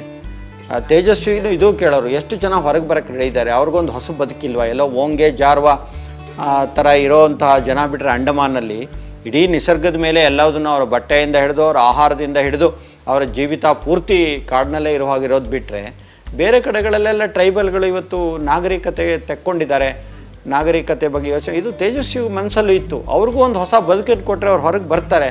ಇವತ್ತು ಮನುಷ್ಯ ಮತ್ತು ನಿಸರ್ಗ ಒಟ್ಟಿಗೆ ಬದುಕುವಂಥ ಪರಿಸ್ಥಿತಿ ಇಲ್ಲ. ಒಂದು ಕಾಡಿನಲ್ಲಿ ಮನುಷ್ಯ ಇವತ್ತು ಹಿಂದಿನ ರೀತಿಯಲ್ಲೇ ಕಾಡನ್ನು ಬಳಸ್ಕೊಂಡು, ಕಾಡನ್ನು ಉಳಿಸ್ಕೊಂಡು ಇರುವಂಥ ಪರಿಸ್ಥಿತಿ ಇಲ್ಲ ಅನ್ನೋದು ತೇಜಸ್ವಿ ಮನಸ್ಸಲ್ಲಿ ಹಿಂದಿನ ಇಪ್ಪತ್ತೈದು ವರ್ಷದಲ್ಲಿ ಆಗದಂಥ ಬದಲಾವಣೆ ಈ ಐದು ವರ್ಷದಲ್ಲಿ, ಆ ಇಪ್ಪತ್ತೈದು ವರ್ಷದ ಬದಲಾವಣೆ ಐದು ವರ್ಷದಲ್ಲೇ ಮತ್ತೆ ಅಷ್ಟು ವೇಗ ಪಡೆದುಕೊಂಡು, ಆ ತೀವ್ರತೆಯಿಂದ ಜಗತ್ತು ಬದಲಾಗ್ತದೆ. ಪರಿಸರದ ಬಗ್ಗೆ ಭಜನೆ ಮಾಡಿದ್ರೆ, ಭಾಷಣ ಮಾಡಿದ್ರೆ ಆಗಲ್ಲ. ಆಚರಿಸ್ಬೇಕಾಗತ್ತಲ್ಲ. ಪ್ರಾಕ್ಟೀಸ್ ಮಾಡಬೇಕಾಗತ್ತಲ್ಲ. ತುಂಬ ಮಂದಿ ಏನಾಗಿದೆ ಅಂದರೆ ಹುಸಿ ಪರಿಸರವಾದಿಗಳಿದ್ದಾರೆ ನಮ್ಮಲ್ಲಿ. ಯಾವುದೋ ಫಾರಿನ್ ಫಂಡ್ ಬರ್ತದೆ, ಅದಕ್ಕೆ ಹೇಳಿಕೆಗಳು ಕೊಡ್ತಾ ಇರ್ತಾರೆ. ಬಟ್ ನಿಜದ ಪರಿಸರವಾದ ಅಂದರೆ ಅದ್ರ ಜೊತೆ ಕೆಲಸ ಮಾಡೋದು. ಅದು ಸಾಲಮಾರು ತಿಮ್ಮಕ್ಕ ಥರದವ್ರು ಮಾಡಿದ್ದಾರೆ. ತೇಜಸ್ವಿ ಥರದವ್ರು ಮಾಡಿದ್ದಾರೆ. ಯಾವಾಗ ಅವರು ಕುದುರೆ ಮುಖದ ಹೋರಾಟ, ಬೇರೆ ಬೇರೆ ಹೋರಾಟಗಳಿಗೆ ಬಂದರು, ಅದರಲ್ಲಿ ಗೆಲುವಾಯಿತು ಸ್ವಲ್ಪ ಮಟ್ಟಿಗೆ. ಅವಾಗ ಅವ್ರಿಗೆ ಅನ್ನಿಸ್ತು, ಇಲ್ಲ ರೀ, ಉಳಿಸ್ಬೋದು ಅನ್ನೋ ಒಂದು ಕಾನ್ಫಿಡೆನ್ಸು ಬಂತು. ತೇಜಸ್ವಿ ನನಗೆ ಅನೇಕ ಸಲ ಹೇಳಿದ್ದಾರೆ ನಮ್ಮ ಕೈನಲ್ಲಿ. ಇದು ಲೂಸಿಂಗ್ ಬ್ಯಾಟ್ಲ್ ಕಣ್ರಿ, ಆ ಕುದುರೆ ಮುಖ ಇದು ಆಡುತ್ತೇನ್ರಿ, ಉಳ್ಸೋಕೆ ಇದು ಮಾಡುತ್ತೇನ್ರಿ, ಅವ್ರನ್ನೆಲ್ಲ ಕಳ್ಸೋಕ್ಕಾಗುತ್ತೇನ್ರಿ, ಈ ಇದಿತ್ತು ಅವ್ರಿಗೆ. ಆದರೆ ಆಮೇಲೆ ಅವ್ರಿಗೆ ಪರಿವರ್ತನೆ ಆಯಿತು, ಉಳಿಸ್ಬೋದು. ಆಮೇಲೆ ಒಂದು ಸಲ ಕುದುರೆ ಮುಖ ನೋಡಿ ಅದರಲ್ಲಿ ನೀರು ನೀರು ಹರಿಯೋದು ಬಹಳ ಶುದ್ಧವಾಗಿ ಹರಿಯೋ ನೀರು ನೋಡಿ ಬಹಳ ಖುಷಿ ಆಯಿತು ಅವ್ರಿಗೆ. ನೋಡ್ರಿ, ಒಂದ್ಸಲ ಒಂದು ಗಣಿಗಾರಿಕೆ ನಿಂತ ಮೇಲೆ ಹೇಗಾಯಿತು ಅಂತ. ನಮಗೆ ಇವತ್ತು ಆಧುನಿಕ ಶಿಕ್ಷಣ ಅಥವಾ ಪದವಿಯ ಪತ್ರಗಳು, ಕೃಷಿ ತ್ಯಾಗದ ಮರಣಪತ್ರಗಳಾಗಿ ಕಾಣಿಸುವ ಸಂದರ್ಭದಲ್ಲಿ ಗ್ರಾಮವನ್ನು ಬಿಟ್ಟು ಹೋಗುವುದಕ್ಕೆ ಒಂದು ಅನುಮತಿ ಪತ್ರ, ಲೈಸೆನ್ಸ್ ಕೊಡುವ ಹಾಗೆ ಇರುವ ಸ್ಥಿತಿಯಲ್ಲಿ ಮತ್ತೆ ಬೇರಿನ ಕಡೆಗೆ ಯೋಚನೆ ಮಾಡುವ. ರೆಕ್ಕೆ ಕಟ್ಟಿಕೊಂಡು ಹೋಗುವ ಸಮುದಾಯದ ನಡುವೆ ನಗರದ ಕಡೆಗೆ ಹೋಗದ ಹಾಗೆ ತಡೆಯುವ ಒಂದು ಪುಟ್ಟ ಬ್ರೇಕಿನ ಥರ, ಪುಟ್ಟ ನಿಲುಗಡೆಯ ಹಾಗೆ ತೇಜಸ್ವಿಯವರ ವಿಚಾರಗಳು, ಆಲೋಚನೆಗಳನ್ನು ನಾವು ಗ್ರಹಿಸಬೇಕು ಅಂತ ಅನಿಸ್ತದೆ. ಇದಕ್ಕೆ ಗಾಳಿಗಂಡಿ ಅಂತ ಸಹ ಹೇಳ್ತಾರೆ.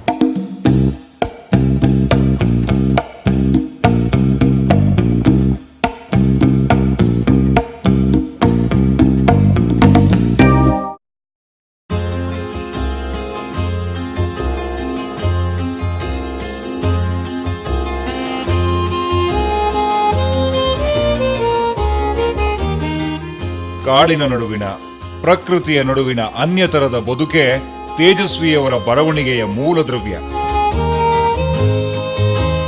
ಒಬ್ಬ ಬರಹಗಾರನಿಗೆ ಗಾಳ, ಕೋವಿ ಮತ್ತು ಕ್ಯಾಮರಾ ಕೊಡುವ ಏಕಾಂತ ಇದೆಯಲ್ಲ, ಮತ್ತು ಆ ಮೂಲಕ ಆ ದಾರಿಯಲ್ಲಿ ಪ್ರಾಪ್ತವಾಗುವ ಮೌನ ಇದೆಯಲ್ಲ, ಅದು ಒಬ್ಬ ಸೃಜನಶೀಲ ಬರಹಗಾರನಿಗೆ ಇರಬೇಕಾದಂಥ ದೊಡ್ಡ ಒಂದು ಅಗತ್ಯ ಅಂತ ನಾನು ಭಾವಿಸಿಕೊಂಡಿದ್ದೇನೆ. ಯಾಕಂದರೆ ಎಲ್ಲ ಬರಹಗಾರರು ಎಲ್ಲ ಕೃತಿಗಳಲ್ಲಿ ಮಾತುಗಳನ್ನು ವಾಚಾಳಿತನವನ್ನು ಸೃಷ್ಟಿಸ್ತಾರೆ ಹೊರತು ಮೌನವನ್ನು ಸೃಷ್ಟಿಸುವುದಿಲ್ಲ. ಹಾಗಾಗಿ ತೇಜಸ್ವಿಯವರ ಸಾಹಿತ್ಯ ನೆಲಪರವಾದ ಆಲೋಚನೆಗಳಿಂದ ಚಿಂತನೆಗಳಿಂದ ಸಮೃದ್ಧವಾಗಿ ಕನ್ನಡ ಓದುಗರಿಗೆ ದಕ್ಕಿದ್ದು. ಸಾಹಿತ್ಯ ಅಂದರೆ ಸಾಹಿತ್ಯದಿಂದಲೇ ಪ್ರೇರಿತವಾದ ಸಾಹಿತ್ಯದಿಂದಲೇ ಏನೋ ಸ್ಫೂರ್ತವಾದಂಥ ಪುಸ್ತಕಗಳನ್ನು ಓದಿದಂಥ ಮತ್ತು ಸಾಹಿತ್ಯಕ್ಕೆ ಈ ವಸ್ತುಗಳು ಬೇಕು ಅಂತ ಬದುಕಿನಲ್ಲಿ ಅವುಗಳನ್ನೇ ಹುಡುಕುವಂಥ ಒಂದು ಸಾಹಿತ್ಯ ಲೋಕ ನಮ್ಮ ಎದುರಿಗಿರುತ್ತೆ. ಆದರೆ ನನ್ನ ಪ್ರಕಾರ ನಿಜವಾಗಿ ಸಾಹಿತ್ಯ ಬೆಳೆಯೋದು ಅಸಾಹಿತ್ಯಿಕವಾದ ಲೋಕದಿಂದ ಅಂದರೆ ಯಾವುದನ್ನು ಲಿಟ್ರರಿ ಅಂತ ಕರಿತೇವೋ, ಯಾವುದನ್ನು ಅಕಾಡೆಮಿಕ್ ಅಂತ ಕರಿತೇವೋ, ಅದಲ್ಲದ ಲೋಕದಿಂದ. ಅವರ ಬಹಳ ಒಂದು ಕೇಂದ್ರ ಆಶಯ ಇದ್ದಿದ್ದು ಒಂಥರ ಒಂದು ಯಾವುದನ್ನು ನಾವು ಒಂದು ಫಿಲಸಾಫಿಕಲ್ ಆದ ಒಂದು ಅರ್ಥ ಮಾಡ್ಕೊಳ್ಳೋದು ಪ್ರಪಂಚವನ್ನು. ಆ ಕಡೆಗೆ ಅವರ ಗಮನ ಇತ್ತು. ಯಶವಂತ್ ಚಿತ್ತಾಳರು, ಅವರು ಬಾಂಬೆಯ ಬದುಕು ಮತ್ತು ಬಾಂಬೆಯ ಒಂದು ಕಾರ್ಪೊರೇಟ್ ವರ್ಲ್ಡಿನ ಕ್ರೌರ್ಯದ ಬದುಕುಗಳನ್ನು ನಮಗೆ ಅನಾವರಣ ಮಾಡಿದ್ರು. ಅಂದರೆ ಅದು ನಮಗೆ ಸಾಹಿತ್ಯದಲ್ಲಿ ತನಕ ಬಂದಿರಲಿಲ್ಲ. ನಮಗೂ ಅನುಭವಕ್ಕೆ ಬಂದಿತ್ತು, ಆದರೆ ಸಾಹಿತ್ಯಕ್ಕೆ ಬಂದಿರಲಿಲ್ಲ. ಅದೇ ಥರ ತೇಜಸ್ವಿ ಅತ್ಯಂತ ಮನುಷ್ಯನ ನಿಗೂಢ ಒಂದು ಮನುಷ್ಯನ ಚೆಹರೆಗಳ ಬಗ್ಗೆ ಅದು ಪ್ರಕೃತಿಯ ನಂಟಿನ ಮೂಲಕ ಅವನನ್ನು ಅರಿಯುವ ಪ್ರಯತ್ನವಾದಂಥ ನಿಗೂಢ ಮನುಷ್ಯರು ಮತ್ತು ಕರ್ವಾಲೋ ಈ ಎರಡು ಕೃತಿಗಳನ್ನು ಮೂಲಕ ಅಸಾಹಿತ್ಯಿಕ ಅನ್ನುವಂಥ ಯಾವುದನ್ನು ಯಾವುದನ್ನು ನಾವು ಸಾಹಿತ್ಯದಲ್ಲಿ ಇದೆಲ್ಲ ಹೇಳೋಕ್ಕಾಗದಪ್ಪ? ಈ ಸಾಹಿತ್ಯಕ್ಕೆ ಸಂಬಂಧಪಟ್ಟದ್ದೇ ಅಲ್ಲ ಅನ್ನುವಂಥ ಒಂದು ನಿಲುಕುಗಳಿಗೆ, ಒಂದು ಆ್ಯಂಟಿನಾ ಅಂತಿರುತ್ತಲ್ಲ ಅದಕ್ಕೆ ಕೇಳಿಸಬಲ್ಲಂಥ, ವಿಶಿಷ್ಟವಾದ ಧ್ವನಿಗಳನ್ನು ಆಲಿಸಬಲ್ಲಂಥ ಒಂದು ಮನಸ್ಸು ನಮಗೆ ಅವರ ನಿಗೂಢ ಮನುಷ್ಯರುದಲ್ಲಿ ಮತ್ತು ಕರ್ವಾಲೋದಲ್ಲಿ ಸಿಗ್ತದೆ ತೇಜಸ್ವಿಯವರ ಒಂದು ಕೃತಿಯಲ್ಲಿ ಒಂದು ದೃಷ್ಟಾಂತ ಬರುತ್ತೆ. ಅವು ಒಬ್ಬ ಮನೆ ಯಜಮಾನ ಮಣ್ಣಿನ ಗೋಡೆಯ ಮನೆಯ ಒಳಗಡೆ ಅಲ್ಯೂಮಿನಿಯಂ ತಟ್ಟೆಯಲ್ಲಿ ಊಟ ಮಾಡ್ತಾ ಇರ್ತಾನೆ.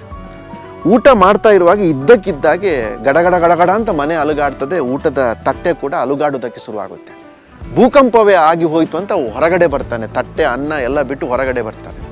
ಹೊರಗಡೆ ಬಟ್ ಬಂದು ನೋಡುವಾಗ ಬೇರೆ ಯಾವ ಸಾಕ್ಷಿಗಳು ಸಿಗುವುದಿಲ್ಲ ಅವನಿಗೆ. ಏನಾದರೂ ಭೂಮಿ ಅಲುಗಾಡಿದೆ ಅನ್ನೋದಕ್ಕೆ ಯಾವ ಸಾಕ್ಷಿಗಳು ಸಿಗುವುದಿಲ್ಲ. ದೂರದಲ್ಲಿ ನೋಡುವಾಗ ಒಂದು ಮರ ಬಿದ್ದಿದೆ. ಆ ಮರ ಬೇರು ಸಮೇತ ಬಿದ್ದಾಗ ಭೂಗತವಾದ ಬೇರು ಇವನ ಮನೆಯ ಒಳಗಡೆ ಬಂದು ಅಲ್ಯೂಮಿನಿಯಂ ತಟ್ಟೆ ಅಡಿಯಲ್ಲಿ ಇತ್ತು. ಆ ಬೇರು ಎಳೆದ ರಭಸಕ್ಕೆ ಮನೆ ಬಿರುಕು ಬಿಟ್ಟಿದೆ, ಅಲ್ಯೂಮಿನಿಯಂ ತಟ್ಟೆ ಅಲುಗಾಡಿದೆ. ಅವರದ್ದು ಆ ರಹಸ್ಯ ವಿಶ್ವ ಅನ್ನುವ ಒಂದು ಒಂದು ಭಾಳ ಸಣ್ಣ ಕತೆ.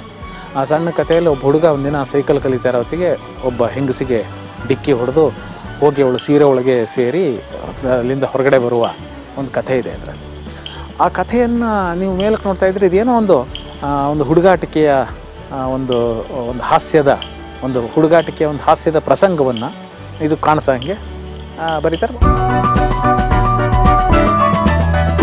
ಈ ಉರುಳುವ ಮರಕ್ಕೆ ಅಕ್ಷರ ಹೊಂದಿಸುವ ಸಂತತನ ಇದೆಯಲ್ಲ ಅಥವಾ ಧ್ಯಾನಸ್ಥ ಸ್ಥಾನ ಇದೆಯಲ್ಲ ಅದು ನೆಲಕ್ಕೆ ಅಂಟಿಕೊಂಡು ನೆಲ ನೆಲಕ್ಕೆ ಬೇರು ಬಿಟ್ಟುಕೊಂಡಿರುವ ಮನಸ್ಸಿನ ಒಳಗಡೆ ಮಾತ್ರ ಸೃಷ್ಟಿಯಾಗುವುದಕ್ಕೆ ಸಾಧ್ಯ ಆದರೆ ಆ ಕಥೆಯಲ್ಲಿ ಒಂಥರ ಒಂದು ಒಬ್ಬ ಮನುಷ್ಯ ಒಂದು ರೀತಿಯಲ್ಲಿ ತನ್ನ ಬಾಲ್ಯವನ್ನು ಕಳೆದು ಇನ್ನೊಂದು ರೀತಿಯ ಒಬ್ಬ ಮನುಷ್ಯ ಆಗಿ ಹುಟ್ಟಿ ಬರುವ ಒಂದು ಅದರ ಅದ್ರ ಒಳಗಡೆಗಿದೆ. ಅದರಲ್ಲಿ ಅದು ಎಷ್ಟು ಚೆನ್ನಾಗಿದೆ ಆ ಕಥೆ ಅಂತಂದರೆ, ಅದರಲ್ಲಿ ಅವನು ಹೋಗಿ ಅವನು ಸಿಕ್ಕಂಬಿದ್ದು ಅವಳ ಸೀರೆ ಒಳಗಡೆ ಹೋಗಿ ಅವನು ಆಮೇಲೆ ಹೊರಗಡೆಯಿಂದ ಮತ್ತೆ ಇನ್ನೊಂದು ಸರಿ ಹುಟ್ಟಿ ಬರ್ತಾನೆ. ಆ ಹುಟ್ಟಿ ಬರೋದು ಅವನಿಗೆ ಒಂದು ರೀತಿಯಲ್ಲಿ ಎರಡನೇ ಹುಟ್ಟಾಗುತ್ತೆ. ಈ was very much intense in life ಅಂದರೆ ನಾವು ಅವರ ಕೃತಿಗಳಲ್ಲೇ ಗೊತ್ತಾಗುತ್ತೆ ನಮಗೆ. ಅವರಿಗೆ ಮನುಷ್ಯನ ವರ್ತನೆಯಲ್ಲಿ ಅವರಿಗೆ ಅತಿ ಅತೀವಾದ ಆಸಕ್ತಿ. ಮನುಷ್ಯ ಯಾಕೆ ಈ ಸಂದರ್ಭದಲ್ಲಿ ಈ ಮನುಷ್ಯ ಯಾಕೆ ಹಿಂಗೆ ಮಾಡ್ತಾನಪ್ಪ? ಅನ್ನೋದೇ ಅವರ ಕುತೂಹಲ. ತಮ್ಮ ಸುತ್ತಲಿನ ಪ್ರಕೃತಿ ಪರಿಸರ ಹಾಗೂ ಜನಜೀವನವನ್ನು ಸೂಕ್ಷ್ಮವಾಗಿ ಅನ್ವೇಷಕನ ಮನಸ್ಥಿತಿಯಿಂದ ಗಮನಿಸುತ್ತಿದ್ದ ತೇಜಸ್ವಿಯವರ ಬರವಣಿಗೆಯ ಮೂಲ ಸಹ ಅದೇ ಪರಿಸರ. ಕಟಿಂಗ್ ಶಾಪ್ನಲ್ಲಿ ಹೋಗ್ಬಿಟ್ಟು ಅವನು ಕಟಿಂಗ್ ಮಾಡೋದ್ರೊಳಗೆ ಆ ಊರಿನ ವಿದ್ಯಮಾನಗಳನ್ನೆಲ್ಲ ತಿಳ್ಕೊತಾ ಇದ್ರು. ಆ ಜನಗಳ ಒಂದು ಯಾವ ಥರ ನಡೆ ನೋಡಿ ಅವನ ನಡೆ ಹೇಗೆ, ಏನು ಏನು ಅಬ್ಸರ್ವ್ ಮಾಡೋದು. ನಿಸರ್ಗವನ್ನು ಅನ್ವೇಷಣೆ ಮಾಡ್ತಾ ಮಾಡ್ತಾ ಮಾಡ್ತಾ ಎಷ್ಟು ಮಾಡಿದ್ರೂ ನಿಸರ್ಗದಲ್ಲಿ ಮತ್ತೊಂದು ಶೇಷ ಉಳಿಯುತ್ತೆ ಅನ್ನೋದು ಬಹಳ ತೇಜಸ್ವಿ ಅವ್ರ ನಂಬಿಕೆನೂ ಆಗಿತ್ತೇನೋ ಹಾಗಾಗಿ ಅವರ ಎಲ್ಲ ಕಥೆಗಳಲ್ಲೂ ಕೂಡ ಆ ಶೇಷ ಉಳಿದು ಬಿಡುತ್ತೆ.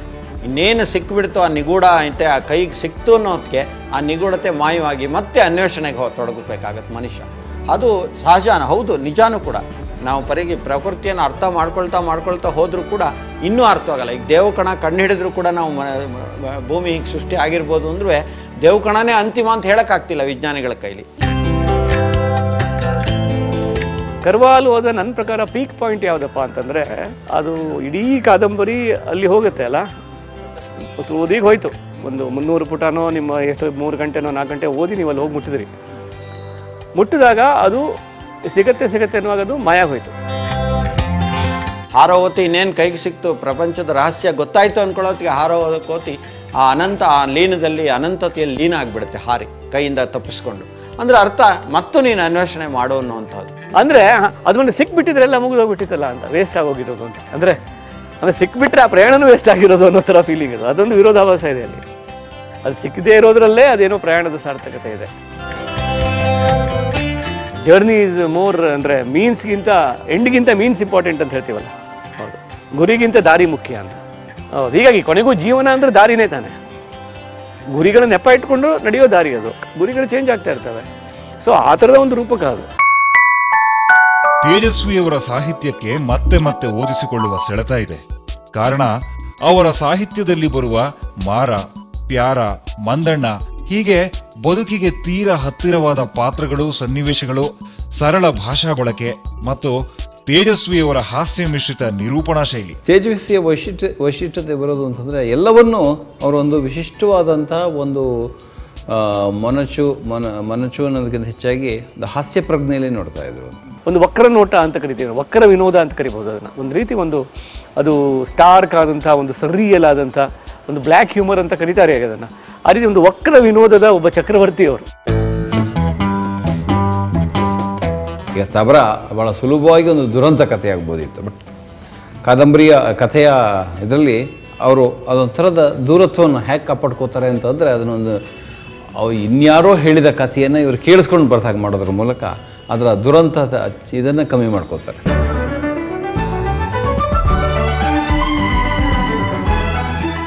ಇವರು ಕೃಷ್ಣೇಗೌಡನ ಆನೆ ಕಥೆಯ ಜಬ್ಬಾರ್ ಪಾತ್ರದ ಮೂಲ ವ್ಯಕ್ತಿ. ಅದು ಅಲ್ಲೇ ಕೃಷ್ಣೇಗೌಡರು ಅಲ್ಲೇ ಇದ್ದಾರೆ ಒಬ್ಬರು ನನಗೆ ಜಬ್ಬಾರ್ ಅಂತ ಆದ್ರೆ ಬರ್ಕೊಂಡಿದ್ರು ಎಲ್ಲ ಕಡೆ ಜಬ್ಬಾರ್ ಅಂತ ತೇಜಸ್ವಿ ವೈಜ್ಞಾನಿಕ ದೃಷ್ಟಿಕೋನ ಹೊಂದಿದ್ದ ಅನ್ವೇಷಕನ ಮನಸ್ಥಿತಿಯ ಬರಹಗಾರ. ವಿಜ್ಞಾನಕ್ಕೆ ಸಂಬಂಧಪಟ್ಟ ಬರಹಗಳಲ್ಲದೆ ಅವರ ಕತೆ ಕಾದಂಬರಿಗಳಲ್ಲಿಯೂ ಸಹ ಈ ವೈಜ್ಞಾನಿಕ ದೃಷ್ಟಿಕೋನ ಹಾಸುಹೊಕ್ಕಾಗಿ ಬರುತ್ತದೆ. ಒಂದ್ಸಲ ನೀವು ಅವ್ರ ಮನೆಗೆ ಹೋಗಿದ್ದಾಗ ಈ ಚಿಟ್ಟೆಗಳು ವಲಸೆ ಹೋಗ್ತಾ ಇದ್ವು. ಈ ಚಿಟ್ಟೆಗಳು ವಲಸೆ ಹೋಗ್ತಿದ್ರು ಬರ್ರಿ ಇಲ್ಲಿ ಅಂತ ಕರ್ಕೊಂಡು ಹೋದ್ರು. ಕರ್ಕೊಂಡು ಹೋಗಿ ನೋಡ್ರಿ ಇಲ್ಲಿ, ನೋಡ್ರಿ ಒಂದು ಚಿಟ್ಟೆ ಆದಮೇಲೆ ಒಂದು ಚಿಟ್ಟೆ ಒಂದು ಚಿಟ್ಟೆ. ಅಲ್ಲರಿ ಎಲ್ಲಿ ಹೋಗ್ತಾ ಇದ್ದಾರೆ? ಇಷ್ಟೊಂದು ಸಾವಿರಾರು ಚಿಟ್ಟೆ ಬೆಳಗ್ಗೆ ಎಂಟು ಗಂಟೆಯಿಂದ ನೋಡ್ತಾ ಇದ್ದೇನೆ ಇದನ್ನು. ಹೋಗ್ತಾನೆ ಇದೆ ಕಣ್ರಿ ನೋಡಿ, ಹನ್ನೆರಡು ಗಂಟೆ ಆಯಿತು. ಎಷ್ಟು ಚಿಟ್ಟೆ ಇರ್ಬೋದು ಮಾರ್ಯಾರ ಎಲ್ಲಿ ಹೋಗಿದಾಗುತ್ತೆ ಇದನ್ನೇ ಹಿಂಬಾಲಿಸ್ಕೊಂಡು ಹೋಗೋಣ ಅಂತಂದರೆ ಸುಡ್ಗಾಡ್ ತೋಟದೊಳಗೆ ಕಾಡೊಳಗೆ ಹೋಗ್ಬೇಕಲ್ರಿ. ನೋಡಿದ್ ನಂಗೆ ಆಶ್ಚರ್ಯ ಆಯಿತು. ಅಂದರೆ ಈ ಕುತೂಹಲ ಆಯಿತು ತೇಜಸ್ವಿಗೆ. ಆ ಕುತೂಹಲದ ಕಣ್ಣುಗಳಿಂದ ನೋಡಿದ್ದನ್ನೆಲ್ಲ ಕೂಡ ಒಂದು ಕಥೆಯ ಪರದಿಯಲ್ಲಿ ಅವರು ನಮಗೆ ಕೊಡ್ತಾ ಇದ್ರು. ಮೂಡಿಗೆರೆ ಅಂತ ಊರಲ್ಲಿ ಇದ್ದುಕೊಂಡು ಅಲ್ಲಿನ ಇದನ್ನು ಅಷ್ಟೊಂದು ರಸವತ್ತಾಗಿ ಅನುಭವಿಸಬೇಕು ಅಂತಿದ್ರೆ ಒಳಗಡೆನೇ ಇರಬೇಕು ಆ ಆ ಚೇತೋಹಾರಿ ಮನೋಭಾವ. ವಿಜ್ಞಾನದ ಸುಮಾರು ಹದಿಮೂರು ಹದಿನಾಲ್ಕು ಪುಸ್ತಕಗಳನ್ನು ಬರೆದಿದ್ದಾರೆ ವಿಜ್ಞಾನದ ಬಗ್ಗೆ. ಅವುಗಳನ್ನು ಓದಿದರಷ್ಟು ವಿಜ್ಞಾನದ ವಿಷಯವನ್ನು ಇಷ್ಟು ಸುಲಭವಾಗಿ ಮತ್ತು ಇಷ್ಟು ಉತ್ತಮವಾಗಿ ಹೇಳ್ಕೊಡೋದು ಸಾಧ್ಯವೇ ಅಂತ ನನಗೆ ಆಶ್ಚರ್ಯ ಅನ್ನಿಸ್ತದೆ. ನೀವು ಮಿಸ್ಸಿಂಗ್ ಲಿಂಕನ್ನು ಓದಿದ್ರಂತೂ, ನೀವು ಆಂಥ್ರೋಪಾಲಜಿನ ಓದಿದ್ರು ನೀವು ಅಷ್ಟು ಚೆನ್ನಾಗಿ ಅರ್ಥ ಆಗಲ್ಲ. ಅಷ್ಟು ಚೆನ್ನಾಗಿ ಮನುಷ್ಯನ ಉಗಮವನ್ನು ಅವ್ರು ಹೇಳ್ತಾ ಹೋಗ್ತಾರೆ. ಅಲ್ಲಿ ಎಲ್ಲ ಮನುಷ್ಯನ ಹೋಮೋಸೇಫಿಯನ್ ಆಗೋವರೆಗೂ ಅವನು ಹೇಗೆ ಹೇಗೆ ಬಂತು, ಹಾದಿಯಲ್ಲಿ ಬಂತು ಅನ್ನೋದನ್ನು ಹೇಳ್ತಾ ಹೋಗ್ತಾರೆ. ಅದು ಬದಲಾವಣೆಗಳು ಹೇಗಾಯಿತು? ಮನುಷ್ಯನ ನಾಗರಿಕತೆ ಹೇಗೆ ಬೆಳೀತು? ವಿಕಾಸ ಹೇಗಾಯಿತು? ಇದನ್ನು ಬಹಳ ಚೆನ್ನಾಗಿ ಅರ್ಥ ಆಗುವಾಗೆ ಅದರಲ್ಲಿ ಹೇಳುವಂಥದ್ದು ತೇಜಸ್ವಿ ಅವರನ್ನು ಪುಸ್ತಕದಲ್ಲಿ ನೋಡೋದು ಒಂದು ದೊಡ್ಡ ಸುಖ. ಅವ್ರಿಗೆ ಏನೋ ಒಂದು ದೊಡ್ಡ ಅನುಭವನ ದೊಡ್ಡ ವಿಡಂಬನೆನ ತಮಾಷೆನ ಅಷ್ಟು ಸರಳ ಭಾಷೆಯಲ್ಲಿ. ಮತ್ತು ತುಂಬ ಹೊಸ ಥರ ಕಟ್ಟಿಕೊಟ್ಟವರು ಸಿನಿಮಾದಲ್ಲೇ ಅವರ ಇನ್ನೊಂದು ಕೃತಿನ ನೀವು ಅಳ್ಕೊ, ಅಳವಡಿಸಿರಿ ಅಂತ ಯಾರು ಹೇಳಿ ಆಪ್ಷನ್ ಕೊಟ್ಟರೆ ನನಗೆ. ಐ ವುಡ್ ಗೋ ಫಾರ್ ನಿಗೂಢ ಮನುಷ್ಯರು. ನಿಗೂಢ ಮನುಷ್ಯರಲ್ಲಿ ಸಿನಿಮ್ಯಾಟಿಕ್ ಪಾಸಿಬಿಲಿಟೀಸ್ ಭಾಳ ಇದೆ. ಅದು ಸಿನಿಮ್ಯಾಟಿಕ್ ರೆಂಡ್ರಿಂಗ್ ಅಂತ ಹೇಳ್ತೀವಿ. ಅದಕ್ಕೆ ಪಾಸಿಬಿಲಿಟೀಸ್ ತುಂಬ ಇದೆ.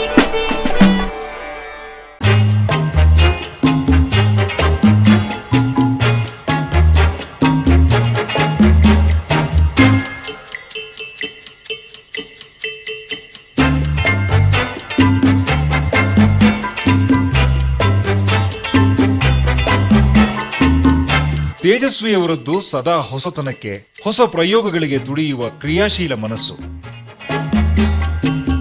ತಮ್ಮ ಸುತ್ತಲಿನ ಪ್ರತಿಯೊಂದರ ಬಗ್ಗೆಯೂ ತಣಿಯದ ಕುತೂಹಲ ತೇಜಸ್ವಿಯವರದಾಗಿತ್ತು ಚಿಕ್ಕನಿಂದ ನಾನು ನೋಡ್ತಿದ್ದೆ, ಏನೋ ಒಂದನ್ನು ಬಿಚ್ಚೋನು, ಹಾಕೋನು, ಒಂದು ಅಲಾರಾಮ್ ಗಡಿಯಾರ ಅವನಿಗೆ ಬೆಳಗ್ಗೆ ಎದ್ದದೇನೋ ಓದೋಕ್ಕೆ ಅಂತ ಕೊಟ್ಟಿದ್ರೆ ಒಂದು ದಿವಸ ಹೋಗಿ ನೋಡಿದ್ರೆ ನಮ್ಮ ತಂದೆ ಇಡೀ ಇದು ಬಿಚ್ಕೊಂಡು ಕೂತಿತ್ತು ಅಲಾರಾಮ್ ಗಡಿಯಾರ ಇದೇನೋ ಹೀಗೆಲ್ಲ ಆಗೋಗಿದೆ ಅಂತ ಹೇಳಿದ್ರೆ ನಾನೇ ಬಿಚ್ಚು ನೋಡಿದೆ ಅದ್ರ ಮಿಷನ್ ಎಲ್ಲ ಅಂತ. ಆಮೇಲೆ ಎಲ್ಲ ಜೋಡಿಸಿ ನಾನು ಅವನೇ ಕಿಟ್ಕೊಂಡು ಹೀಗೆ ಅದು ತುಂಬ ಅವನಿಗಿತ್ತು ಚಿಕ್ಕನಿಂದಾನೇ ಅನಿಸುತ್ತೆ.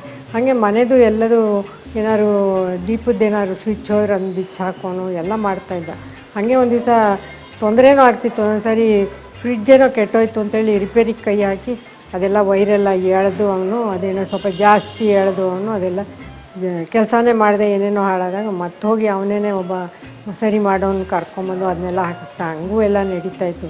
ನೀ ಕೈ ಹಾಕಿದ್ರೆ ಅದೆಲ್ಲ ಹಾಳಾಗುತ್ತೆ, ಮುಟ್ಬೇಡ ಅಂತ ಒಂದೊಂದು ಸಾರಿ ನಮ್ಮ ಅಪ್ಪ ಅಮ್ಮ ಹೇಳೋರು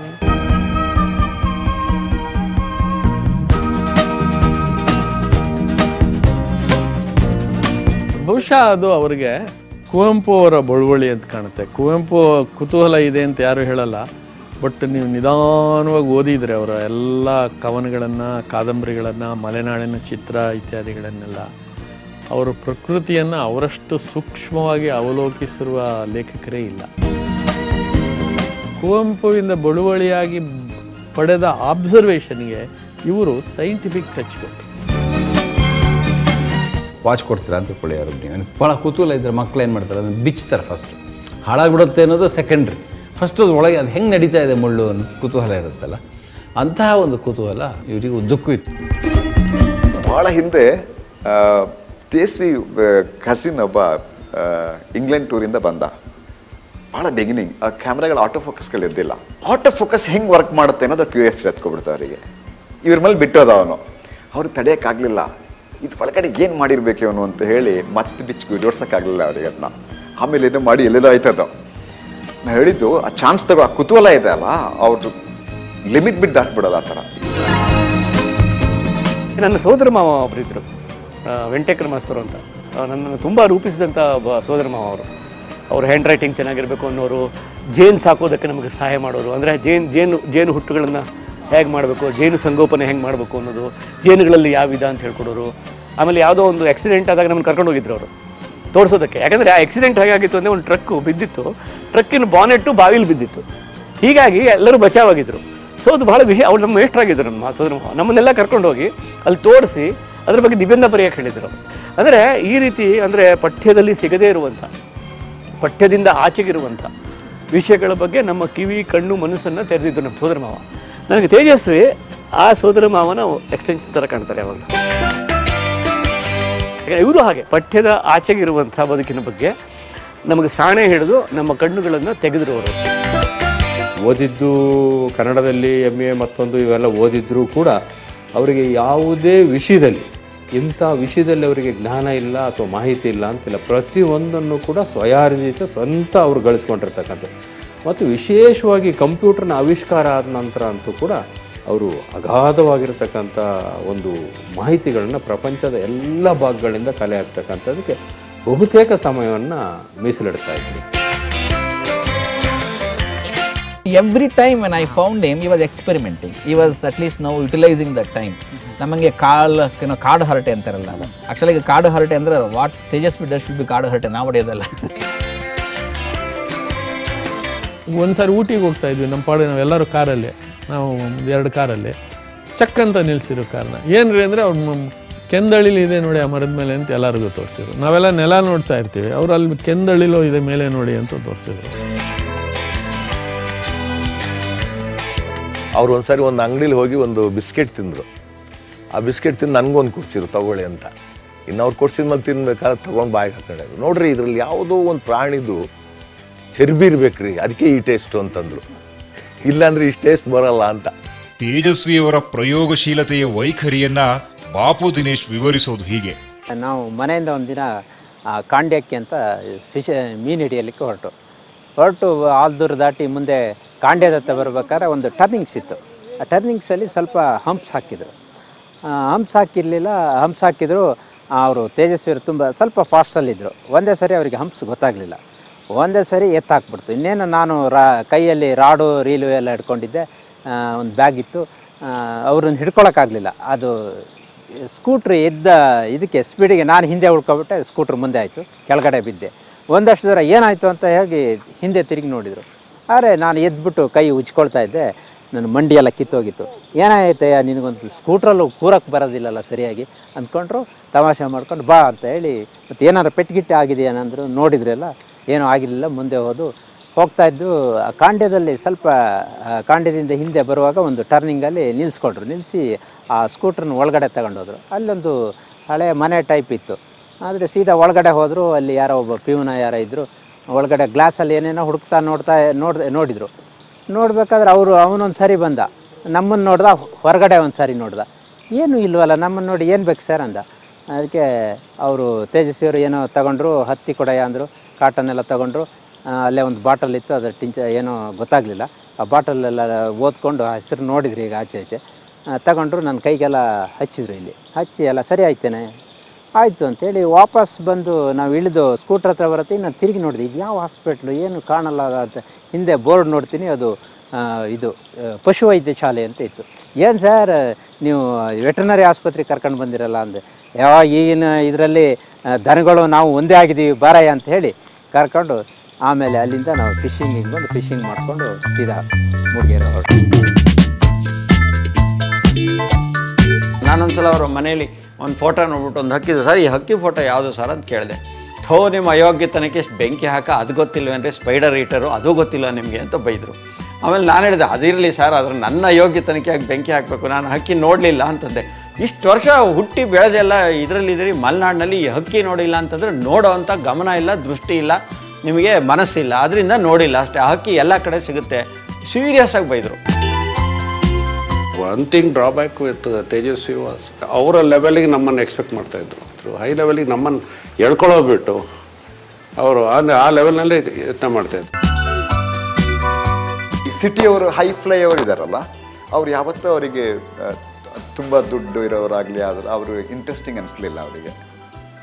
ಯಾಕಂದ್ರೆ ನಾವು ಯಾವಾಗಿದ್ದಾಗ್ಲೂ ಬೆಳವಾಡಿ ಬೆಳವಾಡಿ ಇದ್ರೆ ಒಬ್ಬರು ದೊಡ್ಡ ಎಂಟಮಲಾಜಿಸ್ಟ್ ಬೆಳವಾಡಿ ಅವ್ರಿಗೆ ಫ್ರೆಂಡು ಮಂಜಪ್ಪ ಫಿಶರೀಸ್ ಮ್ಯಾನ್ ಈ ಎಂತೆಂಥದ್ದು ಅವ್ರ ಸುತ್ತಲೂ ಈ ಥರದವ್ರು ಇರ್ತಾ ಇದ್ದು ಕಡೆಯವರೆಗೂ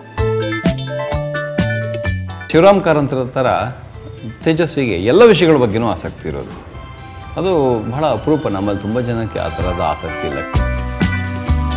ಶಿವರಾಮ್ ಕಾರಂತರ ಬಗ್ಗೆ ಭಾಳ ಅವರಿಗೆ ತುಡಿತಾ ಇತ್ತು. ಯಾಕಂದರೆ ಅವರು ಆ ಥರ ಐವತ್ತು ಆಲ್ಸೋ ಲೈಕ್ ದ್ಯಾಟ್ ಶಿವರಾಮ್ ಕಾರಂತರಿಗೂ ಹಾಗೆ. ಅವರು ಪ್ರೆಸ್ ಹಾಕ್ಕೊಂಡಿದ್ರು ಪತ್ರಿಕೆ ಮಾಡಿದ್ರು ಸಿನಿಮಾನೂ ಮಾಡಿದ್ರು ಒಂದು ಕಾಲದಲ್ಲಿ. ಯಕ್ಷಗಾನ ಕುಣಿದ್ರು. ಅವರು ಪರಿಸರಕ್ಕಾಗಿ ಬಂದೇನು ಇಲೆಕ್ಷನಿಗೆ ನಿಂತರು. ಎನ್ಸೈಕ್ಲೋಪೀಡಿಯಾ ಮಾಡಿದ್ರು. ಸಿ ಇವರು, ಹಾಂ, ವಿಶ್ವಕೋಶಗಳನ್ನು ಆ ಕಾಲಕ್ಕೆ ಮಾಡಿದ್ರು. ಯಾವಾಗ ಇಮೇಲ್ ಇರಲಿಲ್ಲ ಗೂಗಲ್ ಇರಲಿಲ್ಲ ಡಿ ಟಿ ಪಿ ಇರಲಿಲ್ಲ, ಆಗ ಕೈಯಲ್ಲಿ ಮೊಳೆ ಜೋಡಿಸಿ ಕೈಯಲ್ಲಿ ಚಿತ್ರ ಬರೆದು ಅವ್ರ ಕೈಯಲ್ಲಿ, ನೋಡಿ, ಎಷ್ಟು ಮಜಾ ಇದೆ. ಮತ್ತು ಕುವೆಂಪು ಮತ್ತು, ಅಲ್ಲ, ಕಾರಂತು ಮತ್ತು ತೇಜಸ್ವಿ ನೋಡಿದ್ರೆ, ತೇಜಸ್ವಿ ಹೇಗೆ ಹಕ್ಕಿಗಳ ಚಿತ್ರಗಳನ್ನು ತೆಗೆದ್ರು, ಆ ಚಿತ್ರಗಳನ್ನು ಇವರೆಲ್ಲ ಕೈಯಲ್ಲಿ ಬಿಡಿಸಿದ್ದಾರೆ, ಶಿವರಾಮ್ ಕಾರಂತರು. ಅವರು ಸುಮಾರು ಎರಡು ಸಾವಿರ ಹಕ್ಕಿಗಳ ಚಿತ್ರವನ್ನು ಕೈಯಲ್ಲಿ ಬಿಡಿಸಿದ್ದಾರೆ ಅವರು. ಅದು ಮಂಗಳ ಗಂಗೋತ್ರಿಯ ಕನ್ನಡ ವಿಭಾಗಕ್ಕೆ ಹೋದರೆ ನಿಮ್ಗೆ ಸಿಗುತ್ತೆ. ಅದೊಂದು ಬ್ರೌನ್ ಎನ್ವಲಪ್ಪಲ್ಲಿ ಹಾಕಿಟ್ಟಿದ್ದಾರೆ ಅದನ್ನು. ಸೊ ಆ ಥರ ಅವರಿಬ್ಬರ ಮನಸ್ಸು ಒಂದೇ ಥರದ್ದು. ಅದು ಹುಚ್ಚು ಮನಸ್ಸಿನ ಹತ್ತು ಮುಖಗಳಲ್ಲ, ಅದು ಸಾವಿರಾರು ಮುಖಗಳು, ಸಾವಿರಾರು ಸಾವಿರಾರು ಮುಖಗಳು.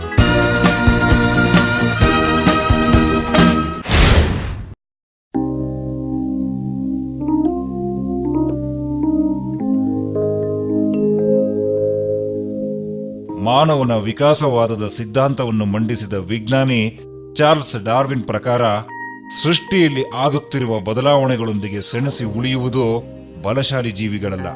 ಬದಲಿಗೆ ಆಗುತ್ತಿರುವ ಬದಲಾವಣೆಗಳಿಗೆ ಒಗ್ಗಿಕೊಳ್ಳುವ ಶಕ್ತಿ ಇರುವ ಜೀವಿ.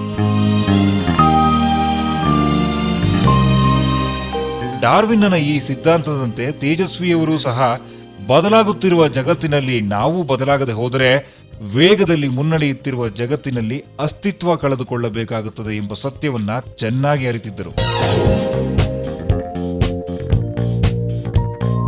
ಹಾಗಾಗಿ ಬದಲಾಗುತ್ತಿರುವ ತಂತ್ರಜ್ಞಾನದ ವಿಷಯದಲ್ಲಿ ಸದಾ ಅಪ್ಡೇಟ್ ಆಗಿರಲು ಬಯಸುತ್ತಿದ್ದರು ತೇಜಸ್ವಿ. ಇನ್ನು ಕನ್ನಡ ಭಾಷೆ ಉಳಿಯಬೇಕಾದರೆ ಇಂದಿನ ತಂತ್ರಜ್ಞಾನದ ಪ್ರವಾಹದಲ್ಲಿ ಸ್ಪರ್ಧಿಸುವುದು ಅನಿವಾರ್ಯ ಎಂದರಿತು ಕನ್ನಡಕ್ಕೆ ಸರ್ವ ಸಮರ್ಥವಾದ ತಂತ್ರಾಂಶವೊಂದನ್ನು ರೂಪಿಸುವ ಕೆಲಸಕ್ಕೆ ಕೈ ಹಾಕಿದರು ತೇಜಸ್ವಿ. ಇವತ್ತು ಸಂಸ್ಕೃತ ನಮಗೆ ಬ ಬದುಕಿರೋ ಭಾಷೆ ಅಲ್ಲ ಅಂತ ಹೇಳ್ತಾ ಇದ್ದೀವಿ. ಯಾಕೆ ಅಂತಂದರೆ ವೀರಾವೇಶದಿಂದ ಕೆಲವು "ಏ, ಅದು ಬ್ರಾಹ್ಮರ ಭಾಷೆ ಅದಕ್ಕೆ ಅದು ಬದುಕಿಲ್ಲ ಅಂತ ಹೇಳ್ಬಿಡ್ತಾರೆ. ತೇಜಸ್ವಿ ಹೇಳಿದರು ಅದನ್ನು ಬ್ರಾಹ್ಮರ ಭಾಷೆ ಅದಕ್ಕೆ ಬದುಕಿಲ್ಲ ಅಂತ ಹೇಳಬೇಡಿ. ಒಂದು ಭಾಷೆ ಸಾಯೋದು ಯಾವಾಗ ಅಂದರೆ ಅದು ಜನ ಯಾವಾಗ ಉಪಯೋಗಿಸೋದಿಲ್ಲ ಆಗ ಸಾಯುತ್ತೆ. ಕನ್ನಡ ಈ ರೀತಿಯೇ ಮುಂದುವರೆದ್ರೆ ಮುಂದೆ ನಿಮ್ಮ ಖಾತೆ ಕಾದಂಬರಿನ ಯಾವನು ಓದನೇ ಇರೋದಿಲ್ಲ. ನೀವು ಕಂಪ್ಯೂಟರಲ್ಲಿ ಕನ್ನಡ ಬದುಕಿದ್ರೇ ನಿಮ್ಮ ಕನ್ನಡ ಭಾಷೆ ಜೀವಂತವಾಗಿರೋದು. ಆದ್ದರಿಂದ ನಮಗೆ ಬೇಕಾದ ಕನ್ನಡ ಭಾಷೆಯ ತಂತ್ರಾಂಶವನ್ನು ನಾವು ಅಭಿವೃದ್ಧಿ ಅಭಿವೃದ್ಧಿಪಡಿಸಬೇಕು ಅಂತ ಹೇಳಿದ್ರು ಈ ಒಂದು ಕೆಲವು ತಂತ್ರಾಂಶದ ಅಗತ್ಯ ಇದೆ ಅಂತ ಮನಗೊಂಡು ಅವರು ಈ ಮೊದಲಾಗಿ ಹಂಪಿ ವಿಶ್ವವಿದ್ಯಾನಿಲಯ, ಇಲ್ಲಾಗ ಬಿ ವಿವೇಕ ರೈ ಅವರು ಕುಲಪತಿಗಳಾಗಿದ್ದರು. ಅವರನ್ನು ಅವರನ್ನೆಲ್ಲ ಮಾತಾಡಿ ಅವ್ರ ಹತ್ರ ಹೇಳಿ ಆಮೇಲೆ ಹಾಸನದ ಕೆಲವು ಈ ತಂತ್ರಜ್ಞ ತಂತ್ರಾಂಶ ಅಲ್ಲಿ ನುರಿತವರಿದ್ದರು ಕೆಲಸವನ್ನು ಪ್ರಾರಂಭ ಮಾಡಿ ಕುವೆಂಪು ಕನ್ನಡ ತಂತ್ರಾಂಶ ಅಂತ ಮಾಡಿದರು ಅದನ್ನು. ನಿಮ್ಮ ಕೈಲಿ ಈ ಸಾಫ್ಟ್ವೇರ್ನ ಮಾಡೋಕ್ಕಾಗಲ್ಲ ಕಣ್ರು. ನಿಮಗೆ ಮಾಡೋದಾದರೆ ನೀವು ಅದೇನು ಮಾಡ್ತೀರ, ಮಾಡ್ಕೊಂಬಂದು ತೋರಿಸಿ ಅಂತ ನಮ್ಗೆ ಚಾಲೆಂಜ್ ಆಗಿ ಹೇಳಿದರು. ಆ ಸಮಯದಲ್ಲಿ ನಾವು ಒಂದು ಫಾಂಟನ್ನು ನಾನು ಮುಂಜಾಚಾರ ಸೇರ್ಕೊಂಡು ಫಾಂಟ್ ಮಾಡ್ಕೊಂಡು ತೊಗೊಂಡೋಗಿ ಕೊಟ್ವು. ಆಗ ಅವರು ಆ ಫಾಂಟನ್ನು ಚೆಕ್ ಮಾಡಿಬಿಟ್ಟು, ಮತ್ತೆ ನೀವು ಹೇಗೆ ಮಾಡ್ತೀರಾ, ಏನು ಮಾಡ್ತೀರಾ ಅಂತ ಹೇಳ್ಬಿಟ್ಟು ಹಾಸನಕ್ಕೆ ವಾಪಸ್ ಮಾರನೇ ದಿವಸನೇ ಶ್ರೀರಾಮ್ ಸರ್ ಮತ್ತು ತೇಜಸ್ವಿ ಅವರಿಬ್ಬರು ಬಂದು ಅದನ್ನು ಹೇಗೆ ಮಾಡ್ತೀವಿ ಅನ್ನೋದನ್ನೆಲ್ಲ ನೋಡಿಕೊಂಡು, ಅದ್ರ ಮುಂದೆ ನೀವು ಮಾಡಬೇಕಾಗಿರೋ ಬರೀ ಇಷ್ಟು ಮಾಡಿದರೆ ಬರೀ ಒಂದು ಫಾಂಟ್ ಮಾಡಿದರೆ ಕೆಲಸ ಮುಗಿಯಲ್ಲ ಕನ್ನಡದ್ದು.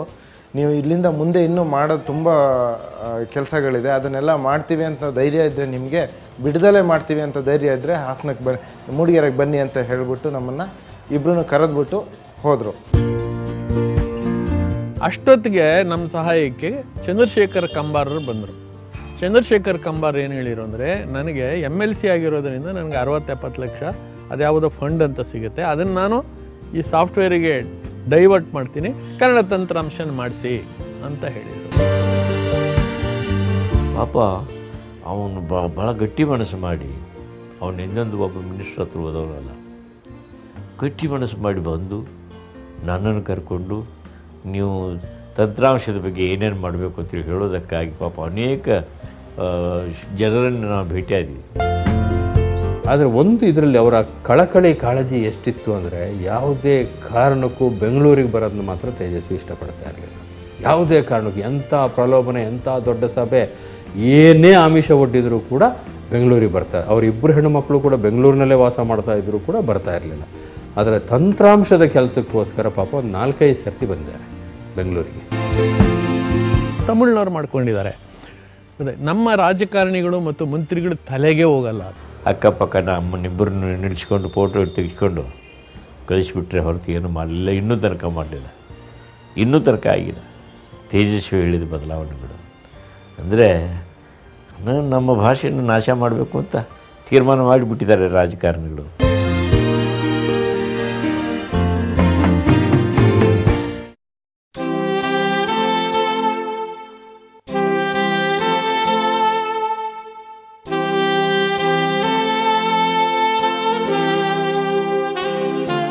There is no greatness where there is no simplicity ಅಂತ ಹೇಳ್ದ ರಷ್ಯಾದ ಚಿಂತಕ, ಬರಹಗಾರ ಲಿಯೋ ಟಾಲ್ಸ್ಟಾಯ್. ಈ ಮಾತು ತೇಜಸ್ವಿಯವರ ಬದುಕಿನ ಶೈಲಿಗೆ ಅಕ್ಷರಶಃ ಹೊಂದಿಕೊಳ್ಳುತ್ತದೆ.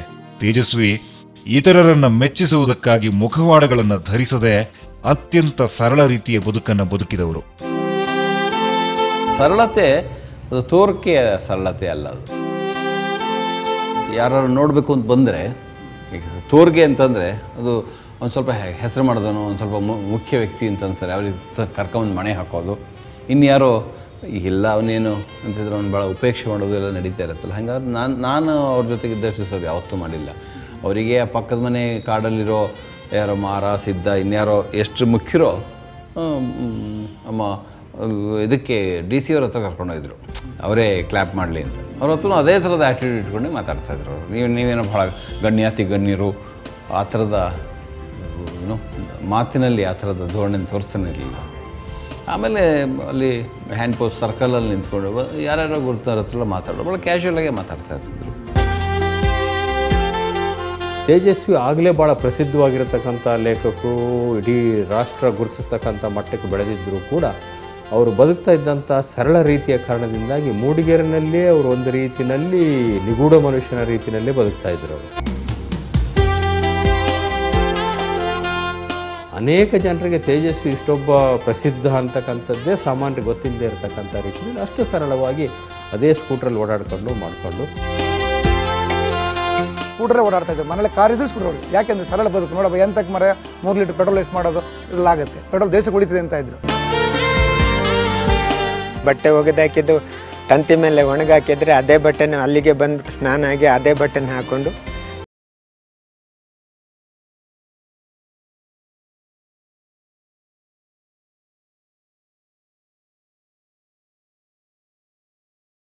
ಮನುಷ್ಯರು ಮತ್ತೊಬ್ಬರನ್ನ ಯಾವತ್ತು ಕಡಿಮೆ ರೀತಿಯಲ್ಲಿ ನೋಡ್ತಾ ಇದ್ದವ್ರು ಅಲ್ಲ ಅವರು. ಸರ್ ಪ್ಯಾಂಟ್ ಎಲ್ಲ ಹರಿದುಂಟಲ್ಲ ಸರ್ ಬೇರೆ ಹಾಕೊಂಡು ಹೋಗಿ ಅಂತೇಳಿ. ಪ್ಯಾಂಟ್ ಹರಿದಿದ್ರೆ ನನಗೇನು? ನಾನು ಹೊಸ ಪ್ಯಾಂಟ್ ಹಾಕ್ಕೊಂಡು ಹೋದರೂ ನಾನು ನಾನೇ ಆಗಿರ್ತೀನಿ. ಹಳೆ ಪ್ಯಾಂಟ್ ಹಾಕೊಂಡು ನಾನು ನಾನು ಹಾಕ್ತೀನಿ ನಾನೇನು ವ್ಯತ್ಯಾಸ ಏನೂ ಆಗೋದಿಲ್ಲ. ಚೇಂಜ್ ಆಗೋದಿಲ್ಲ. ಬಟ್ಟೆ ಹಾಕಿದ ತಕ್ಷಣ. ನಾನು ಈ ಟಿ ವಿಲಿ ನಮಸ್ಕಾರ ಅಂತ ಎಂಟರ್ಟ್ ಇದು ಮಾಡುವಾಗ ಇಂಟರ್ವ್ಯೂ ಮಾಡ್ತಿದ್ದೆ. ಅವರು ರಾಕೆ ರೆಡಿ ಇರಲಿಲ್ಲ. ಆಮೇಲೆ ಬಂದರು. ಬಂದ ತಕ್ಷಣ ಅವ್ರು ಮೊದಲು ಒಂದು ಮಾತು ಹೇಳಿದ್ರು ಅಲ್ಲಿ. ನೋಡು, ಅಲ್ಲಿ ಏನಾದರೂ ನೀನು ನನಗೆ ಲಿಪ್ಸ್ಟಿಕ್ ಗಿಪ್ಸ್ಟಿಕ್ ಹಚ್ಚಿದೆ ಅಂತಂದರೆ ನಿನ್ನ ಕಾಲು ಮುರಿದು ಬಿಡ್ತೀನಿ ಅಂತ ಹೇಳಿದ್ರು ನನಗೆ. ಆಮೇಲೆ ನಾನು ಕಂಗಾಲ ಹೋಗ್ಬಿಟ್ಟೆ. ಆಮೇಲೆ ಹೋಗಿ ಅವ್ರಿಗೆ ಮೇಕಪ್ ಮಾಡಬೇಡಿ ಅಂತ ಹೇಳಿ ಮಾಡಿ. ಅವರು ಇದ್ದಿದ್ದೇ ತುಂಬ ಒಡ್ಡೊಡ್ಡಾಗೆ ಇರ್ತಿದ್ದಿದ್ದು ಅವರು. ಒಂದೊಂದ್ಸಲ ಗಡ್ಡ ಕಟ್ ಮಾಡಿಸ್ಕೊಂಡ್ರೆ, ಒಂದೊಂದ್ಸಲ ಅದು ಹಾಗೆ ಇರ್ತಿತ್ತು. ನಾನೇನೋ ಇದು ಮಾಡೋಕೆ ಅವ್ರನ್ನೊಂದ್ಸಲ ಯಾವುದೋ ಒಂದು ಟಿ ವಿಯವರು ಅವ್ರಂತ ಒಂದು ಇಂಟರ್ವ್ಯೂಗೆ ಬಂದಾಗ, ಎರಡು, ಮೂರು ದಿವಸ ಬಂತದು. ಬಂದಾಗ ಅವ್ರ ಮೊದಲನೇ ಪ್ರಶ್ನೆ ನಾನು ಅವ್ರಿಗೆ, ಸರ್, ಹೀಗೆ ಬರ್ತಾ ಇದ್ದಾರೆ ನೀವು ಒಪ್ಕೋಬೇಕಂತಂದರೆ, ನೋಡು ಮಾರಾಯ, ಏನು ಬೇಕಾದ್ರೂ ಒಪ್ಕೊಳ್ಳೋಣ, ಮಾತಾಡೋಣ, ಎಲ್ಲ ಮಾಡೋಣ. ಆದರೂ ಮಾತ್ರ ಪೌಡ್ರ್ ಹಾಕೋ ಅದು ಹಾಕೋ ಇದು ಹಾಕೋ ಮೇಕಪ್ ಮಾಡ್ಕೊಂತ ಏನಾದ್ರು ಬಂದರೆ ಕಾಲು ಮುರಿದು ಬಿಡ್ತೀನಿ ನಿಂಗೆ ಅಂತ ಹೇಳಿ. ಪುತ್ತೂರಿಗೆ ಅವರು ನನ್ನ ಮೂರು ಪುಸ್ತಕಗಳ ಬಿಡುಗಡೆಗೆ ಬಂದಿದ್ರು ಮೈಸೂರಿಂದ. ಬರುವಾಗ ಬರ್ಮಡ ಚಡ್ಡಿ ಹಾಕೊಂಡೇ ಬಂದಿದ್ರು. ಇದು ತೇಜಸ್ವಿ ಅಂತ. ಎಲ್ಲೂ ನಕಲಿತನ ಇಲ್ಲ. ನಮಸ್ಕಾರ ಅಂದ್ರೆ ಸಿಟ್ಟವರಿಗೆ ಯಾಕೆ ಅಂತ ಹೇಳಿದ್ರೆ ಅದವರು ಇಷ್ಟಪಡ್ತಿರ್ಲಿಲ್ಲ. ನಮಸ್ಕಾರ ಅಂದರೆ ಯಾಕೋ ನಮಸ್ಕಾರ ಅಂತೀಯ ನೀನು? ನಿನಗೆ ಬೇರೆ ಕೆಲಸ ಇಲ್ಲ ನಿನಗೆ ಅದು ಬೈ ಬೈದು ಹೋಗ್ತಾ ಇದ್ರು ಬಂದು ಅವ್ರನ್ನ ಮಾತಾಡಿಸ್ಬೇಕಷ್ಟೇ ಅದು ಮಾತ್ರ. ಬಂದು ಫಸ್ಟ್ ಹೆಗಲ ಮೇಲೆ ಕೈ ಹಾಕ್ಕೊಂಡು ಅವ್ರ ಕೈ ನೆಗಲ ಮೇಲೆ ಇಟ್ಕೊಂಡು ಆನಂತರ ಮಾತುಕತೆ ಶುರು. ಸ್ನೇಹಿತರಿದ್ದಂಗೆ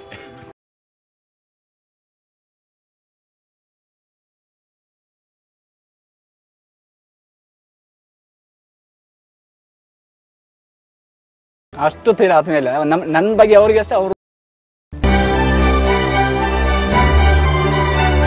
ಒಂದ್ಸಲ ಅವ್ರಿಗೆ ಎಂ ಎಲ್ ಸಿ ಇದೋ ಏನೋ ಕೊಡಬೇಕು ಅಂತ ಹೇಳಿ ದೇವೇಗೌಡರು ಹೇಳಿದಾಗ್ಲೂ ಕೂಡ ಅದನ್ನು ತಿರಸ್ಕರಿಸಿದವ್ರು ಅವರು. ನನಗೆ ಯಾವ್ದು ಬೇಡ ಮಾರ ನಮ್ಮ ಪಾಡಿಗೆ ನಮ್ಮನ್ನು ಬಿಟ್ಬಿಡಿ ಅಂತ ಹೇಳಿ. ತೇಜಸ್ವಿ ಅಷ್ಟು ದೊಡ್ಡವ್ರ ಮಗನಾಗಿದ್ದರು. ಯಾವ ಕಾಲದಲ್ಲೂ ಕುವೆಂಪು ಮಗ ಅಂತ ಪ್ರೊಜೆಕ್ಟ್ ಮಾಡ್ಕೊಂಡಿಲ್ಲ. ಬದುಕಿನಲ್ಲೂ ಕೂಡ ಎಚ್ಚರ ಆಯ್ತದ ಆ ಥರ ಕುವೆಂಪು ಥರ ಮೇರುಕೃತಿಯಾಗಿ ಬೆಳೆದೇ ಇದ್ರು ಕೂಡ ಅವರ ಪಡಿನೇಳಲಾಗಿ ನಾವು ಬದುಕಬಾರ್ದು ಅನ್ನೋದು ಸ್ಪಷ್ಟತೆ ಇತ್ತು. ತಾನಾಗಿ ತನ್ನ ಸತ್ವದಿಂದ ತನ್ನ ಶಕ್ತಿಯಿಂದ ತನ್ನ ಛಲದಿಂದ ಸಂಕಲ್ಪ ಬಲದಿಂದ ಬೆಳೆದಂಥ ಪ್ರತಿಭಾವಂತ ಅವ್ರಿಗೊಂದ್ಸಲ ಈ ಒಕ್ಕಲಿಗರ ಸಂಘದವರೇನು ಕುವೆಂಪು ಇದನ್ನು ಮಾಡಬೇಕು, ನಮ್ಮ ಇದಕ್ಕೆ ಬರಬೇಕು ಅಂತ ಕರೆಯಕ್ಕೆ ಬಂದಿದ್ರು. ಅವಾಗ ಅವ್ರು ಭಾಳ ಚೆನ್ನಾಗಿ ಹೇಳಿದ್ರು. ನೋಡ್ರಿ, ಪಂಪ, ರನ್ನ ಕುಮಾರವ್ಯಾಸ ಇವರೆಲ್ಲ ಉಳಿದಿರೋದು ಅವ್ರ ಜಾತಿಯಿಂದ ಏನ್ರಿ? ಅವ್ರೇನಾರು ಅವ್ರು ಆಗೋ ಥರ ಜಾತಿಯಿಂದ ಉಳಿದಿದ್ದರೆ ಅವ್ರ ಜಾತಿಯವರು ತುಂಬ ಕಡಿಮೆ ಸಂಖ್ಯೆ, ಇಷ್ಟೊತ್ತು ಹೋಗೇ ಬಿಡಬೇಕಾಗಿತ್ತು ಅವರೆಲ್ಲ. ಅವ್ರು ಉಳಿದಿರೋದು ಅವ್ರ ಕಾವ್ಯದಿಂದ, ಕುವೆಂಪು ಕೂಡ ಕಾವ್ಯದಿಂದ ಉಳಿಬೇಕ್ರಿ. ಕಾವ್ಯದಿಂದ ಉಳಿದಾಗ ಮಾತ್ರ ಕುವೆಂಪು ಕಾಲಾನುಕಾಲಕ್ಕೆ ಉಳಿತಾರೆ. ಅವ್ರು ಯಾವುದೋ ಒಂದು ಜಾತಿಯಿಂದ, ಯಾವುದೋ ಒಂದು ಗುಂಪಿನಿಂದ, ಯಾವುದೋ ಒಂದು ಅಭಿಮಾನಿಗಳ ಸಂಘದಿಂದ ಉಳಿಬಾರ್ದು. ಇದು ತೇಜಸ್ವಿ ನಿಲುವಾಗಿ. ಒಂದು ನಾಲ್ಕೈದು ಮುಖವಾಡವನ್ನು ಇಟ್ಟುಕೊಂಡು ಮನುಷ್ಯನಿಗೆ ಬೇಕಾಗುವ ರೀತಿಯಲ್ಲಿ, ಸಭೆಗೆ ಬೇಕಾಗುವ ರೀತಿಯಲ್ಲಿ, ಸಮುದಾಯಕ್ಕೆ ಬೇಕಾಗುವ ರೀತಿಯಲ್ಲಿ ಅದನ್ನು ಎದುರುಗಡೆ ಇಟ್ಟುಕೊಂಡು ವರ್ತಿಸುವ ನಕಲಿ ವರ್ತನೆ ತೇಜಸ್ವಿ ಅವರಲ್ಲಿ ಇಲ್ಲ.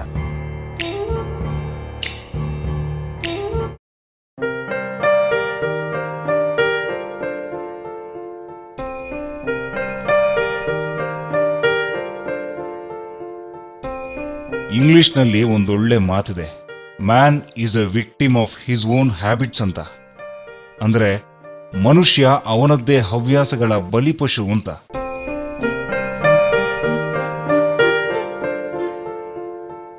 ಅದೇ ರೀತಿ, ಅದಮ್ಯ ಕುತೂಹಲ ಹೊಂದಿದ್ದ, ಸದಾ ಹೊಸತನಕ್ಕೆ ಹಾತೊರೆಯುತ್ತಿದ್ದ ಪ್ರಯೋಗಶೀಲ ಮನಸ್ಸಿನ ತೇಜಸ್ವಿಯವರಿಗೆ, ಅವರ ಈ ಕುತೂಹಲ ಪ್ರಯೋಗಶೀಲತೆಗಳೇ ದೇಹಾರೋಗ್ಯಕ್ಕೆ ಮುಳುವಾಗಿದ್ದೋ, ಸೋಜಿಗವೇ ಸರಿ.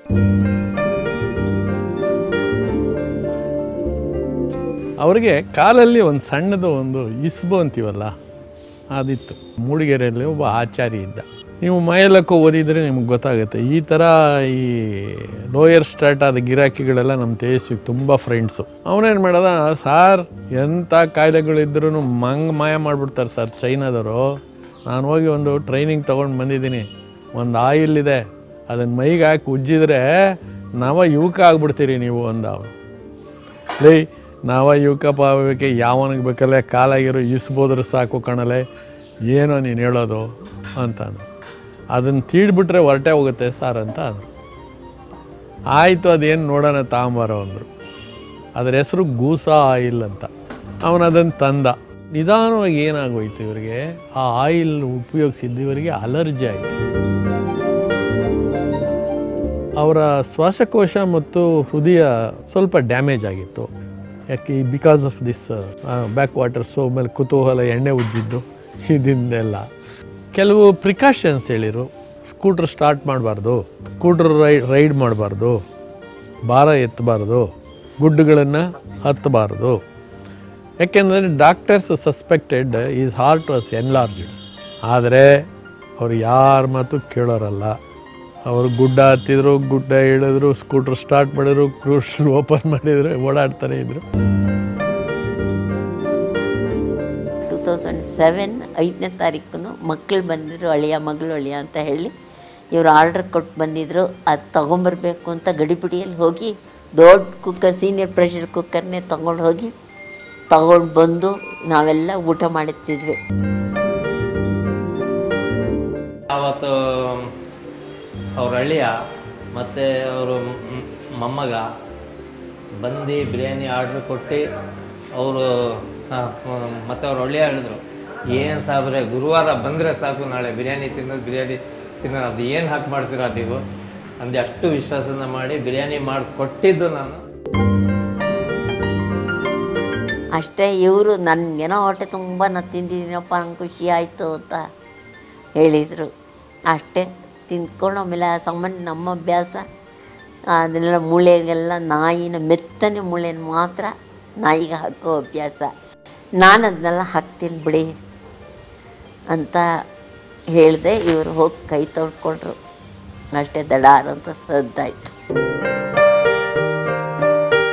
ಏಪ್ರಿಲ್ ಏಳನೇ ತಾರೀಕು ಎಲ್ಲ ಮೂಡಿಗೆರೆಗೆ, ಅದೇ ಸ್ಕೂಟ್ರಲ್ಲಿ ಹೋಗಿ ಮಾತಾಡಿಕೊಂಡು ಬಂದು ವಾಪಸ್ ಬಂದು ಊಟ ಮಾಡಿ. ಯಾವುದೋ ನಮ್ಮ ತೋಟದ ಮರ ಬಿತ್ತು ಹೋಯ್ತು, ದೊಡ್ಡ ಮರ ಬಿತ್ತು ಅಂದ್ಕೊಂಡೆ ಅಷ್ಟು ಬಿದ್ದು ನಾಳೆ ನಮ್ಮ ಹಿಂದೆ ಯಾರು? ನಮಗೆ ಅವರೊಂದು ದೊಡ್ಡ ಅಗಾಧ ಶಕ್ತಿಯಾಗಿದ್ದರು ನಮ್ಮ ಹಿಂದೆ. ಅಂದರೆ ನಾವು ಅವರಿಂದ ಏನಲ್ಲದೆ ಹೋದ್ರೂ ತೇಜಸ್ವಿ ಇದ್ದಾರೆ ಅಂದರೆ ಸಾಕಿತ್ತು ನಮಗೆ. ಇಟ್ ವಾಸ್ ಎ ಸ್ಟ್ರೆಂತ್ ಶ ನಾಳೆ ಏನಪ್ಪ ಅನ್ನೋಂಥ ಒಂದು ಪಟ್ಟಂತ ನಮ್ಗೆ ಬಂದಿದ್ದ ಯೋಚನೆನೇ ಅದು ಫಸ್ಟ್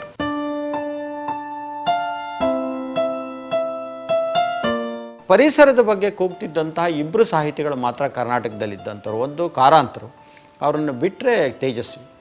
ಈಗ ತೇಜಸ್ವಿ ನಾವು ಕಳ್ಕೊಂಡ ಮೇಲೆ ಏನಾಯಿತು ಅಂದರೆ, ಕಾರಾಂತರ ಕಳ್ಕೊಂಡಾಗ ಸ್ವಲ್ಪ ಧ್ವನಿ ಹೋಯಿತು. ತೇಜಸ್ವಿನ ಕಳ್ಕೊಂಡ್ಮೇಲೆ ಈಗಿನ ಯಾವ ಸಾಹಿತಿಗಳು ಕೂಡ ಅವರಷ್ಟು ಗಟ್ಟಿಯಾಗಿ ನಿಂತು ಕೂಗೋದಲ್ಲದೆ ಜೊತೇಲಿ ಬರೋರಿಲ್ಲ. ತೇಜಸ್ವಿ ಜೊತೆಲೂ ಬರೋರು, ಕಾರಾಂತರ ಜೊತೆಲೂ ಬರೋರು. ಅವರು ಅನೇಕ ಹೋರಾಟಗಳನ್ನು ಅಲ್ಲಿ ಕೈಗಾ ಬಗ್ಗೆ ಇರ್ಬೋದು, ಬೇರೆ ಬೇರೆದ್ರ ಬಗ್ಗೆ ಇರ್ಬೋದು, ಅಥವಾ ಶರಾವತಿ ಉಳಿಸಿ ಇರ್ಬೋದು, ಅದರಲ್ಲೆಲ್ಲ ಭಾಗವಹಿಸಿದ್ರು. ಹಾಗೆ ತೇಜಸ್ವಿ ಕೂಡ ನಮ್ಮಲ್ಲಿ ಪ್ರತಿಯೊಂದು ಕುದುರೆಮುಖದ ಹೋರಾಟದಲ್ಲಿರ್ಬೋದು, ಭದ್ರಾ ಅಭಯಾರಣ್ಯದಲ್ಲಿ ಹೇಗಾಗಬೇಕು ಅನ್ನೋದ್ರ ಬಗ್ಗೆ ಆಗಿರ್ಬೋದು ಅಥವಾ ಗಣಿಗಾರಿಕೆ ಬಗ್ಗೆ ಆಗಿರ್ಬೋದು, ಅನೇಕ ಹೋರಾಟಗಳಲ್ಲಿ ನಮ್ಮ ಜೊತೆ ಏನಾದರೂ ಒಂದು ತೊಂದರೆ ಆಗಿದೆ ಅಂತ ಹೇಳಿದಾಗ ಧೈರ್ಯವಾಗಿ ಅದ್ರ ಬಗ್ಗೆ ಕೂಗುವಂಥ, ಪತ್ರ ಬರೆಯುವಂಥ, ಅದರಲ್ಲಿ ತಾವು ಭಾಗಿಯಾಗುವಂಥ ಮನಸ್ಸಿದ್ದಂಥ ಸಾಹಿತಿ. ಹಾಗಾಗಿ ಕಳ್ಕೊಂಡ ಕಳ್ಕೊಂಡ್ಮೇಲೆ ಈಗ ನನಗೆ ಅನ್ನಿಸ್ತಿರೋದು ಅಂದರೆ ನಮ್ಗೆ ಆ ರೀತಿಯ ಬರೆಯೋರಿದ್ದಾರೆ, ಸಿನಿಮಾದಲ್ಲಿ ತೋರಿಸೋರಿದ್ದಾರೆ. ತುಂಬ ಟಿ ವಿಗಳಲ್ಲಿ ಗಣಿಗಾರಿಕೆ ಬಗ್ಗೆ, ಬೇರೆ ಬೇರೆದ್ರ ಬಗ್ಗೆ ಬಹಳ ಅರ್ಥವತ್ತಾಗಿ ತೋರಿಸ್ತಾರೆ. ನೋಡಿದ್ರೆ, ಅಯ್ಯೋ, ಹೌದು, ಅನ್ನೇ ಆಗ್ತಿದೆ ಅಂತ. ಆದರೆ, ಸ್ವತಃ ಅವ್ರುಗಳು ಯಾರು ಸ್ಟಾರ್ ವ್ಯಾಲ್ಯೂ ಇದ್ದಾರೆ who have excelled in their field ಇವತ್ತು ಸರ್ಕಾರ ಗುರುತಿಸುತ್ತೆ. ಹೌದು, ಇವ್ರು ಹೇಳಿದ್ರೆ ಹೌದಪ್ಪ, ಅವರು ಹೇಳ್ತಾ ಇದ್ದಾರೆ. ನಾವೇನಾದ್ರು ಸರಿ ಮಾಡ್ಕೋಬೇಕು, ನಾವೇನೋ ತಪ್ಪು ಮಾಡ್ತೀವಿ ಅಂತ ಹೆದರುತ್ತೆ. ಅಥವಾ ಸರ್ಕಾರಕ್ಕೆ ಒಂದು ಸ್ವಲ್ಪ ಸಾಫ್ಟ್ ಆಗಬೇಕು ಅನಿಸುತ್ತೆ. ಅಂತಹ ಇವರು ಯಾರಿದ್ದಾರೆ? ಅವ್ರು ಯಾರೂ ಬರ್ತಿಲ್ಲ? ಆದರೆ ತೇಜಸ್ವಿ ಆ ಥರ ಇದ್ದರು. ಇದು ನಮಗೆ ತೇಜಸ್ವಿ ಕಳ್ಕೊಂಡಿದ್ದು. ನಮ್ಮ ಪರಿಸರಕ್ಕೆ ನಾನು ಸಾಹಿತ್ಯಕ್ಕೆ ನಷ್ಟ, ಆ ನಷ್ಟ, ತೇಜಸ್ವಿಗೆ ಆ ನಷ್ಟ, ಇಷ್ಟ ಅಂತ ಹೇಳೋದಿಲ್ಲ. ಅರೆ ಹುಟ್ಟಿದೊಂದು ಸಾಯಬೇಕು ಕಣ್ರಿ, ಸಾಯಲೇಬಾರ್ದು, ಒಂದು ತೊಂಬತ್ತು ವರ್ಷ ಆದರೂ ನಷ್ಟ ಅಂತೀರ ನೀವೇನು ತಲೆ ಇದೆಯಾ ಅನ್ನೋಂಥವ್ರು ಅವರು. ಹಾಗಂತಿದ್ದರು ಯಾರೇ ಸತ್ರು, ನೋವಾಗುತ್ತೆ ನಿಜ ರೀ. ಆದರೆ ಏನು ಮಾಡೋಕ್ಕಾಗಲ್ಲ. ಮನುಷ್ಯ ಅಂದಮೇಲೆ ಅವ್ನು ಸಾಯಲೇಬೇಕು. ಯಾವುದೇ ಜೀವಿ ಆಗಲಿ ಅದು ಹುಟ್ಟಿದ ಮೇಲೆ ಒಂದು ಸಾಯಲೇಬೇಕು. ಈ ಒಂದು ನಂಬಿಕೆಯನ್ನು ಇಟ್ಕೊಂಡಿದ್ದರು ಹಾಗಾಗಿ ಅನೇಕ ಸಲದಲ್ಲಿ ನಮಗೆ ನಷ್ಟ ಅಂತ ಯಾಕೆ ಅನಿಸುತ್ತೆ ಅಂದರೆ ತೇಜಸ್ವಿ ಇನ್ನೊಂದು ಹತ್ತು ಹದಿನೈದು ವರ್ಷ ಬದುಕಿದ್ರು ಕೂಡ ನಮ್ಮ ಜೊತೆಯಲ್ಲಿ ಈಗಿನ ಅನೇಕ ಪರಿಸ್ಥಿತಿಗಳಿಗೆ ಅವರೊಂದು ಧ್ವನಿಯಾಗಿ ಅದನ್ನು ಬದಲಾಯಿಸೋಕ್ಕೆ ಪ್ರಯತ್ನ ಪಡೋರು. ನಮ್ಮ ಮನಸ್ಸಿಗೆ ಸಂತೋಷ ಆಗಂಗೆ ಕುಪ್ಪಳಿಲಲ್ಲಿ ಒಂದು ಸ್ಮಾರಕ ಮಾಡಿದ್ವಿ.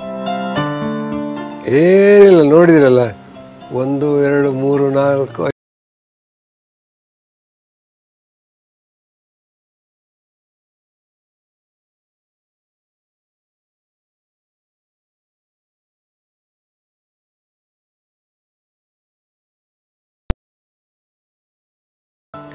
ಕಟ್ಟಿ ಯಾಕಂದ್ರೆ ಹಕ್ಕಿ ಬಂದರೆ ಹಕ್ಕಿಗೆ ಇವರು ಕಾಣಬಾರ್ದು ಅಂತ. ಮತ್ತು ಆ ಕರಿ ಲುಂಗಿಗೆ ತೂತು ಮಾಡಿದ್ರು ಒಂದಿಷ್ಟು ತೂತು, ಅಲ್ಲಿಂದ ನೋಡೋದಕ್ಕೆ, ಹಕ್ಕಿ ನೋಡೋದಕ್ಕೆ. ಆ ಲೆನ್ಸ್ ಇಟ್ಕೊಂಡು ಹಕ್ಕಿ ನೋಡೋದಕ್ಕೆ ಮಾಡಿದರು. ಸೊ ಅದು, ಈಗ ಅವ್ರು ಇಲ್ಲಿದ್ರೆ ಆ ಲುಂಗಿಯಲ್ಲಿತ್ತು ಅದು ನಾವು ಹೋದಾಗ. ಆಮೇಲೆ ಅವರು ಹಕ್ಕಿ ಬರಬೇಕು ಅಂತ ತೂಗು ಹಾಕಿದಂಥ ಒಂದು ದ್ರಾಕ್ಷಿ ಗೊಂಚಿಲು ಅಲ್ಲಿತ್ತು. ಸೊ ಆ ಎಲ್ಲ ತೂತುಗಳು ಕೂಡ ನಮಗೆ ತೇಜಸ್ವಿಯರ ಒಂದು ಈ ನಿಗೂಢ ಕಣ್ಣುಗಳ ಥರ ಕಂಡು ಈಗಲೂ ಮೂಡಿಗೆರೆಗೆ ಸಾಕಷ್ಟು ಸತಿ ಹೋಗ್ತೀವಿ. ಸೌತ್ ಕೇಂದ್ರಕ್ಕೆ ಹೋಗ್ಬೇಕಾದ್ರೆ ಅಥವಾ ಕೊಪ್ಪ ಕಡೆ ಹೋಗ್ಬೇಕಾದ್ರೆ ಅಲ್ಲಿಗೆ ಹೋಗುತ್ತೆ. ಅಲ್ಲಿ ಹೋಗಿ ಏನು ಮಾಡೋದು ಅಂತ ಗೊತ್ತಾಗೋದಿಲ್ಲ. ಸುಮಾರು ಹೊತ್ತು ನಿಂತು, ಆ ಊರಲ್ಲಿ ನಿಂತಂತೂ ಹೋಗ್ತೀವಿ. ಯಾಕಂದರೆ ಮೂಡಿಗೆರೆ ಚೆಕ್ ಪೋಸ್ಟ್ ಅನ್ನೋದು, ಸಡನ್ನಾಗಿ ಅದು ಅದು ನೋಡಬೇಕು ಅನಿಸುತ್ತೆ. ಅದು ಅವರ ಬರಹದಲ್ಲಿ ಕಂಡಷ್ಟು ಆ ಚೆಕ್ ಪೋಸ್ಟ್ ಎದುರುಗಡೆ ಕಾಣೋದಿಲ್ಲ. ಸೊ ಆ ಥರ ತುಂಬ ಜನಮಾನಸದಲ್ಲಿ ಬಹಳ ಬೆರ್ತದಂಥ ವ್ಯಕ್ತಿಯವರು.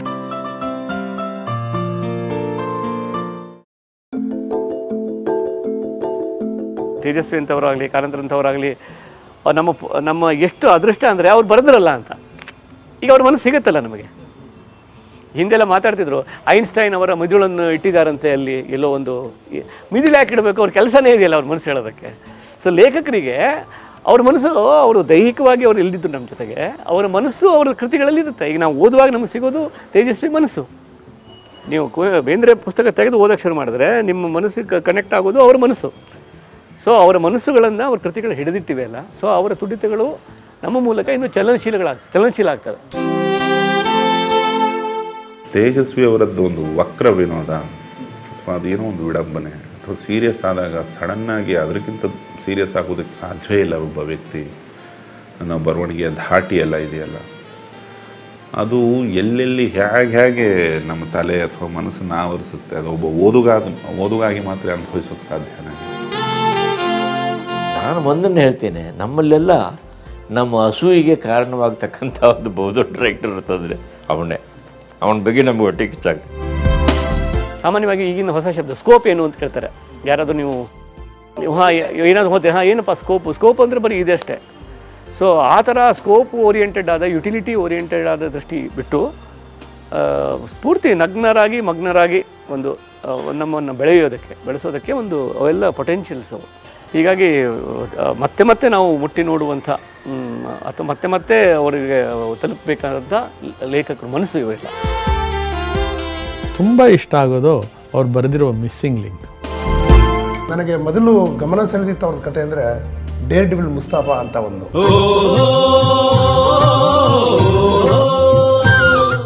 ಅವ್ರು ಬಿಟ್ಟಿರ್ತಕ್ಕಂಥ ಬಿಳಿ ದಾಡಿ ತುಂಬಾ ಇಷ್ಟ ಆಯ್ತು. ಜುಗಾರಿ ಕ್ರಾಸ್ ತುಂಬಾನೇ ಇಷ್ಟ ಆಯ್ತು. ಮೊನ್ನೆ ಮೊನ್ನೆ ಅಷ್ಟೇ ಮಾಯಾಲೋಕ ಓದಿದ್ದೀನಿ. ಪರಿಸರದ ಕಥೆಯನ್ನು ಓದಿದ್ದೀನಿ. ಟೈನ್ ಪೊಂಗಿ ನನಗೆ ಆಲ್ ಟೈಮ್ ಫೇವರೇಟ್ ಅದು. ಮಿಂಚುಳಿ ನನಗೆ ತುಂಬಾ ಇಷ್ಟ ಆಗಿದೆ. ಕರ್ವಾಲ ಕಾದಂಬರಿ ನಂಗೆ ತುಂಬಾ ಇಷ್ಟ. ಎಂತವ್ರಿಗೆ ಕೂಡ ಅರ್ಥ ಆಗ್ಬೇಕು. ಹಾಗ್ ಬರ್ದಿದ್ದಾರೆ. ತುಂಬಾ ಕಲೋಕಿಯಲ್ ಆಗಿ ಎಲ್ರಿಗೂ ಅರ್ಥ ಆಗೋ ತರ ಇರ್ತದೆ. ನನಗೆ ಸಾರ್ವಕಾಲಿಕವಾಗಿ ಕಾಡೋದು ಮಂದಣ್ಣ. ಮಂದಣ್ಣನ ಮಾತ್ರ ನಾವು ಯಾವತ್ತೂ ಮರೆಯೋದಕ್ಕೆ ಸಾಧ್ಯವೇ ಇಲ್ಲ. ಸೊ ತೇಜಸ್ವಿ ಫ್ಯಾಕ್ಟರ್ ಅಂತ ಹೇಳ್ತಾನೆ ರಾಮನ್ ಇಫೆಕ್ಟ್ ಇದ್ದಂಗೆ. సో తేజస్వి ఎఫెక్ట్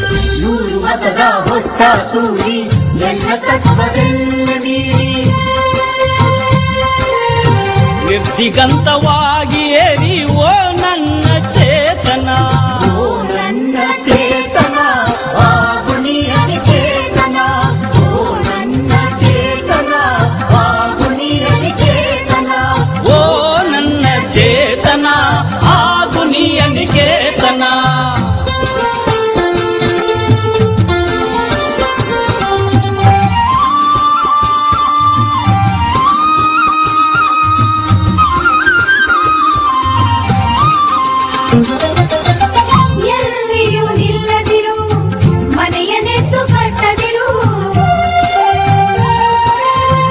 ಕೊನೆಯನೆಂದು ಮುಟ್ಟದಿರು.